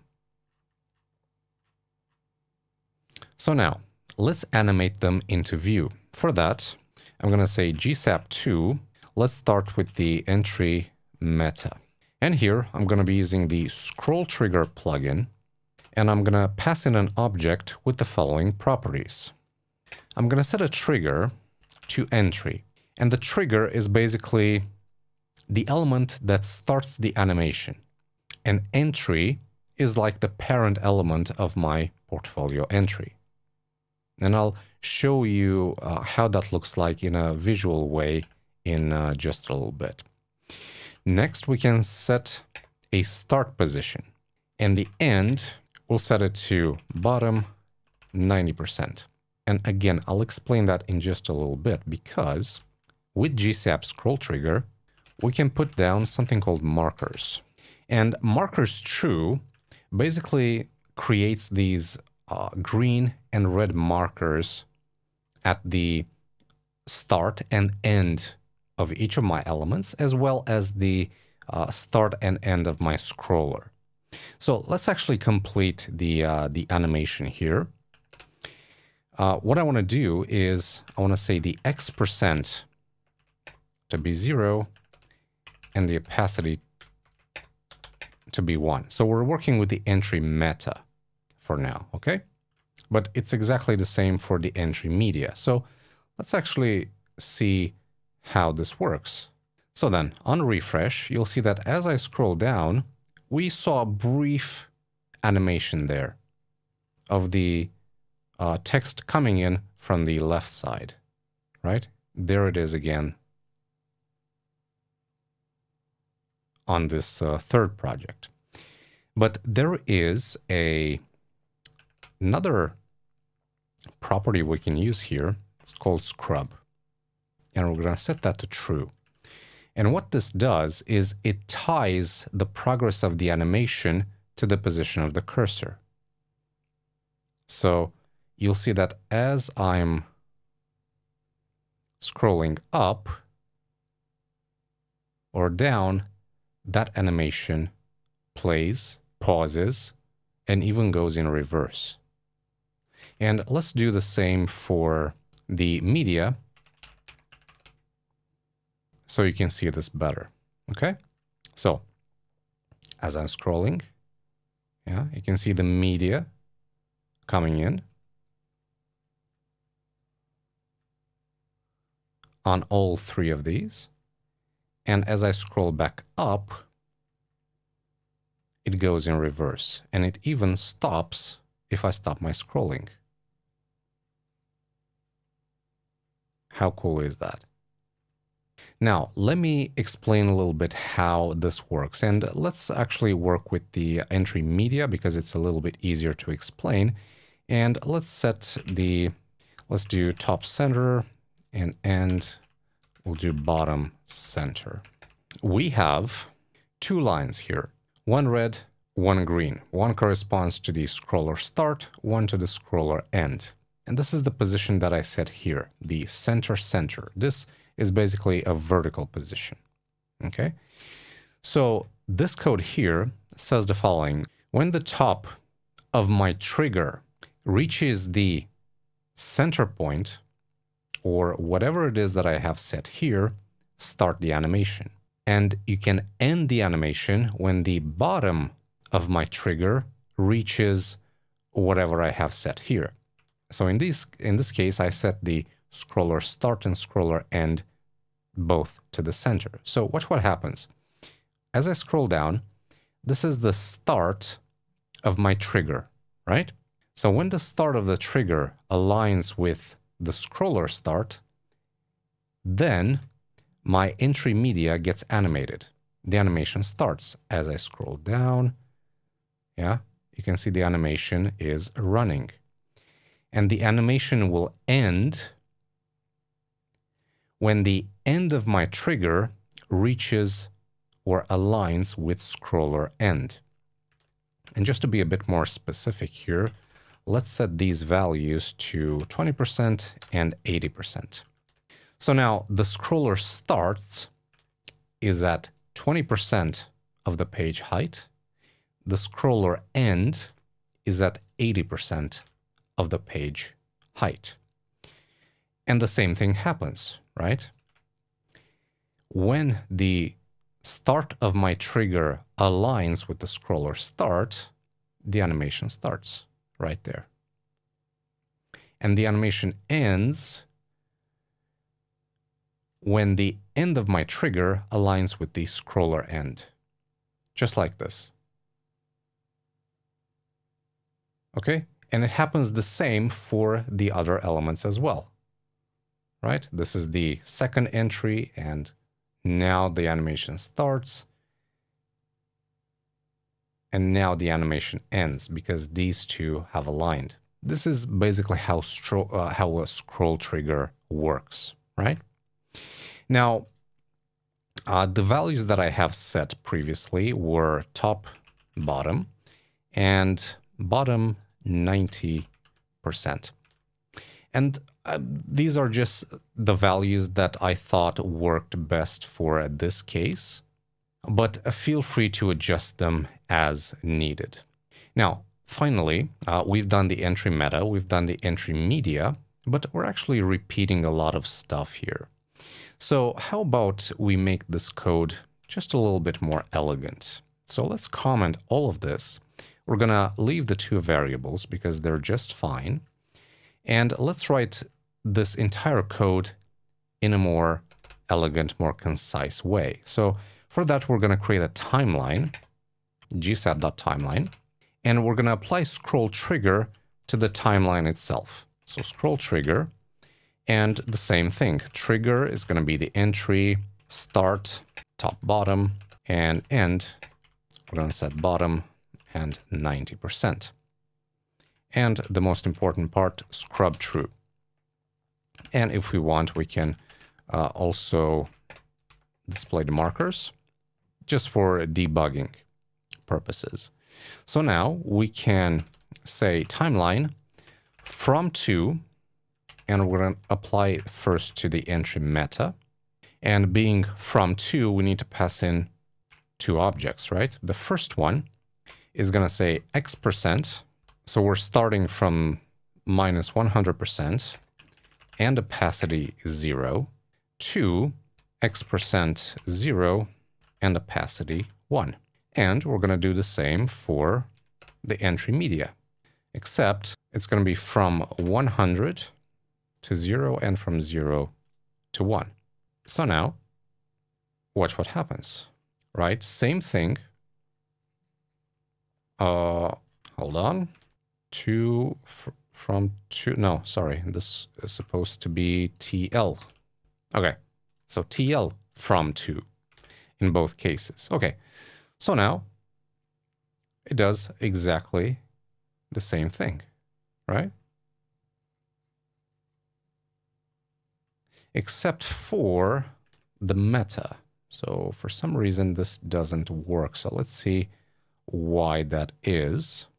Oh, okay, I got it. It's because we're using a timeline and uh, events actually happen in succession. So we actually want to uh, run these animations both at the same time. And for that, it's uh, really easy. We can pass in another parameter here in the form of this, the less than symbol. And this basically means that run this animation at the same time as the one before it, okay? So now both animations run correctly.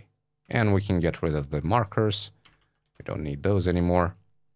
And that is our smooth scrolling animation.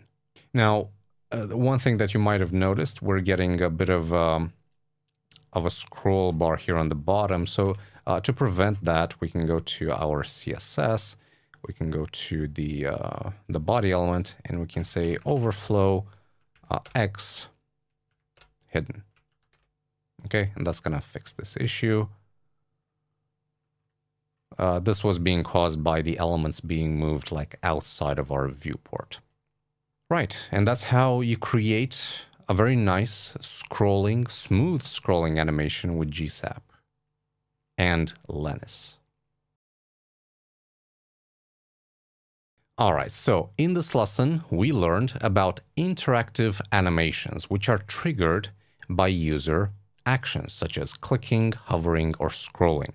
And there are a few good reasons for using this type of animation. First being that interactive animations grab attention and create a dynamic experience, keeping users more engaged. These animations are also great for better storytelling. Scroll animations in particular can unfold stories or reveal information in an engaging way, making content more memorable. Interactive animations can add life and personality to a website, helping to strengthen brand identity and stand out from static sites by creating an emotional connection. And let's not forget, these animations can encourage users to explore and interact more, leading to improved engagement metrics, and longer site visits. On the technical side, we learned how to use the scroll trigger plugin from GSAP to create animations that are tied into the scroll position. We also worked with a library called Lenis, which is a great solution for creating smooth scrolling on your website. And it also works great with GSAP.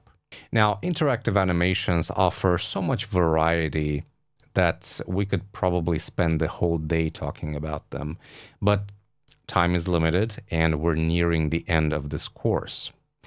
Before we do that, though, there is one particularly popular animation type that I want to cover, and that is parallax. I'm sure you've heard about it before, so let's check it out. Okay, so according to Wikipedia, parallax is the display displacement. Hold on. Uh, parallax is a displacement or difference in the apparent position of an object viewed along two different lines of sight and is measured by the angle or half angle of inclination between those two lines. I have no idea what that means. So let me explain it in a different way. Imagine you're sitting in a car looking out the window. You see the trees and the post signs and the squirrels zooming by really fast. But the houses and hills and mountains in the distance seem to move slowly. In fact, the further away from you it is, the slower it moves.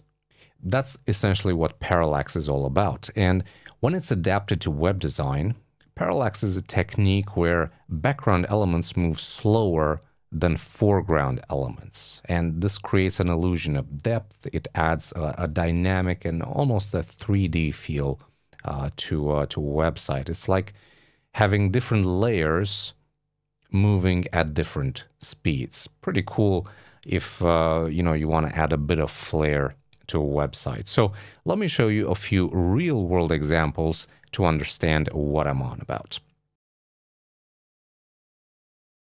The first one is kooks.co.uk, and you'll see that as we scroll down, we get a little bit of parallax because uh, we have the background elements that are moving slower than the foreground elements, right? So the uh, in this case, the pepper is moving a lot faster than the um, the stuff that's behind it. And this kind of layered animation is really, really cool. It really adds uh, a sense a sense of uh, depth to this whole page. Uh, next, we have this bit, climb Wales. And you see that as I scroll, it kind of feels like I'm seeing this image from a lower perspective, you know, because it uh, the the elements here move at a different rate you can see the elements closer to me, like the person and uh, this uh, this rock here, they move a lot faster than the elements in the background, like the mountains, right? So that creates a nice uh, parallax effect. Pretty cool. Uh, then we have this one, Firewatch, which is apparently a game. And this has a really nice parallax effect, right? Notice as you scroll up and down, it's a, a little bit buggy, to be honest. Sometimes it works uh, properly, sometimes it doesn't. But the effect itself is amazing. You have this beautiful illustration, layered illustration, and uh, on scroll, it's like you're changing perspective. Super, super cool. Uh, we also have this website, uh, I don't know it's what it's about because it's in a language I don't understand. Uh, I think it's from a movie or something. But uh, yeah, this is yet another type of parallax effect where the foreground content, which is represented by, uh, you know, the text, yeah, this just scrolls by and the background content stays put or it scrolls at a, at a much lower speed. And this is another implementation of parallax. You can probably see it here a little bit. And then we have exercise 17. Wait a minute, this is one of our own. That's correct. We have what I consider to be parallax here because if you remember on this button, uh, we're moving the text and the button itself. We're making them follow the cursor at a different rate. And if we think about the text as being the foreground and the button being the background, yeah, they move at a different speed. So in my mind, I might be wrong, but in my mind, this is also a parallax effect. Okay, so we've seen some real-world examples of parallax. Now we need to create our own, right? This is how it works in this course. So for that, we'll go to practical exercise number 19. Now, before we get started, just a quick mention. Uh, parallax websites can be super complicated. So in this example, we're going to create something super simple so that you understand the basics, okay? So here's what I want to make. We have this uh, fictional website that has a big illustration here. This is an SVG illustration that I got from Envato Elements. And further down, we just have a bit of content. And it's basically about uh, some books about nature, about exploration. As I said, it's, uh, it's a completely fictional page. Now, I would like to animate this illustration on scroll, right? Because it's it has different layers and I want to give this whole page a, sense of 3D, a sense of depth, right? So here's how we're going to do that. For now, uh, we are we have a section with an ID of hero, okay? And we are loading that illustration as an SVG, as the background. But if we want to animate the individual layers of that, we have to load them separately. So for now, let's uh, uncheck that and let's go ahead and create the different layers. So the way we're going to do that is very simple. I have the illustration open here in Figma, and I went ahead and group, uh, grouped the relevant pieces together. So we have a couple of layers, and let me just unhide all of them. Layer 1 and we're going from the farthest to the closest. Layer 1 is just this, the night sky with the moon and the birds and the stars, okay?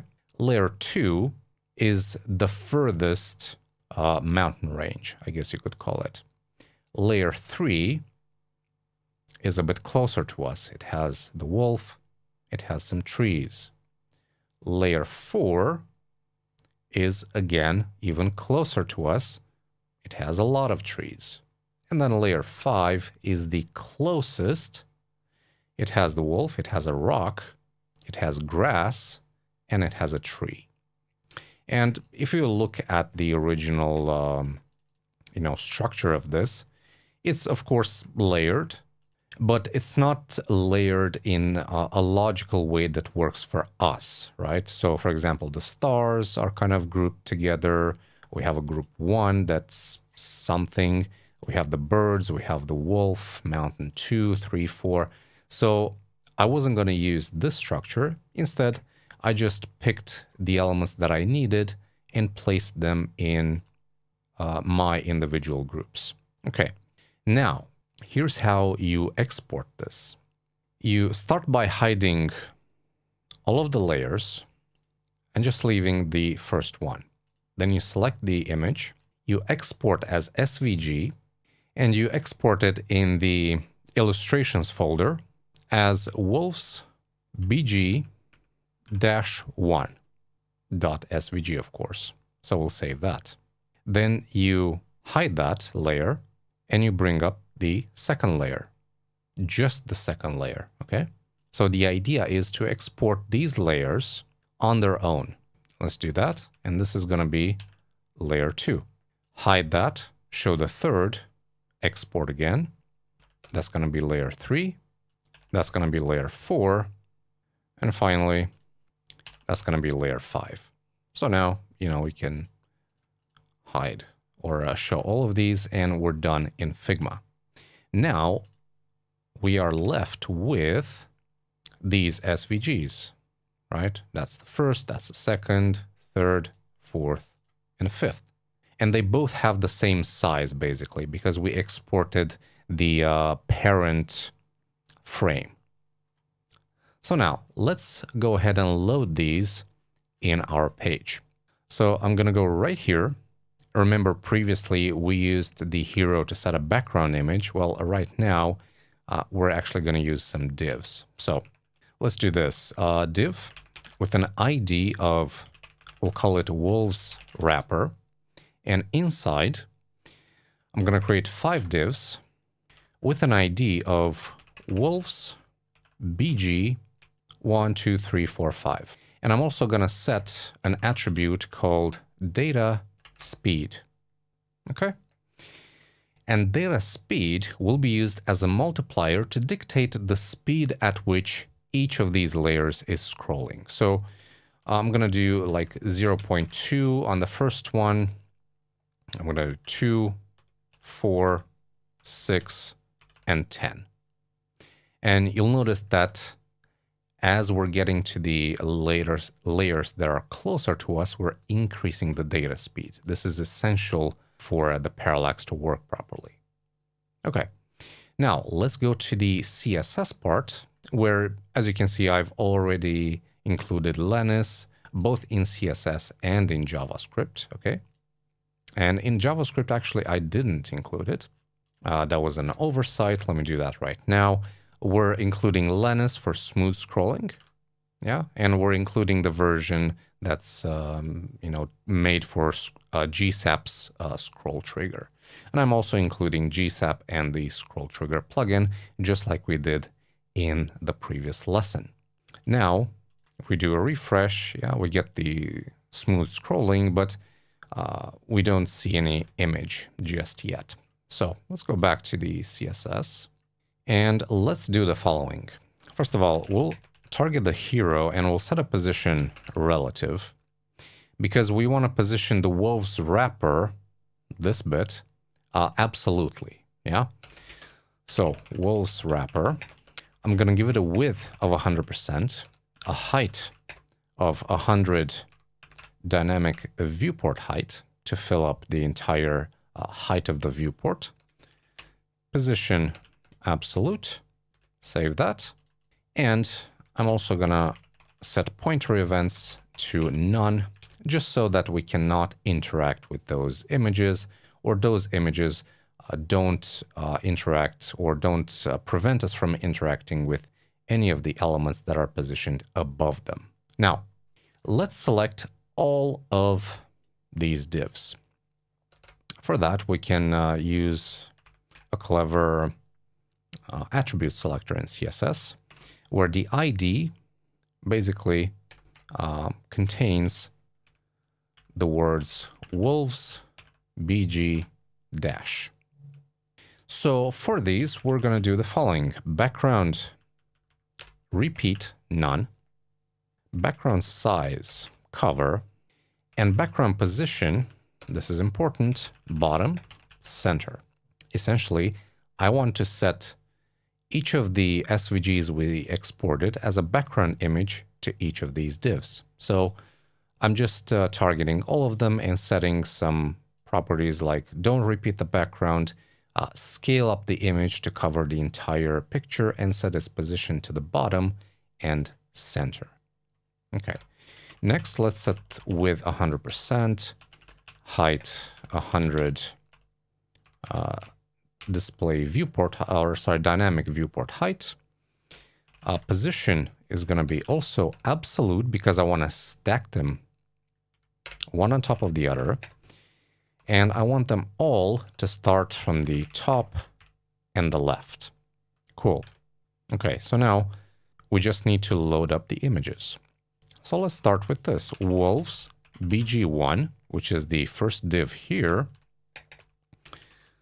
let's say background image, URL, illustration slash wolves bg1. Save that, refresh, and there it is, the image in all of its glory. However, it's covering the contents of my, uh, my hero. So let's actually add a z-index of minus 1 on all of these uh, containers. Right, and that's going to place it right below uh, whatever content I have in the hero area. So now let's start adding the other images. So background 2, right? So now the other image is added on top. Nice. And let's do the same for the rest. That's 3, 4, and 5. And there we go. We've just reconstructed the original image we had by using five different images. We now have a layered image that we can play around with with GSAP. So let's do that. Let's go all the way down here. In our own script tag, we're going to start by getting the wolves wrapper. And then let's get the five backgrounds. So constant wolves bg is wolves wrapper, query selector all, and I'm going to target the divs using the exact same selector that I did in CSS, wolves bg dash. All right. Next, let's uh, create a timeline, and we're going to define scroll trigger, and the trigger itself will be the wolves wrapper. So this, uh, the main container. The start is going to be at the very top. And I'm going to set scrub the true. Okay, so that's our timeline. Now, for each of the backgrounds, we're going to do this. So wolves bg for each, and we're going to call this just bg. We're going to do constant bg speed. We're going to get that uh, this uh, data attribute here, right? So uh, bg dot get attribute data speed. So now all we have to do is say TL2, so timeline 2. We're going to animate the BG and we're going to make it go Y. So on the Y axis, we're going to do, uh, I don't know, something like 60 times background speed. And let's set a duration of 2.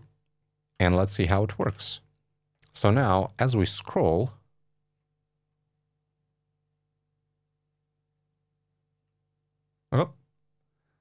So something's working, but not quite right. And that's because we're using a timeline. Okay? And being a timeline, the animations will run in succession. If I want them to run at the same time, I can pass in a, a parameter here, which basically tells GSAP, okay, run all of these animations in the timeline at the same time. Okay, so now, oh, but this is a different story. Now, every single layer is animated at the same time, and we get a super cool parallax effect. Look at that. And you can play around with this number. You can do like 20. And that's going to be a much more subdued um, animation, or you can do like 120. And that's going to be a much more dramatic animation, as you can see here. But uh, in my case, I'm just going to leave it at 60 because I feel that works perfect for me. Uh, you can also play around with the different background speeds for each of these elements. So if you want the background, like the first layer to move a little bit faster, you can increase the number here. Or maybe you don't like the third layer. Maybe you want to move it slower, then decrease the number, and so on and so forth. You can, you know, double the speed of the front element, and that's going to move at a much higher rate than uh, than the others. All right, that's uh, that's super cool. So that's an easy way of creating a parallax effect. Now, before we wrap things up, uh, if you remember from the original image here, we had this kind of vignette effect going on at the top. And let's go ahead and add that. I'm going to go down here and say, oops, wolves wrapper. And I'm going to be using an after pseudo element where I'm just going to set uh, just blank content, position absolute, uh, inset zero to cover the entire page, z index minus one. And then uh, we'll just do a background, uh, a linear gradient. Going direction is going to be 180 degrees. And it's going to go from uh, just black, so 0, 0, 0, let's say with a 0 0.8 opacity. And that's going to start like at the very top.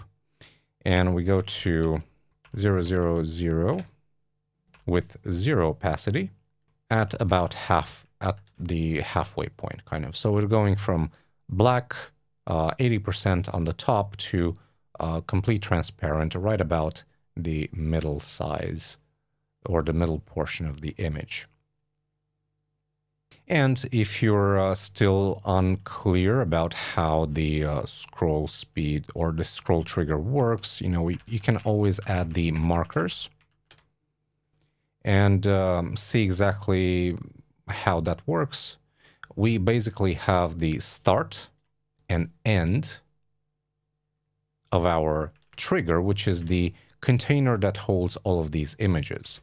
And I set the start of scroll trigger here on the top, which basically means my animation starts when uh, when the start here aligns with the scroller start, which is right at the top. So it starts right as I uh, begin scrolling the page. Wow, how cool is that? Okay, so let's comment these and we are done. All right, so in this lesson, we explored parallax. So picture this. You're in a car watching nearby trees rush by quickly while distant mountains move slowly. That's parallax. Closer objects seem to move faster than far ones. This effect is used in web design to make background elements move slower than those in the foreground, creating a sense of depth and adding a 3D feel to web pages. One of the ways of adding parallax to a website is to split up an image into multiple layers, load them individually, and then animate them at different speeds when scrolling. And with that, we covered the final animation type in our course. Now, before we wrap things up, there's one more thing we need to address, and that is the uh, interplay or the relationship between motion design and responsive design. Now, all the demos you've seen so far have not been optimized for mobile layouts. Chances are, if you open some of these demos on your smartphone, the layouts will be broken. And that's okay. Uh, this course is about motion design, not about how to make layouts responsive. And even though it would have been an easy task, I preferred to focus on the animation side of things. Now, with that said, when using motion to enhance your web project, you do need to consider responsive web design. And there are three main reasons for that. The first is device limitations. Mobile screens are smaller, which means less space for large complex animations. Plus, large and complex animations uh, can clutter your UI and um, they can confuse the user, therefore negating any benefit you might have gained from creating those animations in the first place. Let's do a quick uh, comparison between the desktop version of Dog Studio and the mobile one. I've showed you this before in this course, so I'm sure you're familiar with how the uh, desktop version of the website looks like, right? We have these uh, fancy animations, uh, they're interactive, uh, they look great, okay? Now, if we switch to the mobile version, well, that's a different story altogether. You know, we, we can still refresh and we get the loading animation, but we don't get the main animations that we saw on the desktop version, right? It's much more static here because, uh, you know, of the performance reasons I'll be mentioning in just a little bit. Uh, we still have uh, some animations, like for example, if we uh, open up the menu, you know, we have those nice transitions, but it's nowhere near the um, interactiveness of the desktop version.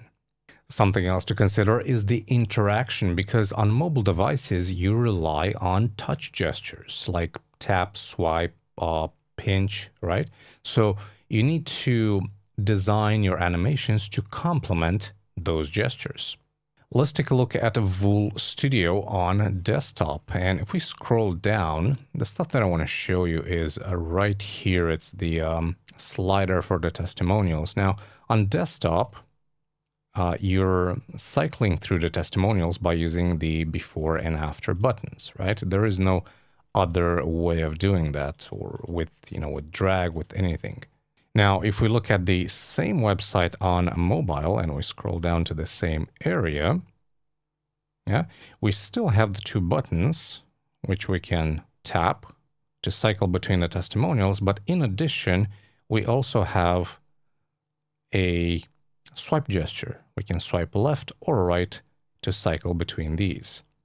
So great example of how uh, the animations here have been adapted to the medium they're being displayed on. Now, reason number two for considering responsive web design is performance. Generally, mobile devices have less processing power than desktops. So uh, using heavy animations can cause lag, they can drain battery, and they can also negatively impact the data consumption. Imagine you're using a lot of um, heavy assets like unoptimized videos, right? Those are going to take like really a really long time to uh, to download and will definitely impact the data consumption. Now, here are a few basic principles you can use to create motion while keeping performance in mind. The first one is about file size. You should always make your files as small as possible. Either it's videos, images, Lottie files, or any kind of file used for animations then you should be using CSS transforms because CSS transform properties, uh, including translate, scale, and rotate, are designed for efficiency using less system resources. Uh, these are ideal for smooth animations on low power devices because they leverage hardware acceleration, which means they use the GPU for better performance. Next up, you should use JavaScript only when necessary, because while JavaScript provides more control, it's often less efficient than CSS for animations. So you should always reserve JavaScript for complex animations where CSS can't do the job. For simple things, stick to CSS. Finally, uh, let's look at reason number three for considering responsive design and that is accessibility. And this is a topic that uh, can be debated for hours, but essentially it boils down to this. Not all users can interact with web content in the same way. Uh, some might have uh, visual or motor impairments that um, make navigating, you know, standard layouts uh, or even animations challenging, right? So keep it simple, use uh, you know relatively simple layouts, and uh, make those layouts consistent across devices. And um, that will definitely help users with disabilities uh, navigate and understand the website more easily. On top of that, keep in mind that some of your users can have vestibular motion disorders. For them, animations such as uh, scaling or panning large objects can cause uh, discomfort. And I remember having a similar issue many, many years ago when I had an inner ear problem. And, you know, besides the uh, usual, you know, loss of balance and all that, I remember that any flashing or sudden movement on the screen would you know give me headaches and make me dizzy that's why in most operating systems nowadays you have the uh, some sort of setting for uh, reducing motion so for example in iOS uh, you would go to the settings you would go to accessibility and then to motion and right up here you have this toggle that says reduce motion. And in the case of iOS 17, which I'm using here, it says that it reduces the motion of the user interface, including the parallax effect of the icons. So uh, this is what it looks like if, for example, I swipe up to reveal the home page, right? It looks something like this. You get a nice scaled down parallax effect for the icons. And uh, again, when you open up an app, it kind of scales from the bottom uh, to the uh, to the screen. But when I tap in reduce motion, yeah, those animations are kind of replaced by a fade. Like I, I hope uh, the animation is captured here on the uh, on the screen recording. But yeah, this is basically how uh, you do it in iOS 17. And the same thing can be done on Windows, on Android, on Mac, even. And I think even on Linux, I remember uh, seeing uh, or hearing about a setting like that. Now, apart from the obvious effects that um, uh, you get on an operating system, this type of setting can be used by website developers. And here's how you do that. There is a CSS media feature called prefers reduced motion, which looks like this. Essentially, you create your animations as intended.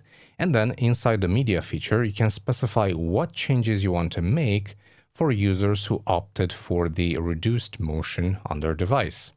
In this example, we're switching from a bounce animation to a fade.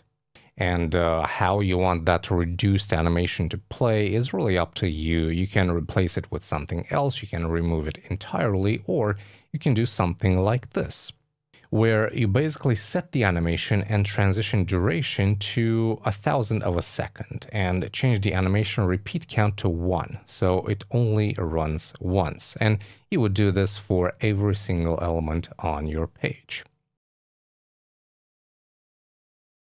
So, in this lesson, we learned that responsive web design should be a major consideration when it comes to creating motion for the web. First, think about device limitations and keep animations neat and complementary to mobile interactions like tapping and swiping, as mobile screens have limited space and different interaction methods. Then also think about performance. You need to create smooth, battery efficient animations on mobile by minimizing file sizes and using CSS transforms, while reserving JavaScript for complex tasks. Finally, for accessibility purposes, create designs that are both simple and consistent to cater to different user preferences. And implement the prefers reduced motion media feature in CSS to provide a comfortable experience for users who are sensitive to motion. If you do these things, you'll be one step closer to uh, providing a great user experience for all of your users, which is something we should all be aiming for. And that concludes this mega course on motion design for the web. Now, question for you What's the biggest challenge you're facing when implementing motion for the web? I would really like to hear from you. And hopefully, this course helped you with that particular problem and maybe answered some of your questions. Either way, let me know down in the comments. And if you like this video, don't forget to uh, hit the like button and subscribe uh, to the Envato Plus uh, channel for more free content like this. And uh, before I go, just a quick reminder that you can download a starter kit for all 19 exercises so you can code alongside me while watching this course. Well, it's time for me to sign off. Thank you very much for watching, and until next time, take care and be safe.